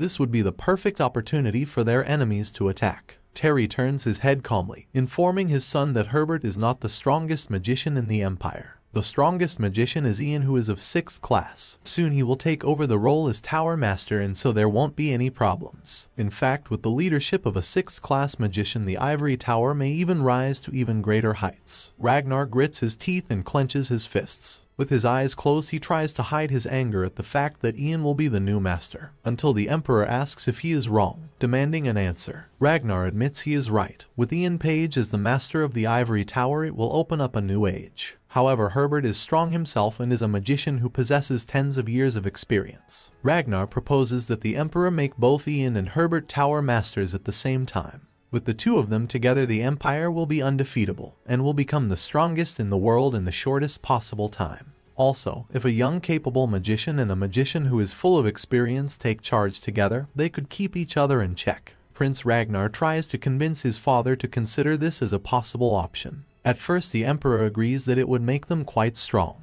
However, the Tower Master has been researching black magic, sacrificing innocent lives of commoners and magicians in the process. His actions were way too far and Herbert is undoubtedly crazy. He did all these terrible things all in the pursuit of power. Ragnar's fist clenches tighter as he struggles to come up with any way he can possibly defend Herbert's actions. While Herbert's methods were wrong, Ragnar claims that black magic could become a strong weapon for the Empire. He suggests that instead of using innocent lives they instead just sacrifice criminals. That way they can use black magic to their advantage. The Emperor seethes with rage, unable to believe his son would come up with such a vile idea. This is exactly why he chose Prince Haydn to be the heir instead of Ragnar. Black magic is an absolute evil that corrupts one's soul and disrupts the order of the world. The Emperor knows that Ragnar has a lot of good qualities. He's bright, smart, and has an ambitious personality. However, he tells his son that he lacks one very important thing that is needed to become a good leader. He walks past Ragnar with a face of disgust, saying that he doesn't have a good heart. In order for someone to be a good emperor they need a heart that is willing to fight for the common people. For a moment Ragnar seems devastated at his father's words, but not long later he begins laughing and calling his father a liar. The real reason he isn't the heir to the throne isn't because of his heart but for another reason.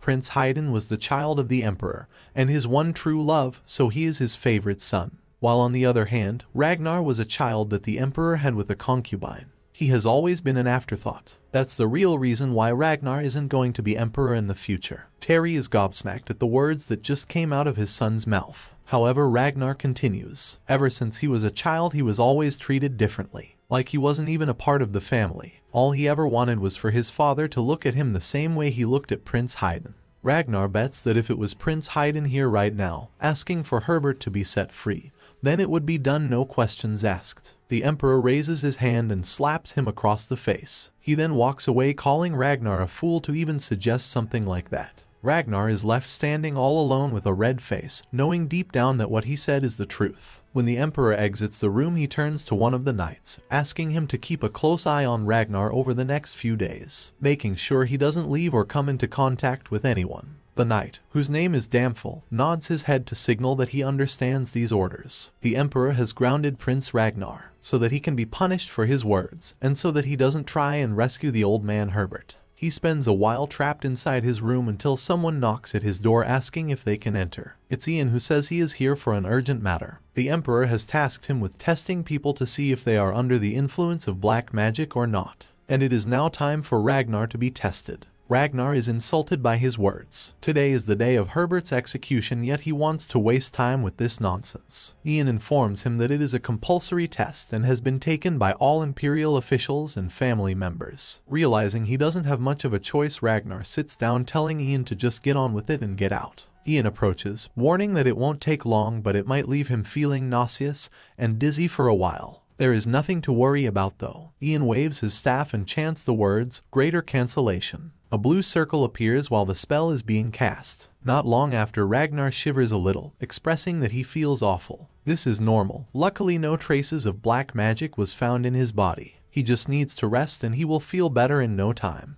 Once he has completed his duties Ian lowers his head and prepares to leave Ragnar in peace. Ragnar stops him though, calling out with something to ask. He wants to know why Ian serves his brother Prince Haydn. His brother is not suitable for the position of emperor, and many of the nobles have turned their backs on Ian for showing support towards him. Ian turns around saying very little words, just that he doesn't serve Prince Haydn and that he has to leave now. Ragnar stands up in shock, wanting to know what he meant by what he just said but Ian doesn't answer. He exits the room and closes the door behind him, looking at the ground as if in deep thought. He doesn't serve Haydn, he doesn't serve anyone. In his previous life he was loyal to Prince Ragnar and would have done anything for him. However, after he was betrayed and poisoned, he knows that he cannot become friends with Ragnar in this new life. Ian storms off. He can't get sentimental to how things were before and needs to stay focused on his goal. To get revenge, Nightfall arrives at the Imperial Palace on the day of Herbert's execution. The knight Damphel enters Ragnar's room, informing him that it has happened. The room appears a mess, with furniture tipped over and papers scattered on the floor. Around this afternoon at the execution site in the town square, the old man Herbert was punished for his crimes, and his life came to an end. Ragnar has a look of deep sorrow on his face, as if he has been mourning the loss of someone he was close to. He tells Damphel that he can leave now. The knight approaches and places a piece of paper on a nearby table, saying that Ragnar shouldn't be upset. Without saying anything more he lowers his head and leaves the room. Curious as to what the paper could be, Ragnar picks it up and unfolds it. It's a letter and he reads it carefully. The words on this paper defeat his sadness, and it is replaced with a hopeful smile. It's unclear what the letter says but it seems to be good news. The next morning Ian is having a conversation with the Emperor. The survivors that were trapped inside Herbert's portal have all been rescued and are currently being treated. The large sum of wealth he was hoarding has been put back into the treasury, and almost everyone has been tested for dark magic and nothing else has been discovered. The Emperor is grateful for all the work Ian has done, he didn't expect Herbert to be so crazy. Terry also largely blames himself for not suspecting Herbert of his activities earlier. Ian assures him that even he didn't notice. It's hard to imagine that someone so famous for their integrity could stoop to such lows and hide it all behind a kind face. For now Ian is going to continue with the investigation of black magic in the ivory tower and Terry is happy to hear it. However, he does have one last question that he would like to ask our protagonist. With his arms crossed, he asks if Ian is in support of Prince Haydn or not. Ian is taken aback by this question but the Emperor remains quiet, patiently waiting for an answer. Ian isn't going to pledge his allegiance to Prince Haydn but he is happy to cooperate to ensure that he can succeed to the throne safely, and so that he can become a wise emperor. While scratching his chin Terry thinks deeply about this answer. Ian isn't going to pledge his allegiance but he will support the prince. The emperor decides that this answer is satisfactory. He signals to his assistants to bring in a large box. Inside is Herbert's old staff that they recovered after detaining him. Whoever owns the staff becomes the Tower Master of Ivory Tower. The Emperor wants to give it to Ian. The process of electing a new Ivory Tower Master is not a simple one and there is still a lot of work to do. There will have to be a formal procedure to make it official, though in a time like this Terry doesn't want to leave the Tower Master position empty. Therefore, he is entrusting Ian with this staff. The Emperor gets serious for a moment. He knows his son Ragnar won't give up trying to get the throne, even though most of the people supporting him have collapsed. Terry knows Ragnar's ambition and temper better than anyone else, and if he takes over the throne there is sure to be a lot of sacrifices and blood. Looking at our protagonist, he asks that he do his best to ensure that this never happens. Ian grabs a hold of the staff from the box and falls to his knees, accepting the orders of his majesty and becoming the new tower master. On this day the sun sets on the ivory tower, and the sky is cast with a red tint. Ian enters his new office that formerly belonged to Herbert but not anymore. The sunset creeps through the large windows and Ian begins to think about what Herbert said to him in the laboratory. How he used to want to be a hero, a hero that could defend the Empire and save people who are lamenting. Now that Ian has all of this new power and authority as Tower Master all he can think about is how Ragnar betrayed him in his previous life. He doesn't want to become a hero, all he wants is to get his revenge by killing Ragnar. It has to be a death that transcends merely dying, something truly terrible. Meanwhile, Ragnar can be seen still in his room. The sun has set and the moonlight beams through the glass panes of his window. Hunched over with his hands together, it looks like he is in deep thought about something. The next day Prince Haydn comes to visit Ian happy that he is the new Ivory Tower Master. Ian tells him to keep his voice down as it hasn't been publicly announced yet but Haydn doesn't care as it is just the two of them here. He can't believe that the kid who begged him to visit the site of the old ivory tower six years ago is now the respectable tower master. His heart is just full from seeing how much Ian has grown. Ian is very busy today doing black magic tests so he asks that the prince leave him in peace for a while. Haydn tells him not to be such a wet blanket. He came here to see Ian specifically because he's always too busy to meet up. Plus Haydn is still feeling dizzy and nauseous from his test the other day, and is wondering if everything is alright with him. Admittedly, Ian did have his suspicions. Since Haydn is heir to the throne it would have made sense for Herbert to infect him with black magic to make him act like a fool. But no, Haydn is free from black magic and this is just how he acts normally. The next person to take the black magic test is Princess Harry, which reminds the prince of something. Harry has been asking a lot about Ian lately and seems to be interested in him. She always asks Haydn about how he spends his time and what kind of foods he likes. However, even though Haydn is close to our protagonist, he doesn't even know the answers to these questions himself. He exits the room, asking Ian to be kind to the princess when she arrives and answer her questions. Even though they are small details it will make her happy. Ian watches him leave, wondering why the princess could possibly be interested in him. He begins thinking about how much he has grown over these past years. Not just him but Prince Haydn has grown a lot too. His personality has gotten brighter and he has been working hard.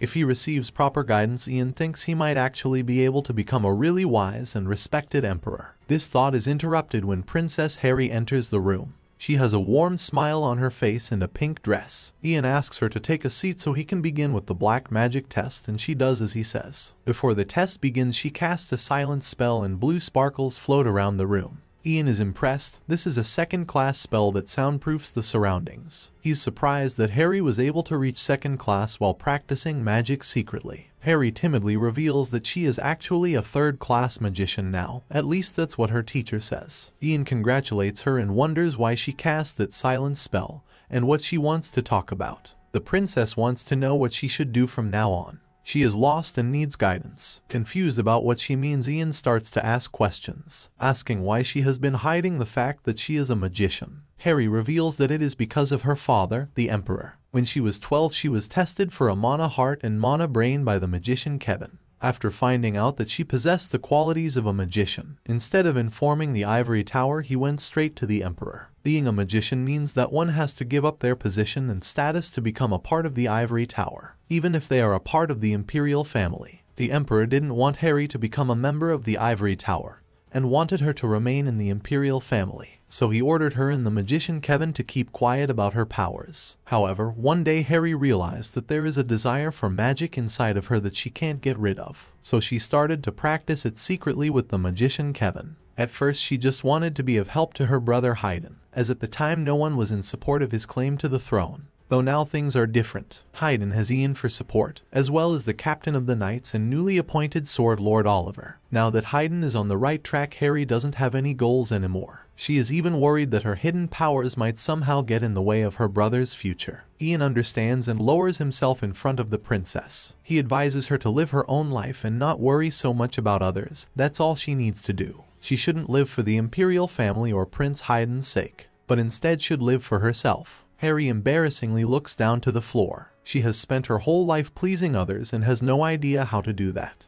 Ian assures her that no one is born with all the answers to life. If you follow the values and goals of others, then your life will become someone else's and not your own. And if you live like that for a long enough time you will lose yourself. You'll wander aimlessly in remorse and emptiness. For a moment Ian thinks about his previous life where he did just that. aimlessly followed the orders of Ragnar and was left with nothing but remorse. He hopes that Princess Harry will make the right choice for herself and will make her own decisions moving forward. This will help her to live the life she wants. After such an amazing speech Harry looks at our protagonist with wide eyes. She asks him if he has found the life that he wants. This makes Ian stumble and stutter. Perhaps he was being too forward giving life advice when he isn't fully in control of his own. This is not what the princess meant. Actually, Ian is the first person to ever give her advice like this. She's always been so pressured with her duties as a princess and couldn't even imagine having another life. Yet Ian has given her the courage to consider other options and to follow her heart, and for this she is grateful. Ian encourages her to continue studying magic. No matter what path she takes in the future it will be of great help and she has already improved so quickly by reaching third class. Harry plays with her dress and blushes. This is actually the main reason she has come here today. She wants to know if Ian can teach her any magic. This surprises Ian as he thought that the magician Kevin was already her teacher. But apparently there is nothing more that Kevin can teach the princess. Harry puts her hands together and starts to beg. She wants to continue to grow and wants to learn from our protagonist. Ian doesn't know what to do. He knows the princess has a knack for magic as the third class is not something one can reach without a natural talent.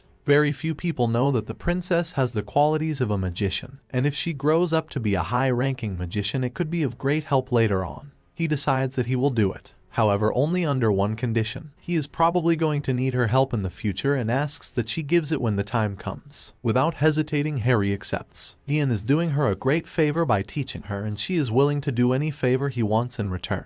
She doesn't even know what he will be asking for but she doesn't care. With a smile on her face she says that she trusts Ian. This statement makes Ian speechless and he blushes a little bit. He changes the subject and moves on with the black magic inspection that he needs to do. It doesn't take long for it to be over. There is nothing to worry about and she isn't under the influence of black magic, though she may feel dizzy for a while so Ian recommends she stands up slowly. The princess stumbles and falls into Ian's arms. He asks if she is okay. He can call for a servant if she is having trouble walking. Harry insists she is fine and awkwardly scurries away with a red face. Ian stops her before she leaves and begins telling her about himself. When he's not working in the ivory tower he usually reads books in his mansion or does research in his lab. Recently he has become interested in alchemy because of Douglas who lives with him. He's not too picky about food, though he can't handle spicy food well. Princess Harry is baffled, wondering why he has suddenly blurted out all of these things. Ian reveals that Haydn told him she was asking all these things about his life. This makes Harry gasp, embarrassed that her brother would say something like that. She lifts her dress so she doesn't trip and runs out of the room as fast as she can too shy to even look Ian in the eyes. When she slams the door shut Ian is left standing there with a confused expression, wondering if he did something wrong. After all he just answered her questions. The news of the incident with the former Tower Master Herbert spread quickly within the Empire, and caused a great uproar among the citizens. In response to this the Emperor personally took command of all black magic investigations and heightened the Empire's alert level. Ian was placed as the new master of the Ivory Tower and completed a thorough investigation of all matters related to black magic, appeasing the anger of the citizens. Herbert was executed for his crimes and was recorded as the worst criminal in the history of the Empire. Due to this many of the nobles turned their back on Prince Ragnar because of the close relationship they shared and instead the nobles flocked around Ian, paying special attention to what his next actions will be as the new ivory tower master. One day Ian is sitting in his mansion enjoying a morning cup of tea when he receives a bunch of invitations to banquets and parties that people are throwing to celebrate his success. He's not even going to bother to read them. The black magic incident still hasn't settled down yet people are acting so carefree. The alchemist Letio begins to pick up the letters, encouraging Ian to read some of them. One of them is a marriage proposal. Someone known as Count Jurer would like Ian to get engaged to his oldest daughter, who just turned 12 years old this year. Ian spits out his tea at the craziness he just heard. Things like this are to be expected though. Ian is now an adult and it's not weird for people to start talking about marriage matters. As the youngest high-ranking magician and the Ivory Tower master there is sure to be many more offers from eligible nobles. Ian holds his head. These nobles are really just using him to try and fight for political power. He can't believe someone would suggest he marry a 12-year-old. He must be out of his mind. Letio agrees. Finding a marriage partner is something that should come naturally after all. Since Ian is probably busy with the black magic investigation Letio offers to handle all of the invitations for him. Ian is thankful, not only for all the help Letio has been doing around the mansion, but also for protecting his mother the night they were attacked. Letio shrugs off the thanks. It was actually the Mana Trap security system that did most of the work.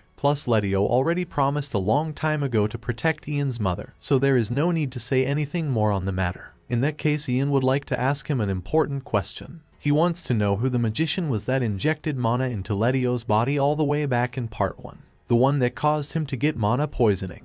If he can tell Ian anything about the person like a name or their appearance, Ian promises to track that person down and punish them accordingly. Letio awkwardly scratches his cheek. It turns out he doesn't remember who the magician was. It was something that happened in the dark of the night, and there were numerous magicians who hated him. When he was young he made a living as an alchemist in the capital where he came into contact with a lot of magicians, so it could have been anyone. Letio smiles, remembering that after getting mana poisoning he actually developed a deep hatred and resentment towards magicians. However, after being saved by Ian when his village was attacked by bandits it changed his views. Now that he is no longer dying from his condition he has forgotten all of his hate and resentment so it doesn't matter to him anymore. Ian rises from his seat and gets sentimental. He never saw his father's face as he left before he was even born. No one knew if he was even dead or alive. But after meeting and living with Letio, Ian now knows what it's like to have a father around. Letio almost breaks into tears from this comment. To think Ian really sees him as a father figure. With Letio around, Ian understands why Douglas is always so cheerful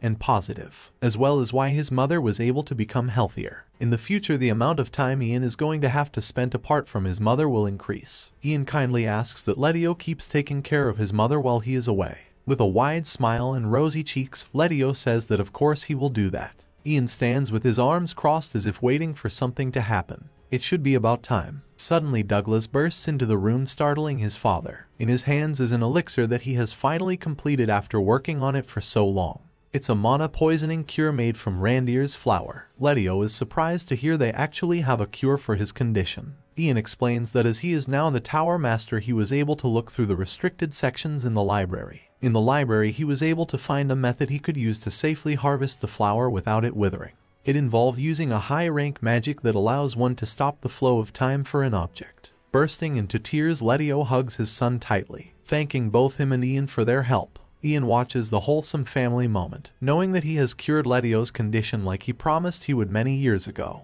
Douglas turns to our protagonist with tears streaming down his cheeks. After helping his father, Douglas has decided to become an alchemist who specializes in treating incurable illnesses. That way no one can suffer in the way his father did. That night Prince Ragnar is in his room when he notices something shocking. In front of him is an exact replica of his body, a perfect clone. The letter he received from Damphel said that someone was going to be sent to his room, but he had no idea it would be this. Ragnar circles his other body, wondering what they are supposed to do now. Outside are a bunch of magicians guarding the door. There's no way he is going to get past them without disguising himself. His clone begins speaking, telling him not to worry. Someone named the cult leader is going to help them, and they are a far more powerful magician than even our protagonists. He will find out more details when he meets with the cult leader in person. His clone holds a red book in his hands and summons a portal from it. The clone tells Ragnar to enter inside. It's a portal that leads out of the city. When Ragnar peers inside he sees a familiar face. It's Damphel, his personal knight that is usually standing outside his door keeping watch. Ragnar trusts him and follows him inside.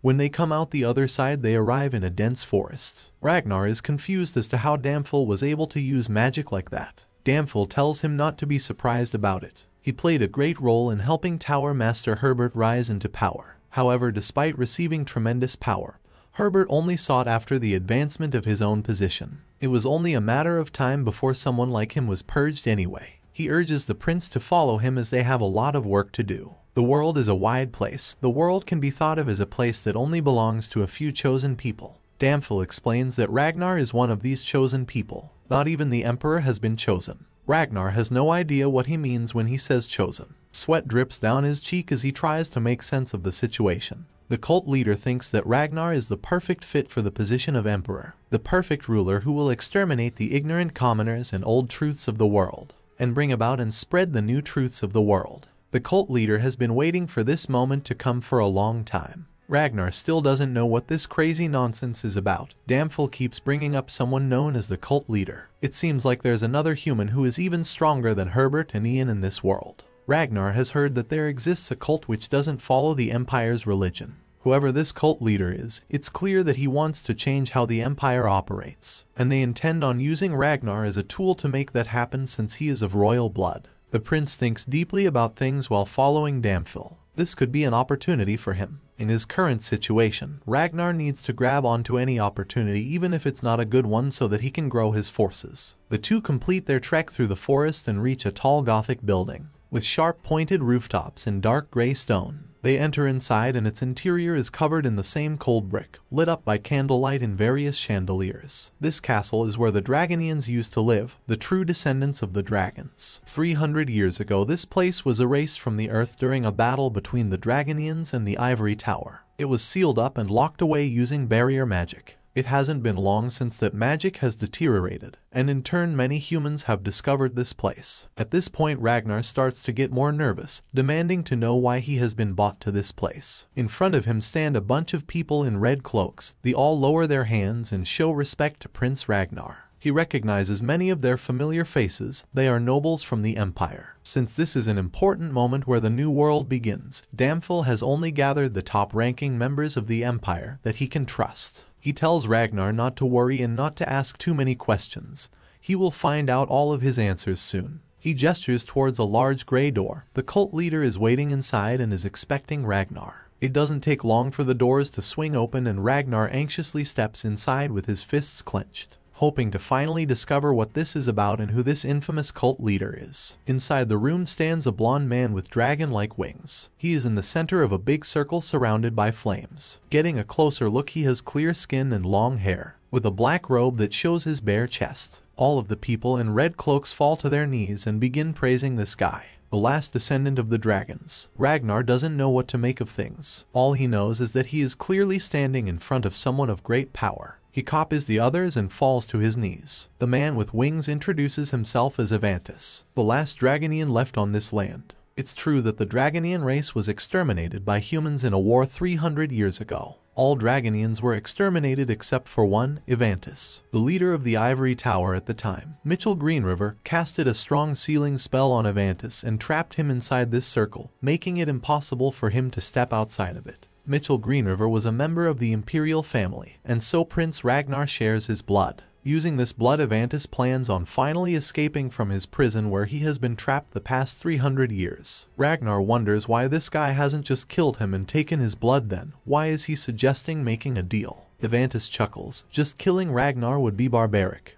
He thinks it would be much more beneficial for the two of them if he made Ragnar into the Emperor. He's going to destroy the old truths in this world and propagate new truths instead, making a peaceful world where Dragonians can coexist with humans. Ragnar rises from the floor finally understanding everything. Avantus plans on using him as a tool to get what he wants. And if Ragnar refuses he is probably going to be killed right here on the spot, and replaced with the clone that is still in his room back at the Imperial Palace. Avantus assures him that no such thing is going to happen. If he refuses his offer then he will just erase Ragnar's memories and send him back safely. However, he knows that Ragnar wouldn't refuse an opportunity as good as this. The prince grits his teeth and clenches his fist, asking the Dragonian to promise him, promise that he will make him emperor and that he won't betray him. Avantus promises, if Ragnar uses his blood to free him from this prison, he will make him emperor in exchange. Damphel appears behind the prince carrying a small dagger in his hands. Too desperate to lead the empire, Ragnar doesn't even think about his actions. He slices his hand open and drips his blood onto the magic circle that is trapping Avantus. The red stains land on the yellow ring and it begins to react.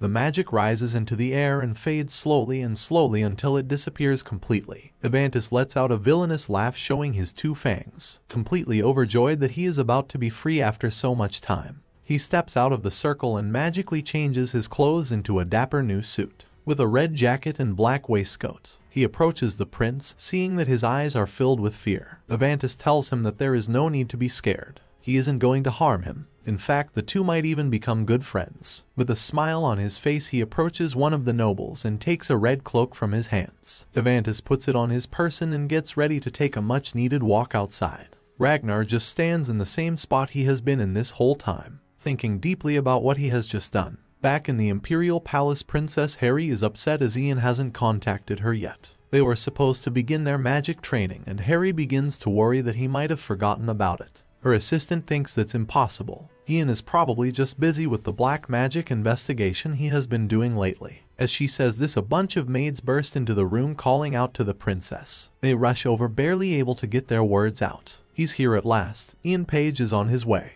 Harry nervously asks her maids for help. She is still in her robe and needs to change into something more formal. Once she has gotten ready she prepares herself to leave the room and greet our protagonist. She turns to look at her maids one last time, asking if her hair is okay and if anything she is wearing is out of place. Her maids assure her that she looks her prettiest today. They raise their hands encouraging her to be confident. Inside the room is Ian who is wearing some fancy new clothes and sitting at a round table. He stands up when the princess enters and greets her, stating that it has been a long time since they last spoke. He's sorry as he has been a little busy as of late. For a moment Harry thought he had forgotten. She thanks Ian for coming and comments on how great he looks in formal wear. Ian thinks they should move to a different location that's more appropriate for learning magic. There are too many people watching within the palace, and if someone finds out they are meeting Ian is worried that rumors might begin to spread. He holds out his hand and asks Harry to grab onto it for a moment. Harry becomes flustered, wanting to know why he wants to hold hands. Ian awkwardly explains that it is just a part of a teleportation spell he is going to use to take them somewhere else. The princess does as he says and Ian warns her that she may feel a little dizzy. Light begins to shine around them and their surroundings disappear. The regal palace is replaced with lush open grasslands with snowy mountains in the background.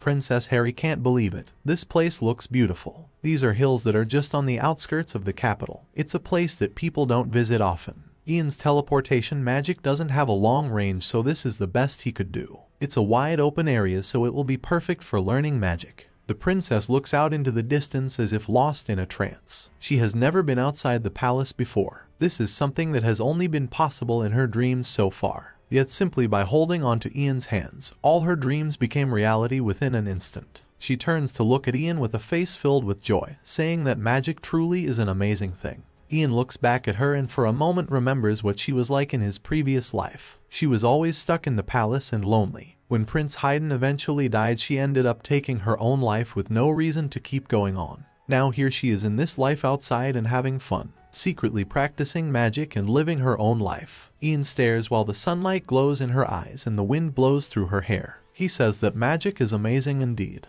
Ian remembers when he first saw Harry secretly practicing magic many years ago. He was exploring the palace and entered the imperial family's sanctum. He then hid in a corner when she arrived and spied on her for a moment. Harry is surprised to hear he was there that day. After all, there should have been guards stopping people from entering that place. Ian admits that he snuck past them. He was young and full of curiosity. The princess understands. When she was young, she would explore the restricted areas in the palace with her brother Haydn too. She promises to keep his secret that he was inside the imperial family's sanctum, since he is keeping her secret that she is practicing magic. Bringing up Prince Haydn reminds her that he is going to be hosting a banquet for his birthday. She asks if Ian will be attending. Ian admits he has received an invitation, but it isn't something he intends on going to. Prince Haydn's birthday banquet is an event only those of noble status will attend. While Ian is currently the Ivory Tower Master, he was still born a commoner, so the nobles will definitely make a fuss if he attends. There are still some people in the Ivory Tower who remain loyal to Herbert and Ragnar. Ian believes it would be best if he focuses on his duties as the new Tower Master, at least until Prince Haydn wins over the favor of the remaining nobles. Harry understands, if Ian is fulfilling his role as Tower Master then she will be sure to fulfill her role as Princess too. She vows to ensure that all the nobles that are still against Prince Haydn won't be able to make any moves. And she is also going to work hard on studying her magic. She turns to Ian asking him to take good care of her while she learns, and also asking if she can call him teacher while they are together. Ian is happy to see that Harry has her own goals and aims. He says she is free to call him whatever she wants. Back in the Imperial Palace, the Dragonian and Ragnar are discussing their plan going forward.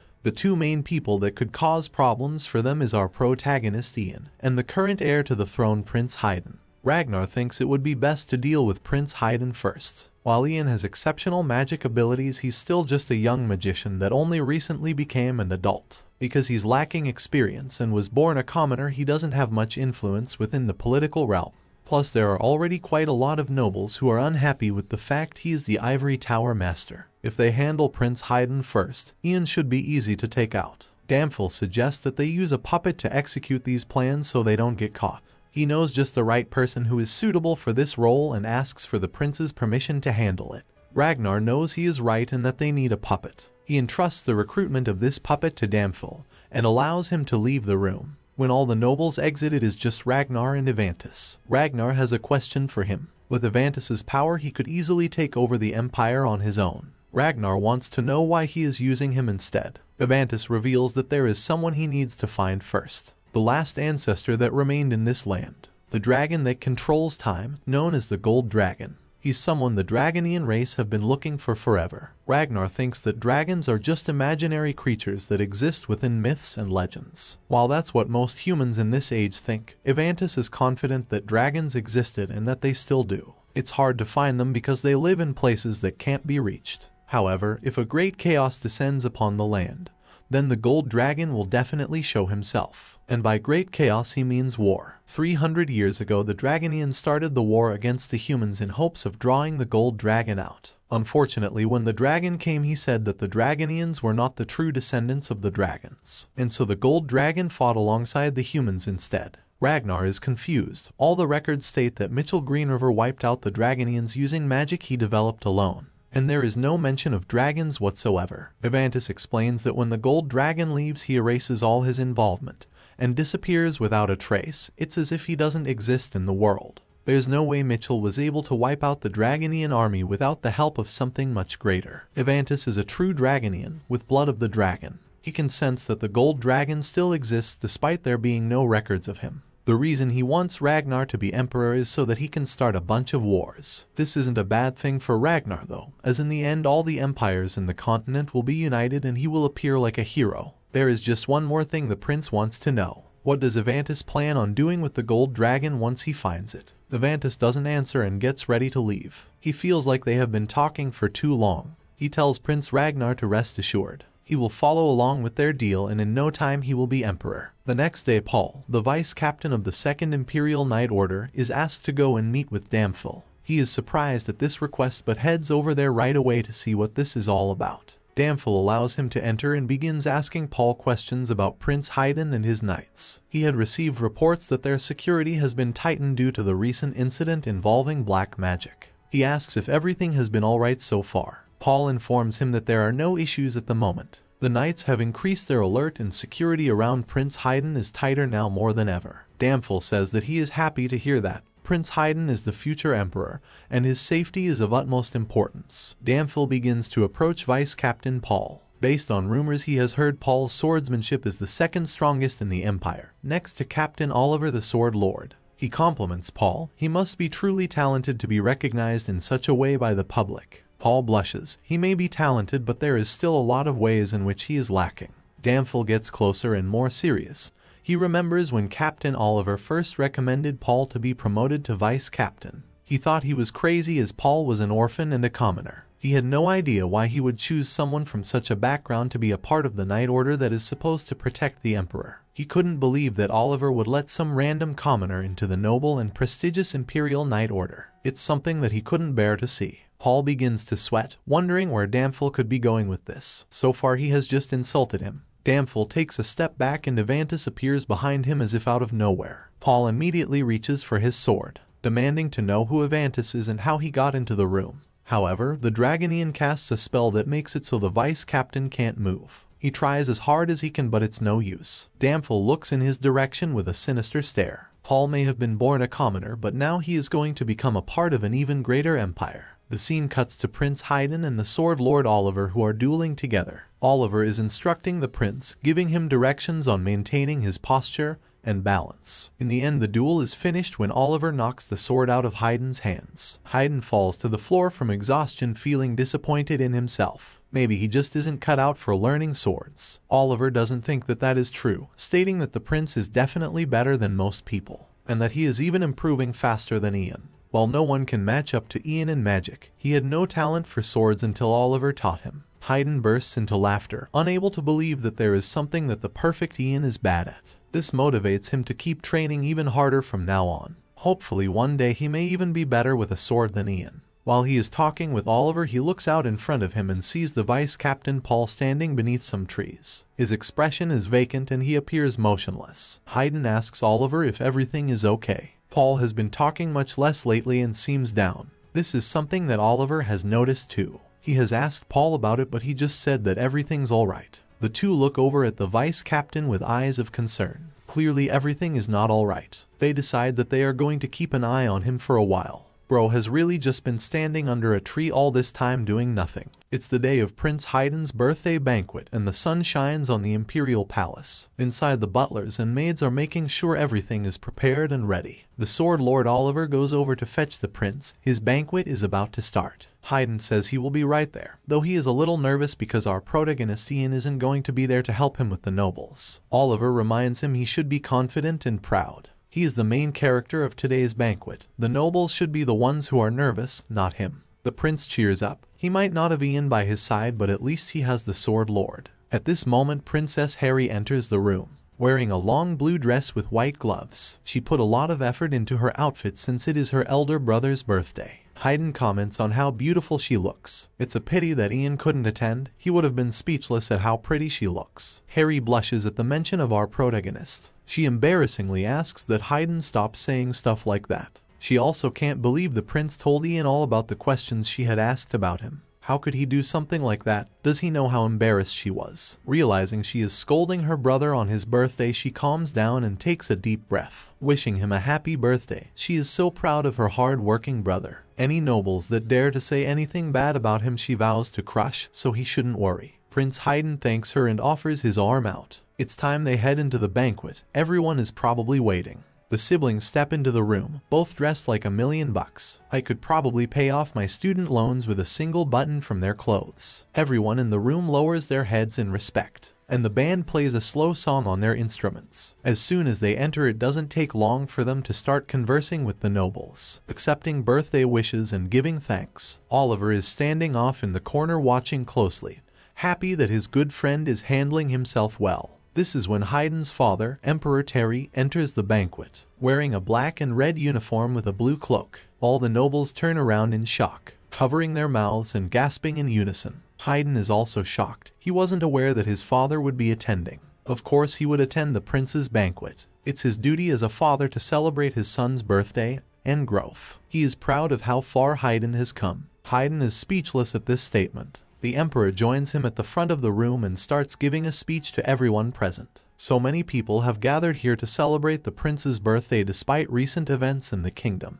Looking at this scene right now makes Terry's heart both extremely happy and satisfied. For a parent, the growth of their child is both a miracle and a series of surprises. To see a small and tender child grow up into a decent adult is such an amazing and commendable thing to see. The emperor recalls an old memory from when Haydn was six years old. He was taking a walk one day and noticed that the prince was following his every step. When he asked Haydn why he was following, he told him it was because he had made a path. The grass was tall so it was hard for a child to go out on his own. However, by following his father's footsteps Haydn was able to make it through. It's been a long time since that day, yet the prince has still followed the emperor all this time. Due to this, Terry knows that his son is going to do well in the future. He raises a glass into the air, toasting the future of the empire and the future emperor, Prince Haydn. The nobles in the room follow his lead, also raising their glasses and giving their blessings. It's a wholesome moment and Terry takes a sip from the glass while wishing his son a happy birthday. Haydn doesn't know what to say. He thanks his father for the kind words. Suddenly the emperor goes weak and his glass drops to the floor. He coughs up blood and stains the carpet with various fluids. This is serious but Haydn doesn't know what to do, standing there with his mouth open like a statue.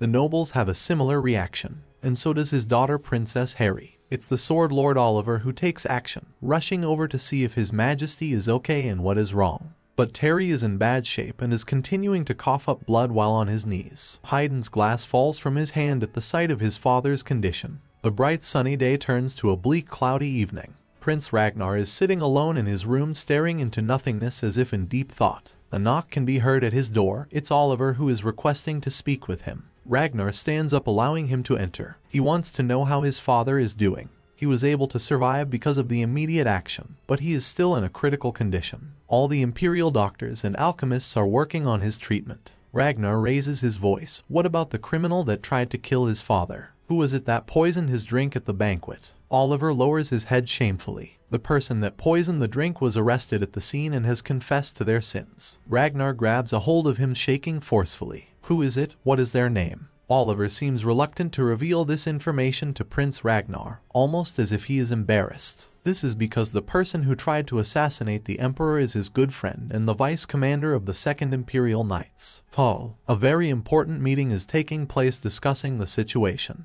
Paul pledged loyalty to the imperial family for years, vowing to guard the emperor. How could they let someone like this into the Knights? There's no way he did this all by himself. There has to be someone else involved. A man points at a map on the table. Vice Captain Paul was an orphan from the northern frontier. This is really close to the Coldwood Empire. If you think about it, it's suspicious. An orphan showing up with very little reputation and background but excellent swordsmanship. It's possible Paul is a highly trained spy from the Coldwood Empire. The men in the room bicker amongst themselves, all with their own theories about the reasoning behind this attack. This is what happens when you allow people into the Knights without investigating their origins and identities. They all agree that they should disband the Second Imperial Knights and deprive them of their knighthood. And the Vice Captain Paul will receive extreme punishment for attempting to poison the Emperor. Our protagonist Ian is at this meeting though he is strangely quiet. He knows something weird is going on and that Paul would never do something like that. He leaves the meeting and begins walking away into a nearby forest, where he meets with a figure wearing a cloak. It's Oliver who is curious as to what is happening with Paul.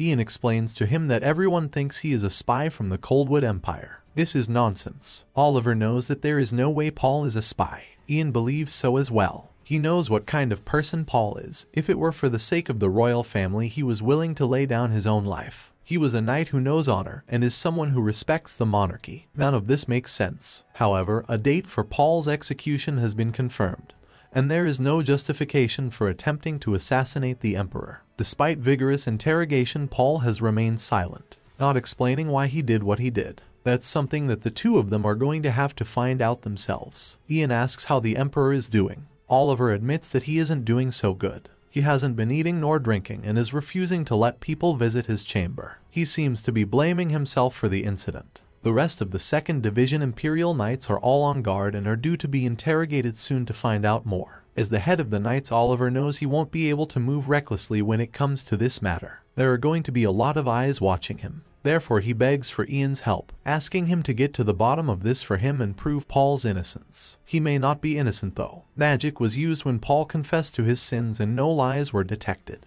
Ian is going to infiltrate the prison where he is being kept tonight to go and see Paul in person. Hopefully he can find out some answers. Afterwards he'll go straight to Oliver's house to fill him in. Oliver understands the plan in the two part ways. They exit their discreet meeting place in the forest. The daylight darkens as the night sky prepares to blossom. The bleak clouds part and downpours rain on the Empire's prison. Of course the guard is sleeping on the floor, because why wouldn't he be? Ian walks right by him and approaches the prison cell where Vice Captain Paul is being kept. He looks terrible, shirtless and chained to the wall, covered in cuts and bruises likely from interrogation. Ian enters and asks if Paul recognizes him. He doesn't believe that Paul was the one who tried to assassinate the Emperor. He knows he isn't an enemy or spy of the Empire.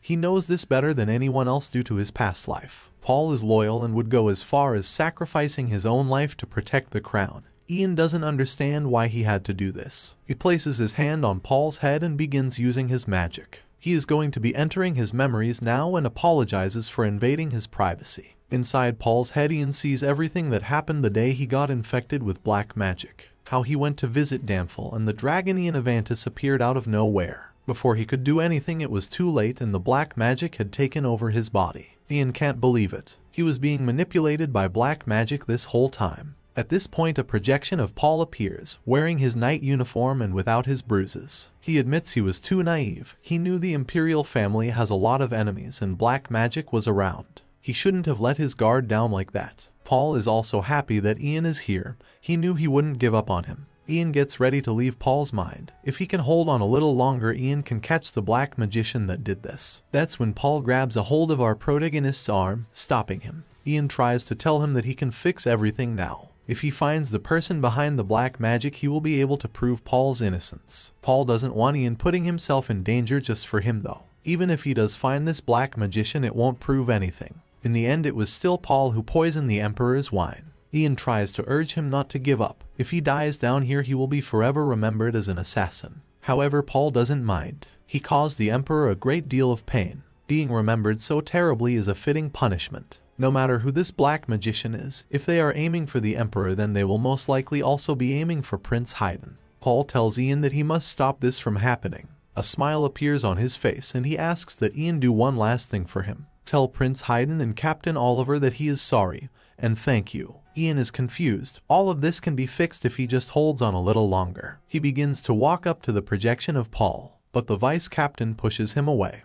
He is now leaving the safety of Prince Haydn in his hands. Ian stumbles backwards, and his vision of Paul slowly fades as he exits his memories. He finds himself back in the prison cell, staring right at Paul but he is no longer moving. Waving his hands around Ian desperately tries to dispel the vice captain of any black magic that may still be present but nothing happens. Ian panics, yelling at Paul to hang on a little longer. He's not going to let him die so easily. Unfortunately it seems like it is too late though. There is no movement from the prisoner and certainly no sound. Ian looks at the ground trying to process what just happened. Meanwhile, Oliver is sitting at his place listening to the sounds of a crackling fire and the raindrops pounding against the roof. These sounds are disturbed by someone coming to the door and Oliver immediately reaches for his sword. There is no need for it though as it is just Ian. Oliver opens the door so he can come inside. Ian seems visibly distressed. His tears are camouflaged by the heavy rain and his stare is vacant. Sir Paul Lance, vice captain of the 2nd Imperial Knights has passed away while in prison.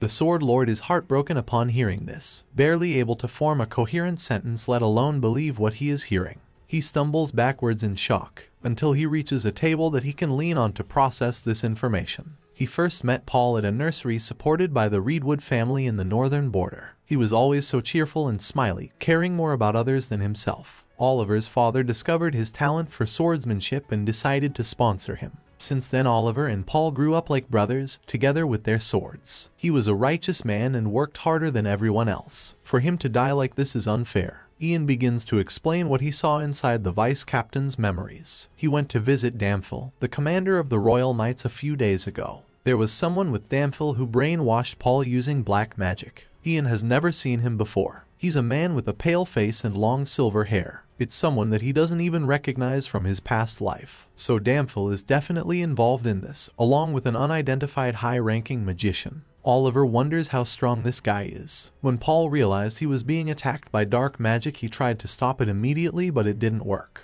That means this magician is of an even higher class than Ian. He has a feeling of who the person might be but he isn't sure. And the number of dark magicians who are cooperating with them is also unknown. A more thorough investigation is needed. Oliver doesn't like the sound of this. If this magician is stronger than Ian then it is dangerous. What if Ian gets caught under the influence of black magic? The Empire will bathe in blood. Ian reaches into his pocket and pulls out the necklace that Oliver gave him many years ago. He gave it so Ian would train with him. It originally belonged to the former Empress, and the magic inside is said to keep one's head clear, but it isn't that simple. A very rare jewel made with dragon's tear is studded inside the pendant. Thanks to that, this necklace has an anti-magic spell that can absorb dark magic. Oliver is relieved to hear this. With the necklace he should be safe from getting caught under anyone's spell. The two continue their conversation inside of Oliver's house, although it is unclear what they are saying. It seems to be important though as Oliver has a look of fear and disbelief. Whatever words are coming out of their mouths are drowned out by the storm roaring outside. This storm pounds down onto the imperial palace. Meanwhile, Prince Ragnar is sitting inside his room and is greeted by Damphel, who informs him that Paul has passed away inside his cell. However, a rat had come into his cell. If it was Ian then he must have noticed that Paul was under the influence of black magic. Ragnar believes it was him, though he won't be able to do anything about it. Ian still hasn't noticed the existence of the Dragonian Avantis, and he is probably too preoccupied with trying not to get caught in black magic. Herbert's 5th class magic was no match for Ian who was 6th class, but Avantis is a much higher class than that. If he was human he would probably be an 8th class master. His powers have not fully recovered because of the seal but he is still stronger than Ian Page. Ian must at least recognize that he isn't the strongest magician around so Ragnar isn't worried. Damphel assumes that our protagonist will just leave everything and run away. Ragnar laughs at this comment. He wouldn't do that. If he was that dumb he wouldn't be giving them such a hard time. Actually, he doesn't have a clue what Ian is thinking. Since he entered the palace six years ago he has become Prince Haydn's close companion.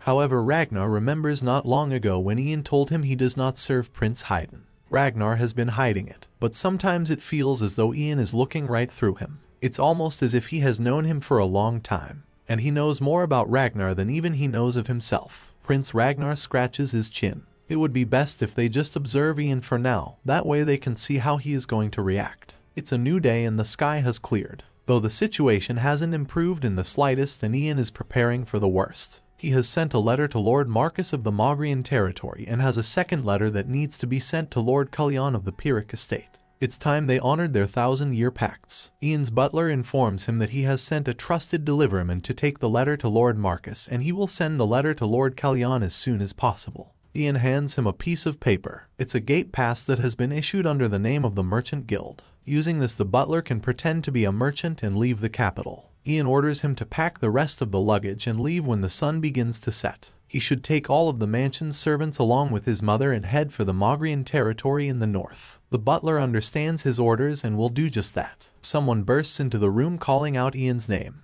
It's his mother who wants to know what's going on. Why are they leaving all of a sudden? Ian can't tell her the exact details but the capital is in danger. He's already sent a letter to Lord Marcus and he will help to keep her safe. However, Vanessa doesn't want to leave her son behind. If he is going to stay here then she wants to stay here too. She shouldn't worry. Ian assures her he is all grown up now. Besides, he is a magician that can easily protect himself. He might be 18 years old but he is still Vanessa's only little son. She hates that he is always involving himself in dangerous work. She can't stand watching him put himself in danger. Ian gets frustrated and yells out at her to get her to stop talking for a second. He's begging her to just listen to him this once. If he does something wrong it could put Vanessa in danger and he doesn't want that. He turns to the alchemist Letio. He is leaving his mother in his hands. He trusts him to take her to a safe location and to never reveal that place to anyone. When the time comes he will send a letter through Lord Marcus. Letio understands his orders and the role he must play. That's when his son Douglas speaks up. He would like to stay in the capital with Ian, perhaps he could be of help. Ian is grateful for the offer but it is much more dangerous than Douglas realizes. It would be better if he went with his father. Ian is going to use his magic to erase a few of his memories after everyone has left. This way even he won't know where they have all gone. This is the only way he can ensure their safety while black magic is about. Ian's family are pushed out of the mansion by the maids and servants. Vanessa gets one last look at her son before departing.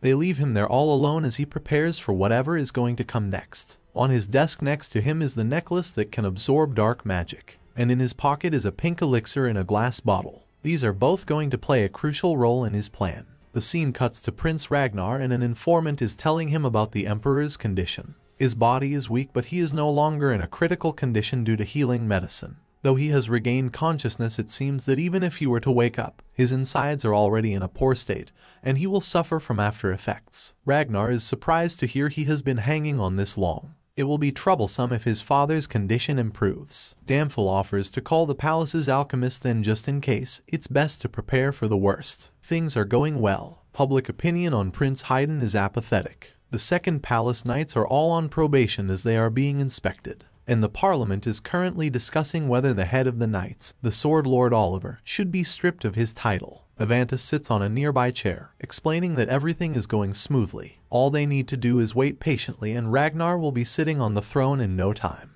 Ragnar agrees but he finds it suspicious that Ian isn't doing anything. There is no way he would just watch this whole situation quietly. At this moment someone in a red cloak enters the room in a hurry, angering everyone inside who asked for privacy. The guy in the red cloak is sorry but he needed to inform them that Ian is currently approaching the palace. Due to this Ragnar thinks it would be best if they end this meeting here for today. He asks that Avantis hide himself, but that he remains in the room to listen in on the conversation. Avantis understands. As they are talking Ian approaches Prince Ragnar's door. They are long overdue a conversation. He enters the room and Ragnar explains how it has been a while. The last time they spoke was after Herbert's execution. There has been a lot of unfortunate things that have happened since then. Ragnar still can't believe such a thing happened to his father. He can't even meet him when he is in such a state. It's torture, so why, at a time like this, has Ian come to speak to him? He's here to find out what Ragnar is up to. He knows Paul was under the influence of black magic and that it has something to do with Damphel. He is also pretty certain that the Dragon Order is somehow involved in all of this. Ian confronts Prince Ragnar. Claiming that everything that has happened is all part of his plan to become the new emperor. Ragnar acts like he hasn't got a clue what our protagonist is talking about. This is all just slander. After all, if Paul was under the influence of black magic when he tried to kill the emperor, then isn't that Ian's fault, since Ian was the one responsible for investigating the black magic in the first place. And as for the Dragon Order, Ragnar has never even heard of them.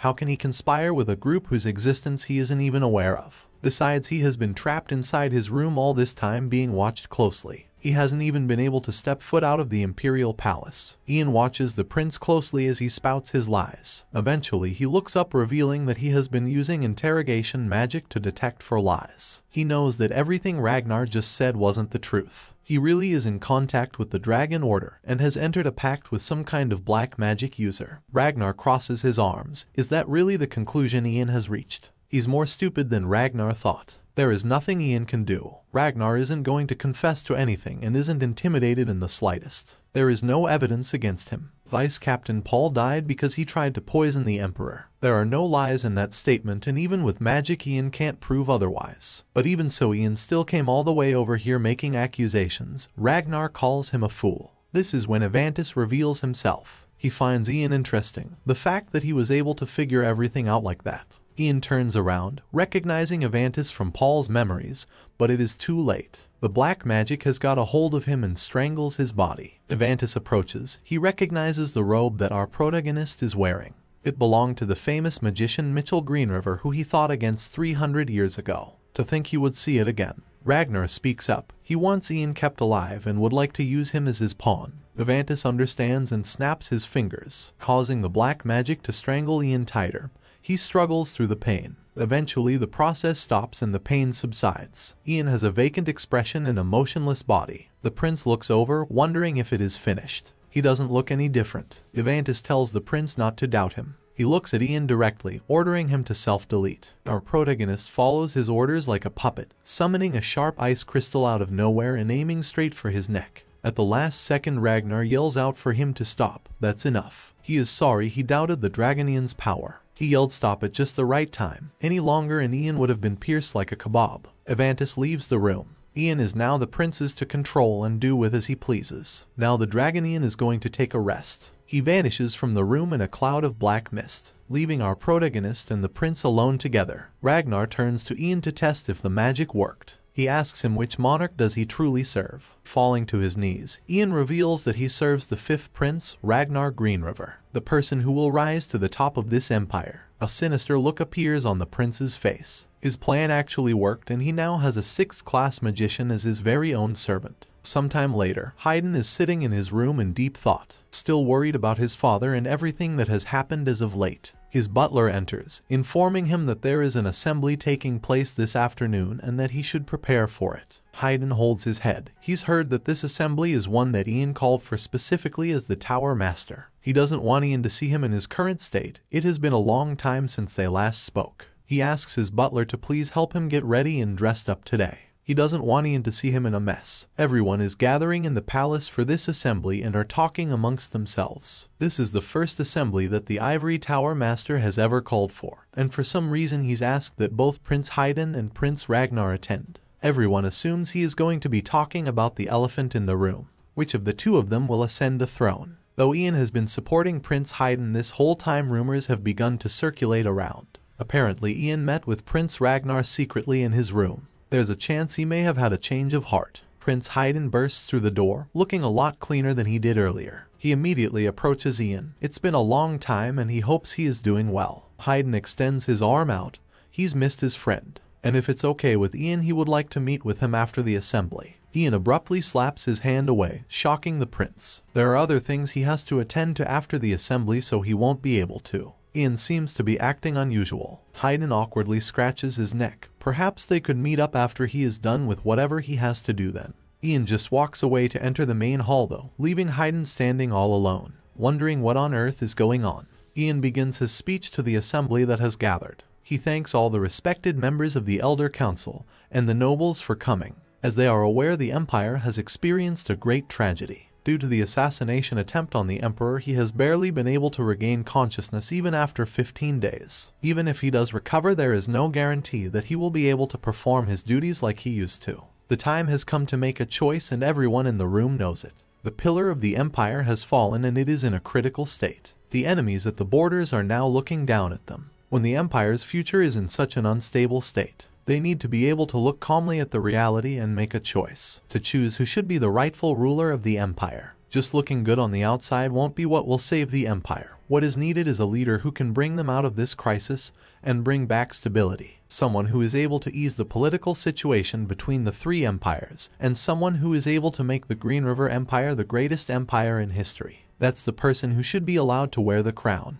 which is why Ian Page, the Ivory Tower Master, has arranged this assembly to declare that he is supporting the great emperor's own blood, the fifth Prince Ragnar. The assembly bursts into an uproar, everyone whispers amongst themselves and gasps. Yet Ragnar sits calmly with his arms crossed and a smile on his face. Prince Haydn rises from his seat yelling at Ian for betraying him. The nobles try to get him to calm down but he doesn't. He aggressively grabs a hold of Ian.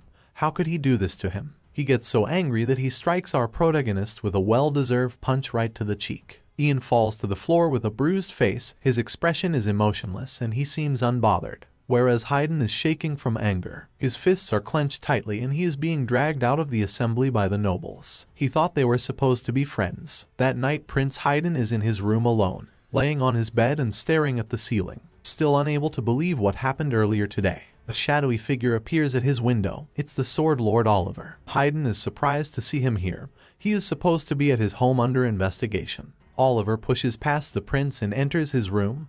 There's no time to explain. He orders the prince to dress warmly as they will be leaving right away. There is a path behind the palace that they can take without surveillance. It's a secret pathway used only for emergencies. Oliver approaches Haydn and wraps him in a blue robe. All the knights of the second palace are on standby outside. Haydn doesn't know what to say. Oliver gets on his knee and holds out his hand, expressing that it is important that they leave the palace tonight. Haydn takes a moment to think about it. He trusts Oliver with his life and is willing to do what he says. He takes the Sword Lord's hand and the two prepare to escape. Wearing cloaks they begin walking through the night, hidden by the dense greenery of the forests. They meet with the second Imperial Knights who have been waiting patiently all wearing their own cloaks. They all rush over to the prince giving him a hug, they have missed him so much. Haydn asks for an explanation of what's happening. Why is everyone gathered here and how did they get away? The Imperial Palace and the capital is no longer safe. That's why from now on Oliver and the 2nd Division Imperial Knights are going to take care of Haydn. The plan is to take him to Lord Kalyan in the Pyrrhic estate. Oliver will tell him more details on the way but for now they must leave. Prince Haydn stops them. They can't go around disobeying orders like this. It could end up with their titles being deprived or even execution for treason. The knights are not disobeying orders though. Oliver informs the prince that when they became knights they were given only one order, to protect Prince Haydn no matter what. No matter how strong the enemy is their mission remains the same. They are going to fight, and they are going to protect him. Haydn can barely contain himself at this show of affection and loyalty. Despite being denied the throne his guards still stand by his side. He agrees to leave the capital with them, just as long as Oliver explains to him what is happening properly while they travel. That night he disappears and it doesn't take long for everyone else to realize. Damphel rushes into Ragnar's room. Prince Haydn disappeared at dawn and so did the 2nd Division Imperial Knights.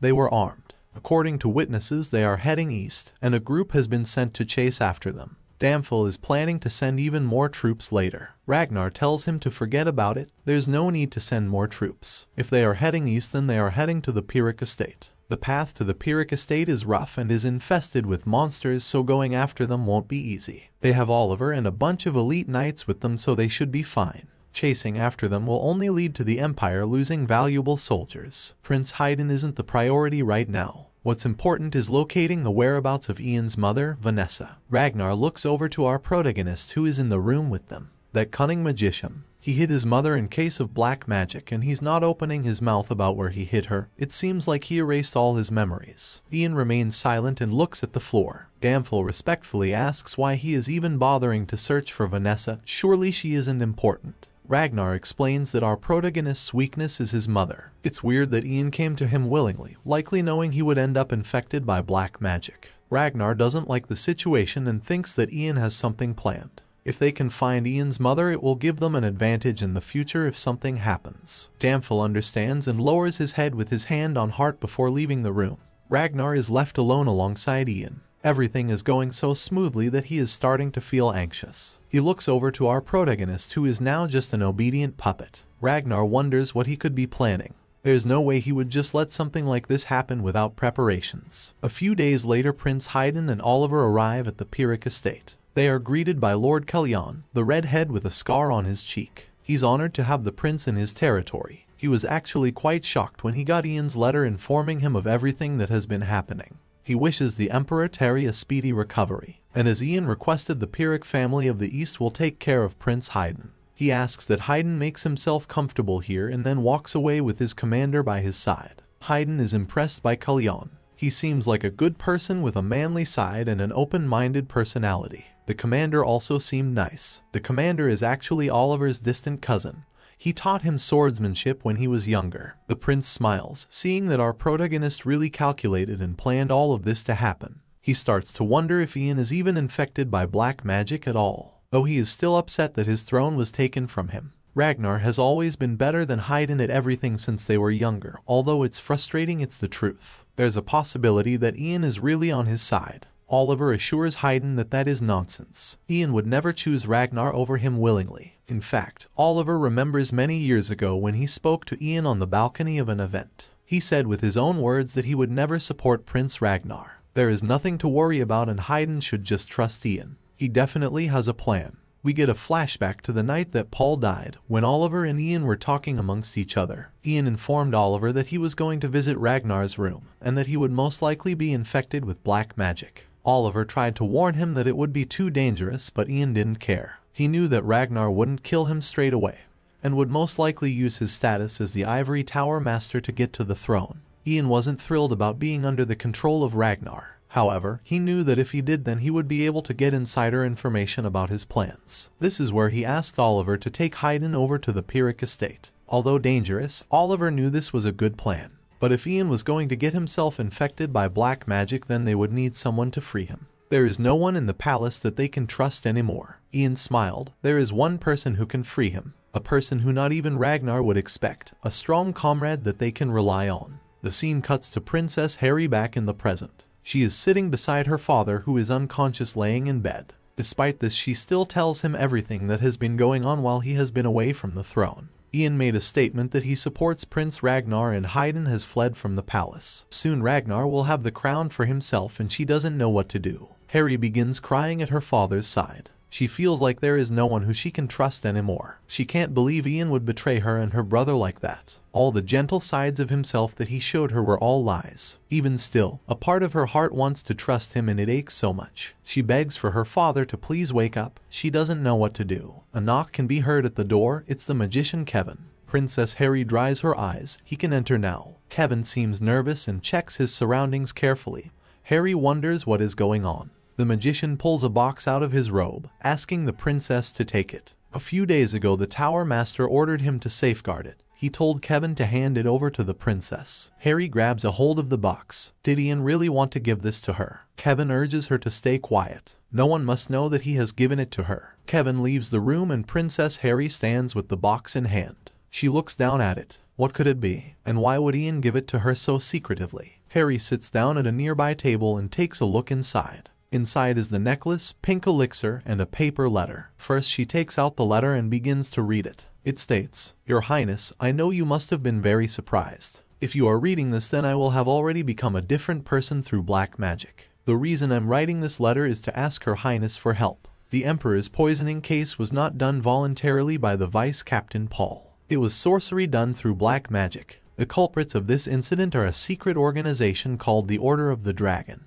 Within the organization is a very powerful high-ranking black magician. Prince Ragnar has been cooperating with them to try and take over the throne. I wish to find the real culprit who tried to assassinate the emperor and uncover the truth. I will become the puppet of Prince Ragnar. The necklace inside this box is an item left by the deceased empress. It contains an anti-magic even greater than 8th class, something that can even dispel black magic. If you are reading this letter please put this necklace on me. The anti-magic inside this necklace should dispel the black magic. The liquid packed with it is a potion made out of a special herb called Randier's flower. It has an effect of neutralizing mana inside the body and is also a critical poison that can cause a magician's death. If by chance the black magic can't be dispelled by the necklace, please kill me. Harry looks at the potion and necklace, finally realizing what is going on. She immediately goes to find Ian who is by Ragnar's side. They are on their way to visit the Emperor. After all, he is Ragnar's father too. It's only right that he does his duty as a son. Harry agrees, asking Ragnar if it's okay if she speaks with Ian while he is visiting the Emperor. It's okay, as long as Ian comes right back to him after they have finished talking.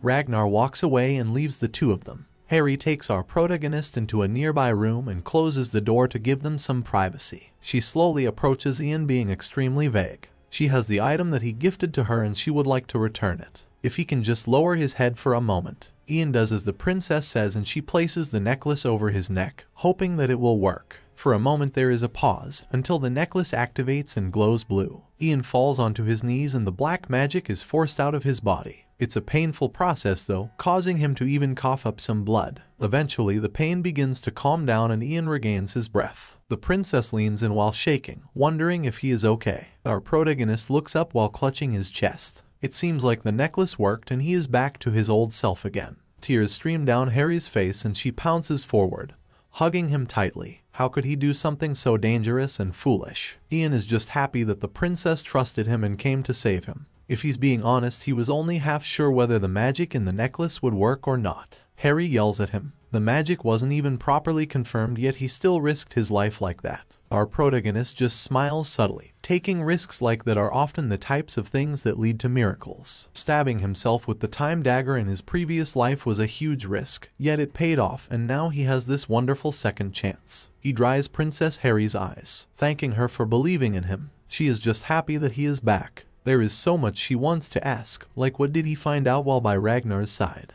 It turns out the Dragon's Order is a bigger force than Ian had first imagined. The previous Ivory Tower Master, Herbert was an executive for the order, and a bunch of high nobles were high-ranking members. Damphel, who has served the emperor for decades is also part of the conspiracy. The religious leader of the Dragon Order is said to be a Dragonian, which were believed to have gone extinct 300 years ago. He can change into human form and can use 8th class magic. He was sealed in a prison until Ragnar released him and the two of them have been working together. This information shocks Harry, who can't believe her brother would do such a dangerous and reckless thing. Ian assumes that it must be something he has been planning for a long time. The Dragon Order's ultimate goal isn't just taking the throne. They wish to start a war with the Empire's armed forces to conquer the lands. Ragnar has already taken over the royal palace. It's not safe here anymore and Ian advises the princess to be careful. She shouldn't trust anyone and should stay by the Emperor's side. As for Ian, he is going to continue the act of being infected by black magic so that he can stay by Ragnar's side. 300 years ago, Mitchell Greenriver managed to get rid of the Dragonians, and Ian plans on finding out what method he used to do this. The princess thinks for a moment there is something she has that might help. She asks that Ian follow her. They go to the princess's room where she goes up to her desk and finds something. It's a red book with a golden seal, a treasure of the royal family that her father gifted her. It's a relic that was left behind by the first magician of the royal family, Mitchell Greenriver. It's assumed to be his journal though no one is sure as they haven't been able to open its seal. According to records, Mitchell was a fifth-class magician. However, the seal seems to be made with a magic of a higher class. Ian takes the book thinking that perhaps he will be able to get it open. He injects it with mana to try and read its techniques. That's when he sees that for some reason the book is sealed with a dragon tongue spell. Ian mutters the spell that appears and the book opens. Our protagonist seems worried, but Harry is curious to see what's inside. It really is Mitchell's journal. The first entry was written right after the war with the Dragonians ended. It's about the memorial for the deceased magicians and knights of the Empire, and plans to leave the destroyed lands to build a new ivory tower. Ian spots something particularly unusual. His father's name, Fran, is written inside the book. Curious, Ian reads the next few lines word for word. It states, That night, Fran came to find me. I knew from a feeling that I would not be able to see him anymore. I swore to keep the promise I made with him until my death. I leave in this journal his last words in dragon tongue. Upon saying the dragon tongue words written in the journal Ian's surroundings begin to change. All the color has been zapped from the world, leaving it a monotone black and white. Everything is statuesque, including the princess who is no longer moving. The look of worry that has been on Ian's face this whole time grows stronger. It seems like time has completely stopped. On the other side of the room is a door with a golden glow shining from it. With few other options our protagonist decides to walk through it. On the other side of the door is an open field with a singular rock. Upon the rock is sitting a cloaked man. Ian calls out to him and he slowly turns around. His features are hidden but there are hints of blonde hair and facial stubble. Our protagonist asks this mysterious person, where is this place and who are you? This place is the record of time, a place beyond dimensions. It's hard to explain it in human terms but the man tries to put it simply. This place preserves all the time from the dimension Ian is from. As for his identity the man goes by different names. The humans either call him the first magician or the golden dragon. Ian is shocked at this information. The golden dragon that exists only in legends, and the first magician recorded in history is the one who developed magic. They are both the same person. Since Ian has found this place the man knows that Mitchell must have made a grave mistake. He didn't think that he would let that Dragonian Avantis live. The man didn't understand why Mitchell kept him sealed in Ian's dimension. Perhaps it was sympathy or vengeance. Human emotions are incredibly complicated yet detailed. This man and Mitchell Greenriver were very close. In fact, he was the one who gave Mitchell the power to exterminate the dragons. All of this is a lot for Ian to take in. If it is true then why isn't the man in any of the war records? The first magician and golden dragon begins explaining. A long time ago humans suffered from black magic. The power of the dragon was a power that could be used to conquer all things. However, an unholy power was created by adapting it, and thus black magic was born. The black magic created by the Dragonians was as greedy as its origins. It corrupted the human soul and destroyed the balance of the world. As a result, disaster was repeated constantly, and the Golden Dragon witnessed countless humans suffering. Yet he was unable to interfere. Dragons don't intervene in the human world. This is a rule that has existed from the time this world was created. The golden dragon didn't want to stay put though. After all black magic originated from the power of the dragon. So he broke the rules and meddled with human history. When a big disaster comes, humans fall, and they need a hero to lift them back up. So to fight against black magic the golden dragon shared his powers with Mitchell Greenriver. He was a wise and compassionate kid, even with him being royalty. He was a child who always put the people first over authority. Mitchell spent his whole life trying to get rid of black magic. However, leaving Avantis alive was a single mistake that has made all his efforts go to vain. As for the Golden Dragon, he lost his memories as a price of intervening with the human world, and so the dragon sealed all the time he had left in the body of a human. With no memories of anything, he went around the world to wherever his feet took him to. That was when he met a girl too. She was an honest and lovely person, and the time they spent together was the most beautiful the dragon had experienced in a long time. Her name was Vanessa. The golden dragon removes his hood and shows his face. Looking at Ian he says he has missed him. He has missed his son. Ian grits his teeth and shakes, demanding that this guy not speak nonsense. His father died a long time ago. The man agrees. His father, Fran Page, is in fact dead. He is just the soul that left his body and has been waiting in this place, waiting to meet Ian. Our protagonist snaps. If he is really the soul of Fran, then why did he leave him as a child? Does he know how much heartbreak he caused? The golden dragon is ashamed. The more time he spent in his human body, the more his memories started to return.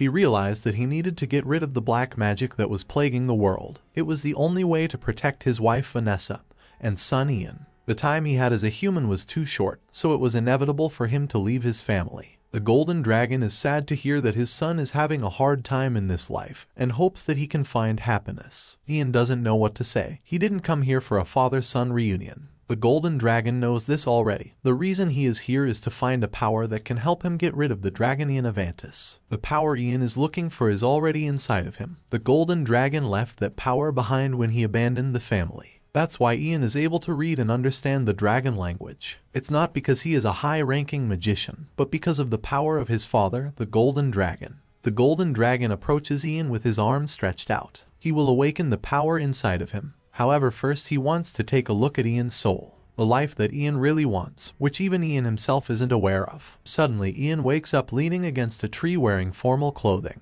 He stands up confused and takes the blanket off of him. He was with Fran just a moment ago. Where could he be now? In front of him is a blonde woman and a young child playing in the grass. It's a sunny day and the flowers are in bloom. The woman is Princess Harry and she is happy that Ian is finally awake. Seriously, they barely made time to go and have fun together as a family and he is taking a nap. Harry scolds Ian for being too busy recently. She's going to speak to her brother to get him to stop overworking him. Ian has no idea what's going on. He addresses Harry as Your Highness, confused about this whole situation. Harry bursts out into laughter, assuming that Ian must still be half asleep. He hasn't called her that in a long time. She calls out to the little girl in the field playing. Daddy is awake and she should come over and hug him. The girl turns around with big blue eyes and a bright smile. Her name is Johanna. Ian stands perfectly still like a statue while Johanna runs up to him and wraps her arms around his legs tightly. Harry looks at our protagonist, asking why he is just standing there. She encourages him to hug his daughter. Ian looks down at the girl who is looking back at him. He picks her up and takes a moment to try and process things. At first he is just thinking about how weird this is, until the little girl gently utters the words,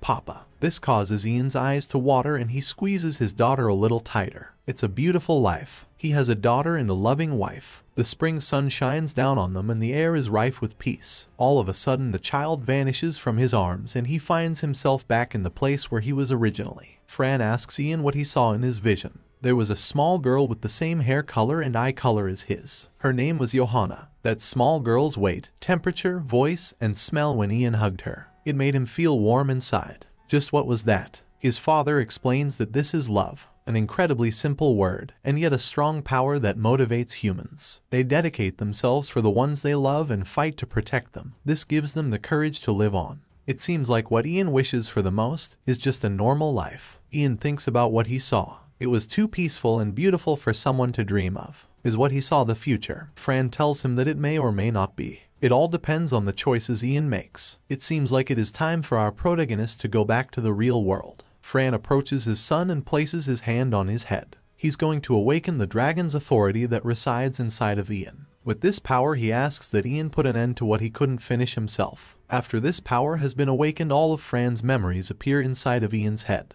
He looks at his son as he says goodbye. He has always been with him and will love him forever. Ian sees a specific memory of Fran's. When Vanessa was pregnant with Ian and the two were deeply in love. This is the last thing he sees until he is teleported back to the present in the real world, standing next to Princess Harry reading from the journal. He clutches his chest and tears build up in his eyes. His heart is aching. It's a feeling he has never felt before. When the princess asks him what's wrong Ian pulls himself together. He is fine and has just got something in his eye. He looks back down at the journal and notices that all the dragon language that was written on there previously has disappeared. He turns to Harry, asking her if she remembers what was written there. But she doesn't know what he's talking about.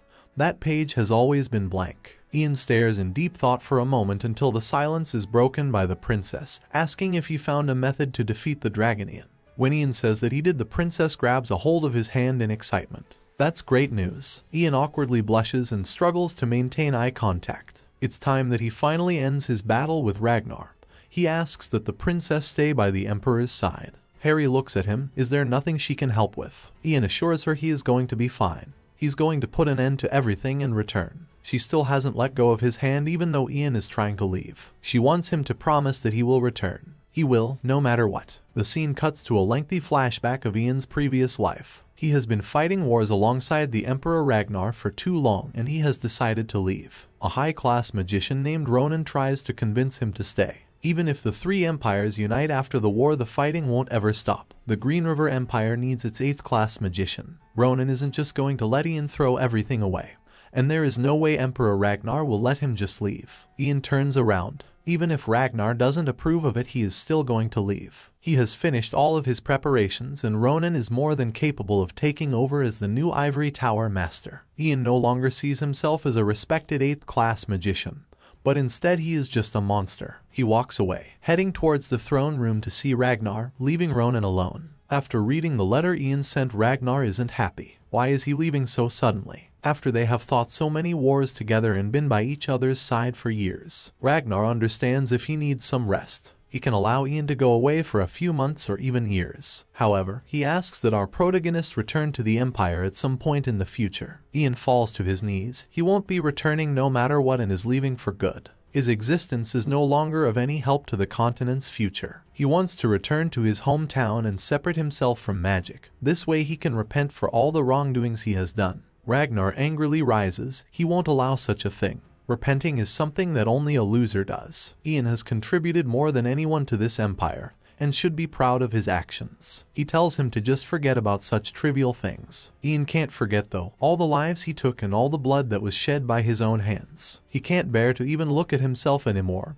He has become a monster. Ian begs on his knees, asking Ragnar is not only his emperor, but is a long-time friend. Please allow me to go and live the rest of my days in peace. Ragnar can't believe that after all this time he is just going to leave because he feels guilty. He walks away leaving Ian alone. He had no idea their friendship would end like this. Ian just cries. He is sorry but this is the way it has to be. When the nobles heard of Ian's departure they were not happy. The Coldwood Empire is still acting up and if word gets out Ian has left they will appear weak. There is also a possibility that Ian will join hands with the rebel forces. If that happens the Green River Empire will surely fall. The nobles put a lot of pressure on Emperor Ragnar to kill his friend Ian. He's too dangerous, and if he doesn't want to fight for the Empire anymore then he should be taken out. This pressure caused Ragnar a lot of stress, to the point where he could no longer sleep. Not only was he the emperor currently at war, but the nobles were all planting seeds of doubt in his mind of Ian's loyalty. He called his personal alchemist to his bed chambers, Douglas. He still can't sleep and it's getting worse.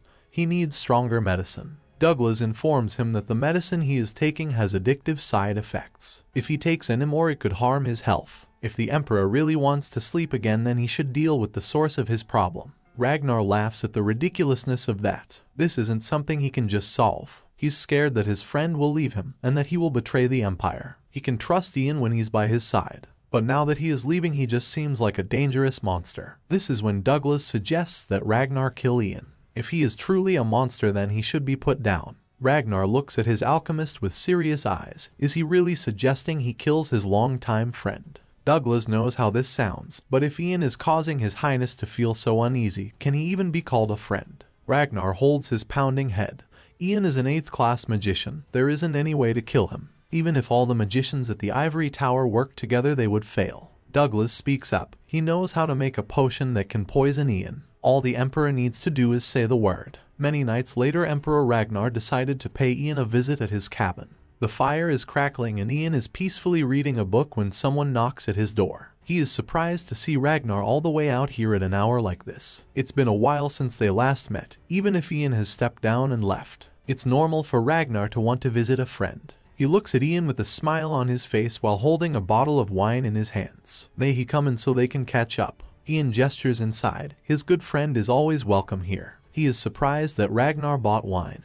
He's not usually the type of person to drink. Ragnar admits that's true, although it's not bad to have a drink occasionally. He suddenly got curious about his friend and wanted to see how he was doing. He holds out a glass of wine for Ian to take. Ian accepts and the two sit opposite each other. The Emperor comments on how much happier Ian seems since he has left the capital. Ian has been traveling a lot, going wherever his feet takes him. During this time he saw the lives of many people and it was a really meaningful time. He's learned many things since returning to his hometown. Unfortunately there isn't much he is good at other than magic. He's thinking of gardening once winter has passed and the snow melts. The current life of the former Tower Master seems to be a simple one. As long as Ian is happy Ragnar is satisfied. A lot of things have happened since his departure. Ragnar explains that they have suppressed the rebellion in the Coldwood Empire, and they are now a step closer to peace. One of the princes will also marry the daughter of Count Bernard, a member of the royal family of the Principality of Roe. With all of this the three empires will be one step closer to becoming whole. Ian clutches his chest. Something strange is happening to his body after drinking the wine. He collapses to the floor in pain but Ragnar doesn't stop speaking. The ivory tower has been doing worse since Ian left. However, the palace is helping out to keep it going. Areas that have been damaged from the war are being repaired quickly and soon peace will be achieved. Ragnar looks down at our protagonist who is dying on the floor. All that is left is for Ian to disappear. Ian coughs up blood, keeled over in pain. It's a poison that neutralizes the mana inside a magician's blood vessels. Just to be sure it would work Ragnar mixed it with some other potions. Ian only has one question, why? Why would his friend betray him like this? Ragnar admits that it is because of Ian's power. If it was wartime it would be different, but right now his power only brings unease to everyone in the Empire. If he had stayed by Ragnar's side then none of this would have happened, but he just had to leave. Not only is the Empire fearful of Ian's powers, Ragnar reluctantly reveals that he is too. He's afraid of his own friend, a powerful 8th class magician who could steal the entire Empire from Ragnar at any time. There's no way that he could let such a monster live, it would be too risky. Ian tears up at this betrayal.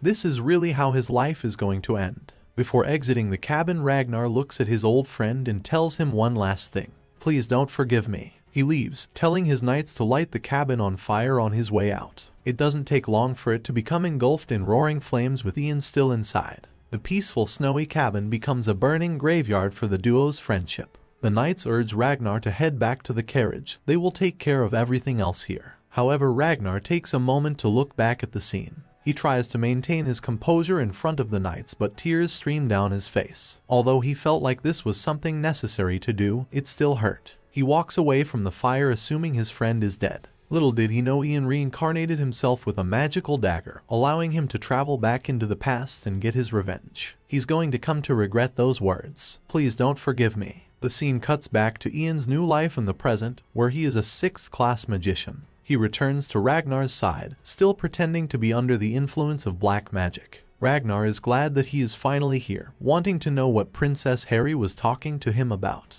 Ian still acts like a puppet, saying Harry was just asking why he betrayed Prince Haydn. He didn't answer her question and just left. Ragnar finds this amusing and laughs. His sister is such a poor thing, she actually has a crush on Ian. Ragnar remembers how his father rejected all the nobles that wanted to propose to her. He always found this unusual. For royals, marriage is basically a transaction for the sake of more political power. For the emperor to just hide the princess away is ridiculous. When the time is right Ragnar intends to marry her to the right family, and he is going to find a suitable wife for Ian too. It shouldn't be long. He'll ascend to the throne in no time and become stronger than his father. He vows to become the first person to unite the three empires and lead the Green River Empire to its maximum potential. He places his hands on Ian's shoulders, happy that Ian is going to be by his side to witness all of this. Looking Ragnar in his eyes, Ian tells him he has already seen all of this. In his past life, he witnessed the Empire becoming unified and stood by the side of the great Emperor. He gave up everything he had and dedicated his whole life to Ragnar and the Empire.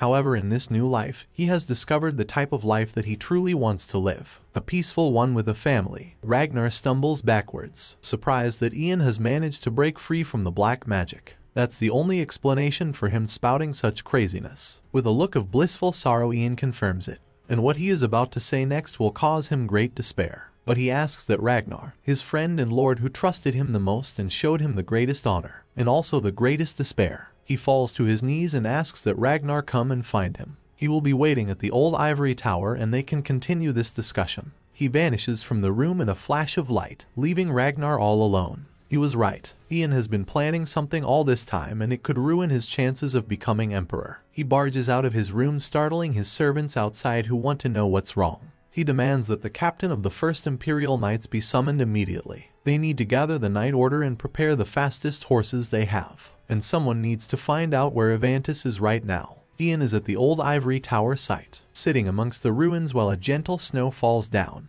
When he found this place in his previous life he thought it was by coincidence, but it must have been his father who has been watching him all this time.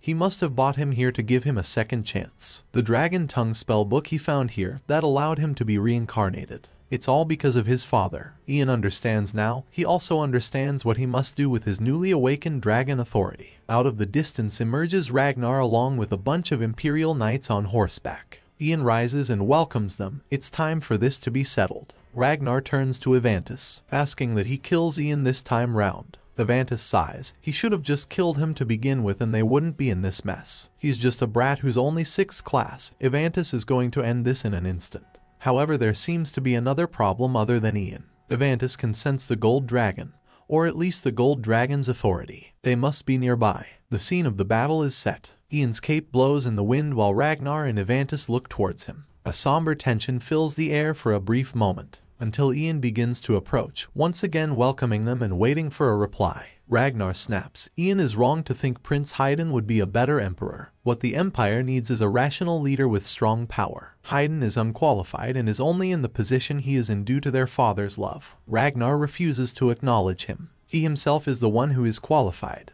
He is the one who needs to become emperor. Remaining calm, Ian explains that black magic corrupts the souls of humans, and Ragnar is no exception. It's clear he has lost the cool judgment he once had and is now showing his true colors. Ian can spout all the nonsense that he wants but today will be the last day that mouth of his will speak. Ragnar signals to the Dragonian to get down to business. With his hands behind his back Avantis launches an attack towards our protagonist. A thick black mass hurtles forward. It rips up the entire ground creating a line of destruction to where Ian was standing.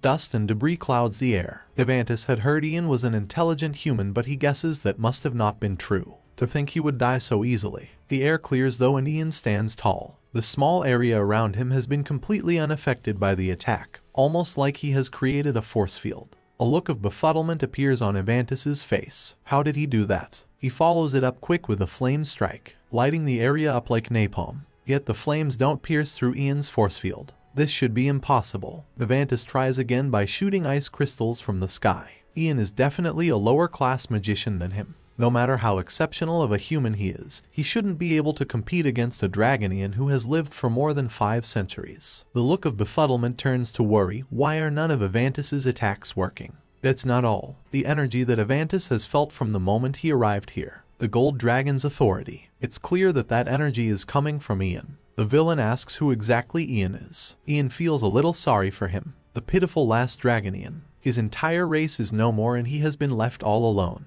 Mitchell Greenriver gave him the most painful punishment possible by sealing him away in the middle of nowhere. Hatred, anger, sadness, and the overall powerlessness of not being able to do anything. Ian is impressed that the villain was able to survive all of that humiliation. This gets under Avantis's skin and he yells out for Ian to shut up. He's going to end his life right now for saying such things. The villain charges forward in a blur of darkness. However, a bright light appears around Ian. He tells Avantis that he is going to send him to be with the rest of his comrades in the afterlife. Avantis is stopped in his tracks. He spent so long searching for the gold dragon and its power, little did he know it would be his downfall. Ian slowly raises his hand as the energy around him grows stronger. He orders Avantis, the last descendant of the Dragonians, to self-delete. With no self-control Avantis pierces his chest with something sharp, right through the heart. His last breaths leave his body and he asks one final question to Ian. How does he have that power? Our protagonist just watches his final moments, looking down at the villain who falls to his knees. Ian remembers the first ever time he met Ragnar in his previous life. He was heading to his room alongside the Tower Master at the time,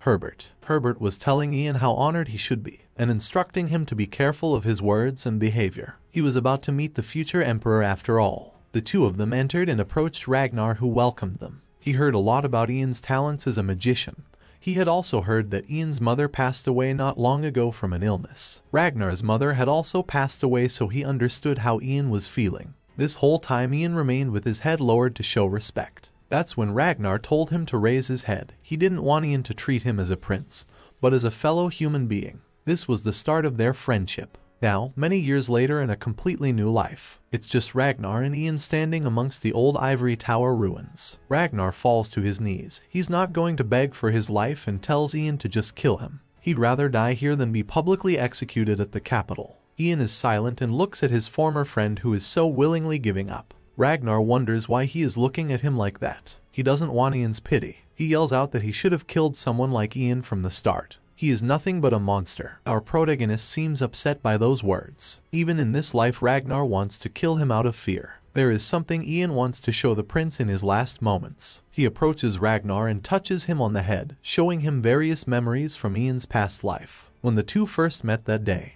to Ian being loyal to him for years. Together they plotted against Prince Haydn so that Ragnar could have the throne and when he did eventually become emperor Ian used his powers to win many wars and take many lives. This helped Ragnar create peace between the three empires. The two of them were like brothers conquering the world together, up until the day that Ian wanted to leave, feeling like a monster for what he had done. This ultimately led to Ragnar poisoning him in the cabin. In Ragnar's final words to his longtime friend, Please don't forgive me. After seeing these memories in the present Ragnar is baffled. He has lived this whole life that he had no idea about. He looks at the ground for a moment, replaying all those memories again and again, until he looks up at Ian like an old friend. He understands everything now. Ian Page, you are. Before he can finish his sentence, Ian puts an end to his life by slashing at his neck with an ice crystal. Ragnar's lifeless body falls to the floor and the old ivory tower ruins are stained with his blood. This is the end of their relationship, and the end of Ian's quest for revenge in this new life. The snow continues to fall to the ground and a whistling wind passes by,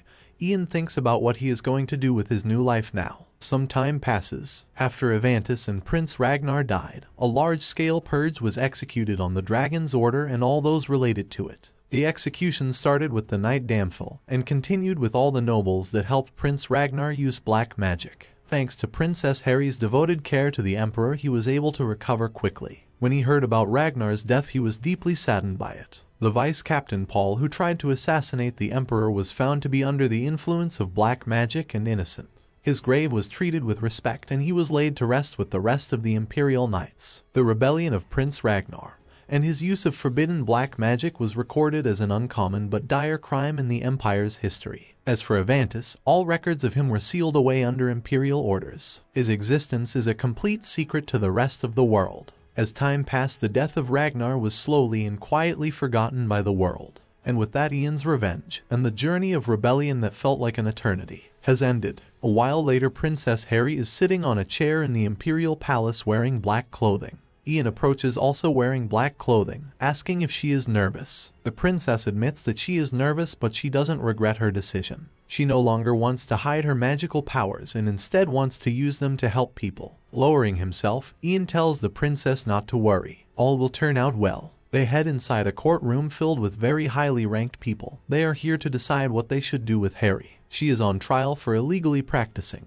and using magic without informing the ivory tower. Ian is sitting amongst the judges on this trial but there is something he would like to say before it starts. He reveals that he cannot in good conscience be a judge on this trial, as he is connected to the charges Princess Harry is being faced with. The courtroom gasps, what is he talking about? Ian explains that he was one of the teachers that has been teaching her magic secretly. He found out about her powers six years ago when he was spying on her. He overlooked it because it made sense for her to want to hide it. Years later Ian found himself preoccupied while investigating the Dragon Order, the organization that was deeply involved in black magic. Avantis's existence became an exceptionally huge threat. Since he was a high-ranking sorcerer he had the power to turn the Empire into a sea of blood if he wanted to, so Ian needed to move carefully. There was a limit to how much he could have done alone though and there were very few people in the palace he could trust. And so Ian turned to Harry for help. In exchange he offered to teach her magic in private. The only reason he was able to be freed from the black magic he was infected with is because of the princess. If not for her who knows what state the empire would be in right now. The judges speak to Harry directly, asking her if what Ian is saying is the truth, giving her the chance to speak and say anything that is on her mind.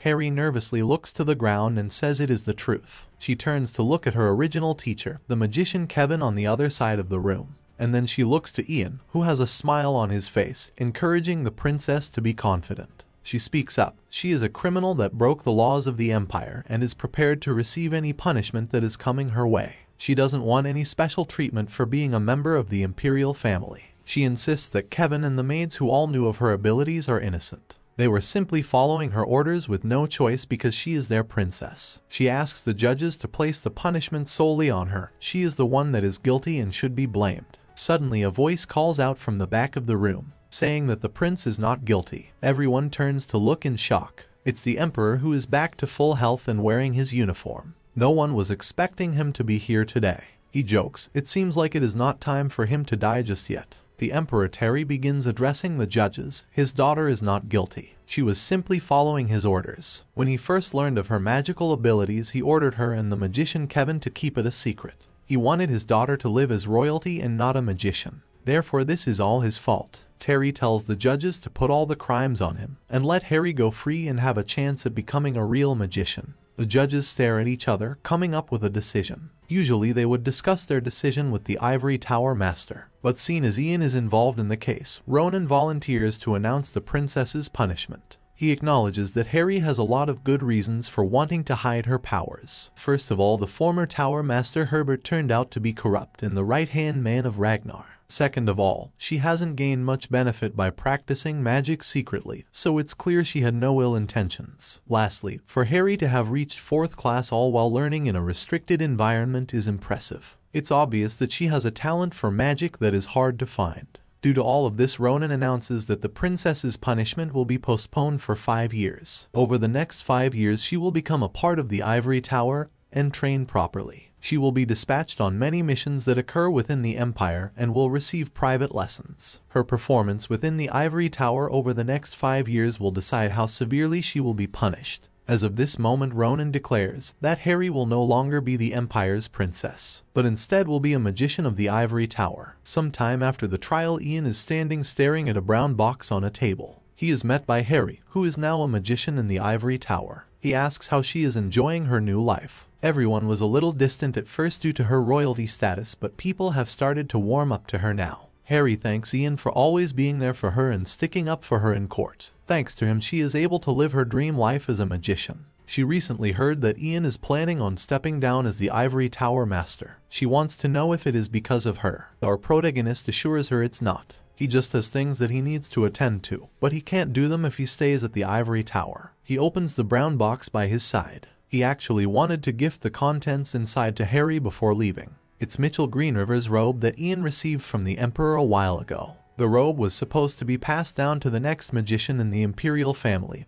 Ian was just borrowing it. It's time that it is returned to its rightful owner. Ian also wants to give Harry the staff he used to use, the Staff of the Great Plains. It's made from a very rare material that can't be found within the Empire. It also improves proficiency using mana and is surprisingly light. Ian asks if she likes these gifts. Of course she does, they're amazing. There is one more favor Ian would like to ask of her before leaving. He doesn't know how long he will be gone for, it may even be a few years. While he is gone he asks that Harry help to look after his family to make sure they are safe here. Harry doesn't like the fact that he is leaving. Where is he going? Ian can't tell her that right now, because he doesn't even know the answer himself. There are still a lot of dangers lurking in the world and he wants to find and resolve them. Harry's life has been going great. With the power she has she is going to help people who are having a hard time. She is also going to support her brother Haydn when he ascends the throne. With all of this Harry had hoped that Ian would stay by her side. She begs him not to leave the capital. Ian apologizes though, it is just something that he has to do.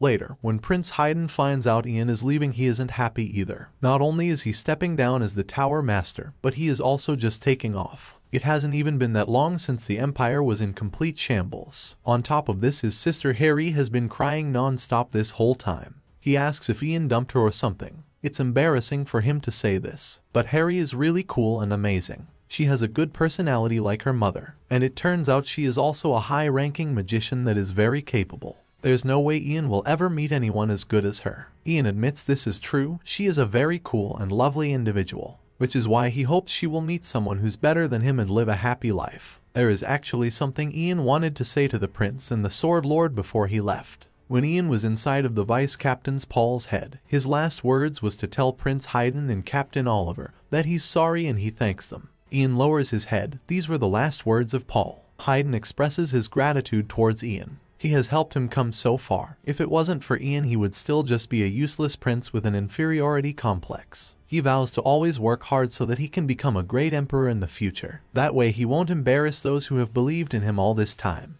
including Paul. When Ian is done with his travels, Haydn asks that he returns to the Empire to help out if he can. There is something that Haydn wants to do before he leaves. He takes a sword out of Oliver's hand and pulls it from its sheath. He's practiced really hard for this day and would like to offer Ian an eternal guest pact. This is his gift to Ian, his friend, his teacher, and his benefactor. The Imperial family will always welcome the visit of high-ranking magician Ian Page. If he ever needs the help of the Imperial family or Empire, we promise that we will stand by his side. This will continue through the descendants of both families. I swear upon the stream of the Emerald River that's in the center. Haydn saw a lord doing this when he was younger and thought it was pretty cool. He's always wanted to try it. Ian can leave and do what he needs to do. Haydn will wait patiently for his return. He thanks Ian for everything and the two hug. The sun sets on our protagonist's mansion as he prepares his affairs and gets ready to go. His mother enters the room and he is surprised to see her. She is not feeling well from traveling and so should be resting in her room. She doesn't look good. Her hands are all cold and her face is pale. Vanessa insists she is fine and falls into her son's arms. This worries Ian, who tells her to wait a while. He will get the alchemist Letio and a doctor to come here. Once again Vanessa insists that she isn't sick. She just came to say goodbye to her son before he leaves. But now that she is here she isn't able to say those words. When she returned to the capital she heard all about what had happened between Ian and the black magic. She could barely breathe, wondering why her child had to go through something so tough. Her heart broke and she felt as if it was all her fault somehow. And when she was staying with Lord Marcus in the Mogrian territory all she could do is worry. She was scared that she would never see her son again. She doesn't want to lose any more family like she lost her husband. Ian grabs a hold of his mother's hand to calm her down. She might not believe him but he actually met his father. It's hard for him to explain the details, but when he met Fran he told him that even if Ian can't see him, He's always there beside him. Ian used to hate his father for abandoning him. However, now he realizes that everything he has in this life is all due to the power his father left behind for him. Ian wants to try walking the path that his father did and honor his last wishes. Looking at his mother, Ian asks that she let him go and do this, so he can grow and understand more. Vanessa begins to cry. She always saw her son as a child, but he really is all grown up now. Ian is going to be fine. He tells his mother not to worry as she isn't alone here. She now has a new family that loves her. Letio is a really nice person, someone that has been a father figure for Ian. And Douglas is someone who always brightens up the atmosphere. He's a smart, kind, and considerate child. Ian knows she will be happy, and he will definitely come back to her. Just outside the room Letio and Douglas are both eavesdropping on the conversation. They are also crying at the fact that Ian is going. Our protagonist heads outside with all his things and prepares to mount his horse. Letio comes outside to say goodbye.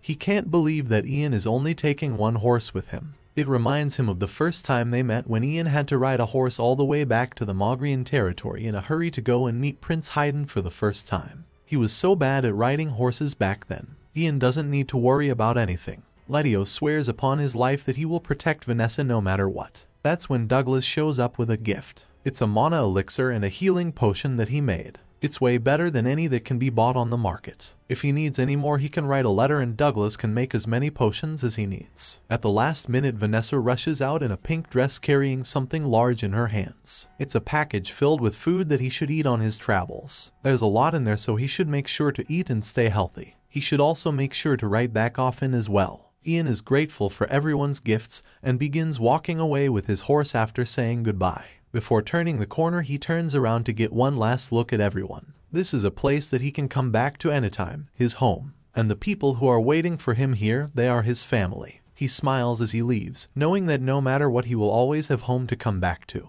The story jumps ahead eight years. It has been a long time since Ian has left and Douglas is writing him a letter about everything that has happened. It states, Boss, are you doing well? It's already been eight years since you left and a lot of things have happened since. I graduated as the top student in the Imperial Alchemy Academy, and I've created the cure for the incurable disease, which was what I've always wanted to do since I was young. I was recognized for that achievement and I am now an Imperial Alchemist. My father, who researched together with me also received an offer to become an Imperial Alchemist, but he turned it down he didn't want to be separated from mother. Both of them were awkward around each other at first but they're now a happily married couple. The Emperor wasn't able to recover completely from the poison assassination incident eight years ago, so Prince Haydn is now his proxy. Prince Haydn is now so competent that you don't see a single shadow of his old self. He even signed a peace negotiation between the three empires within the continent. Since then trade has been flourishing, and the empire's economy and technology has improved greatly. Harry's five years are now over, and instead of being punished she has been officially recognized as a high-ranking magician of the Ivory Tower. She has created a foundation that looks after the underprivileged and is really popular with the civilians. She's the most likely candidate to become the next Ivory Tower Master. We're all doing our best as we live our lives. And we miss you too. Boss, please come back quickly.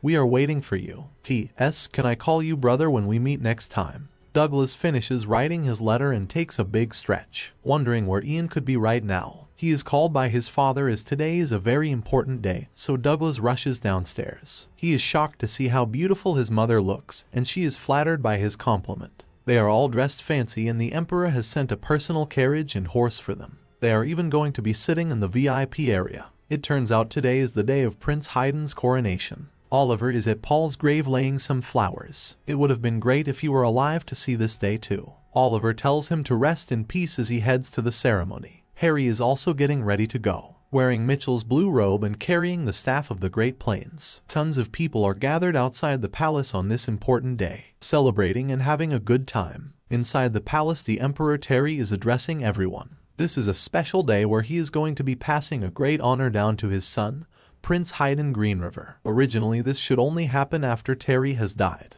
but after a lot of contemplation he has decided that it would be best if it happened now. The empire will continue to advance and everyone's lives will flourish even more with a new emperor. The doors to the throne room swing open as Terry asks the people of the Green River Empire to lay their eyes on their new emperor. Haydn walks through the door in regal clothing, a white and black suit with a long red cape. He walks down the long red carpet and kneels in front of his father. Terry utters the words that every son wants to hear from their father. I'm proud of you. With his hand on heart Haydn vows to try his best to not disappoint anyone, and hopefully to continue making his father proud. A servant appears next to Terry with the crown on a blue cushion. He grabs a hold of it and places it on his son's head. It's gold with a red top. It's also encrusted with various different jewels and gemstones. As of this moment forward, Prince Haydn Greenriver shall now be known as Emperor Haydn Greenriver, the new emperor of the Green River Empire. The entire crowd bursts into applause. Long live his majesty. Amongst the crowd is a figure in a brown cloak. His face is covered by his hood. This person uses magic to summon flower petals to rain from the sky, congratulating Haydn on ascending the throne. Haydn looks up at this guy confuses of who it could be. That's when his baffled face turns to a happy one. The person is our protagonist Ian, and Haydn is happy that he was here to see this moment. The coronation continues and when it is finished everyone heads inside the banquet hall. Here Emperor Haydn gives Ian a big fat hug. He has missed him so so much since he has been gone. Ian can see that Haydn is still the same after all these years. He congratulates him on his coronation. It doesn't take long for everyone else to come over. Vanessa, Letio, and Douglas squeeze our protagonist tightly. They missed him and can't believe he didn't contact them all these years. Ian missed them all too. His mother, Douglas, and his new father, Letio. What he left to do has been completed and all sorted out. He's here to stay. Haydn lets out a cough to get Ian's attention, and then gestures over to his right. At first Ian is confused, until he looks over and sees who it is. It's Harry. It has been a long time since the two of them last spoke.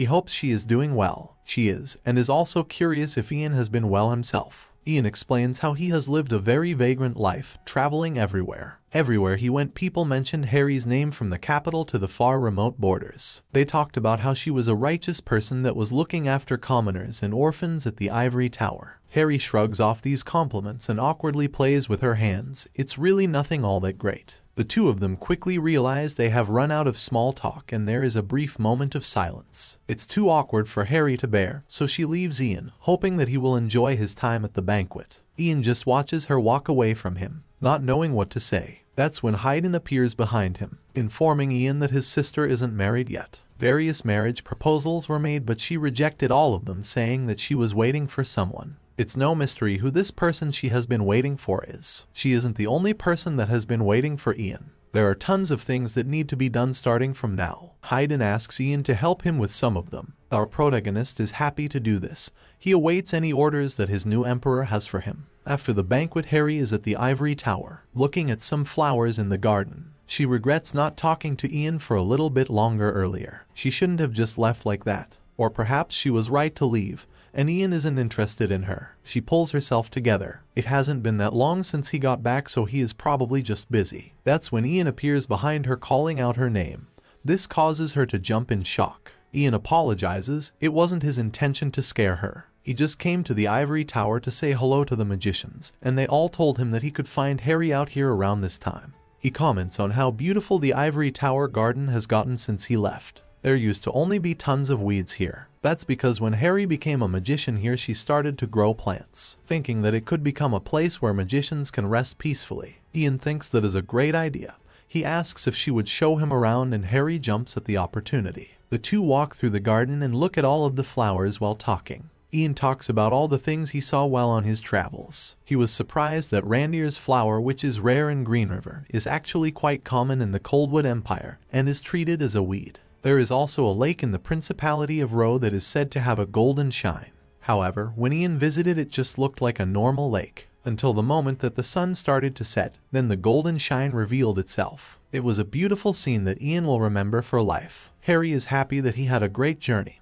All of those places sound great and she would like to see them one day too. Ian stops and holds out his hand. If she wants to see those places he will take her there, or anywhere she wants to go if she'll hold on to his hand. He's been to everywhere in the world. The Golden Lake, Spirit Forest, Hot Desert, and Vast Sea. The first thing he would think of in all of those places was Harry. He'd wonder what she would say if she was there with him. Eventually those thoughts turned into a certain desperation and Ian realized what he was feeling. He did everything he had to do in the world, and the whole time all he could think about was Harry. Ian gets down on one knee with his hand still reaching out. He asks Harry to please become his lifelong partner. He wants to be by her side for the rest of their lives. Harry breaks down into tears. She has missed Ian and has waited for a really long time. Yes, she will gladly spend the rest of her life with him as long as he promises not to leave like that again.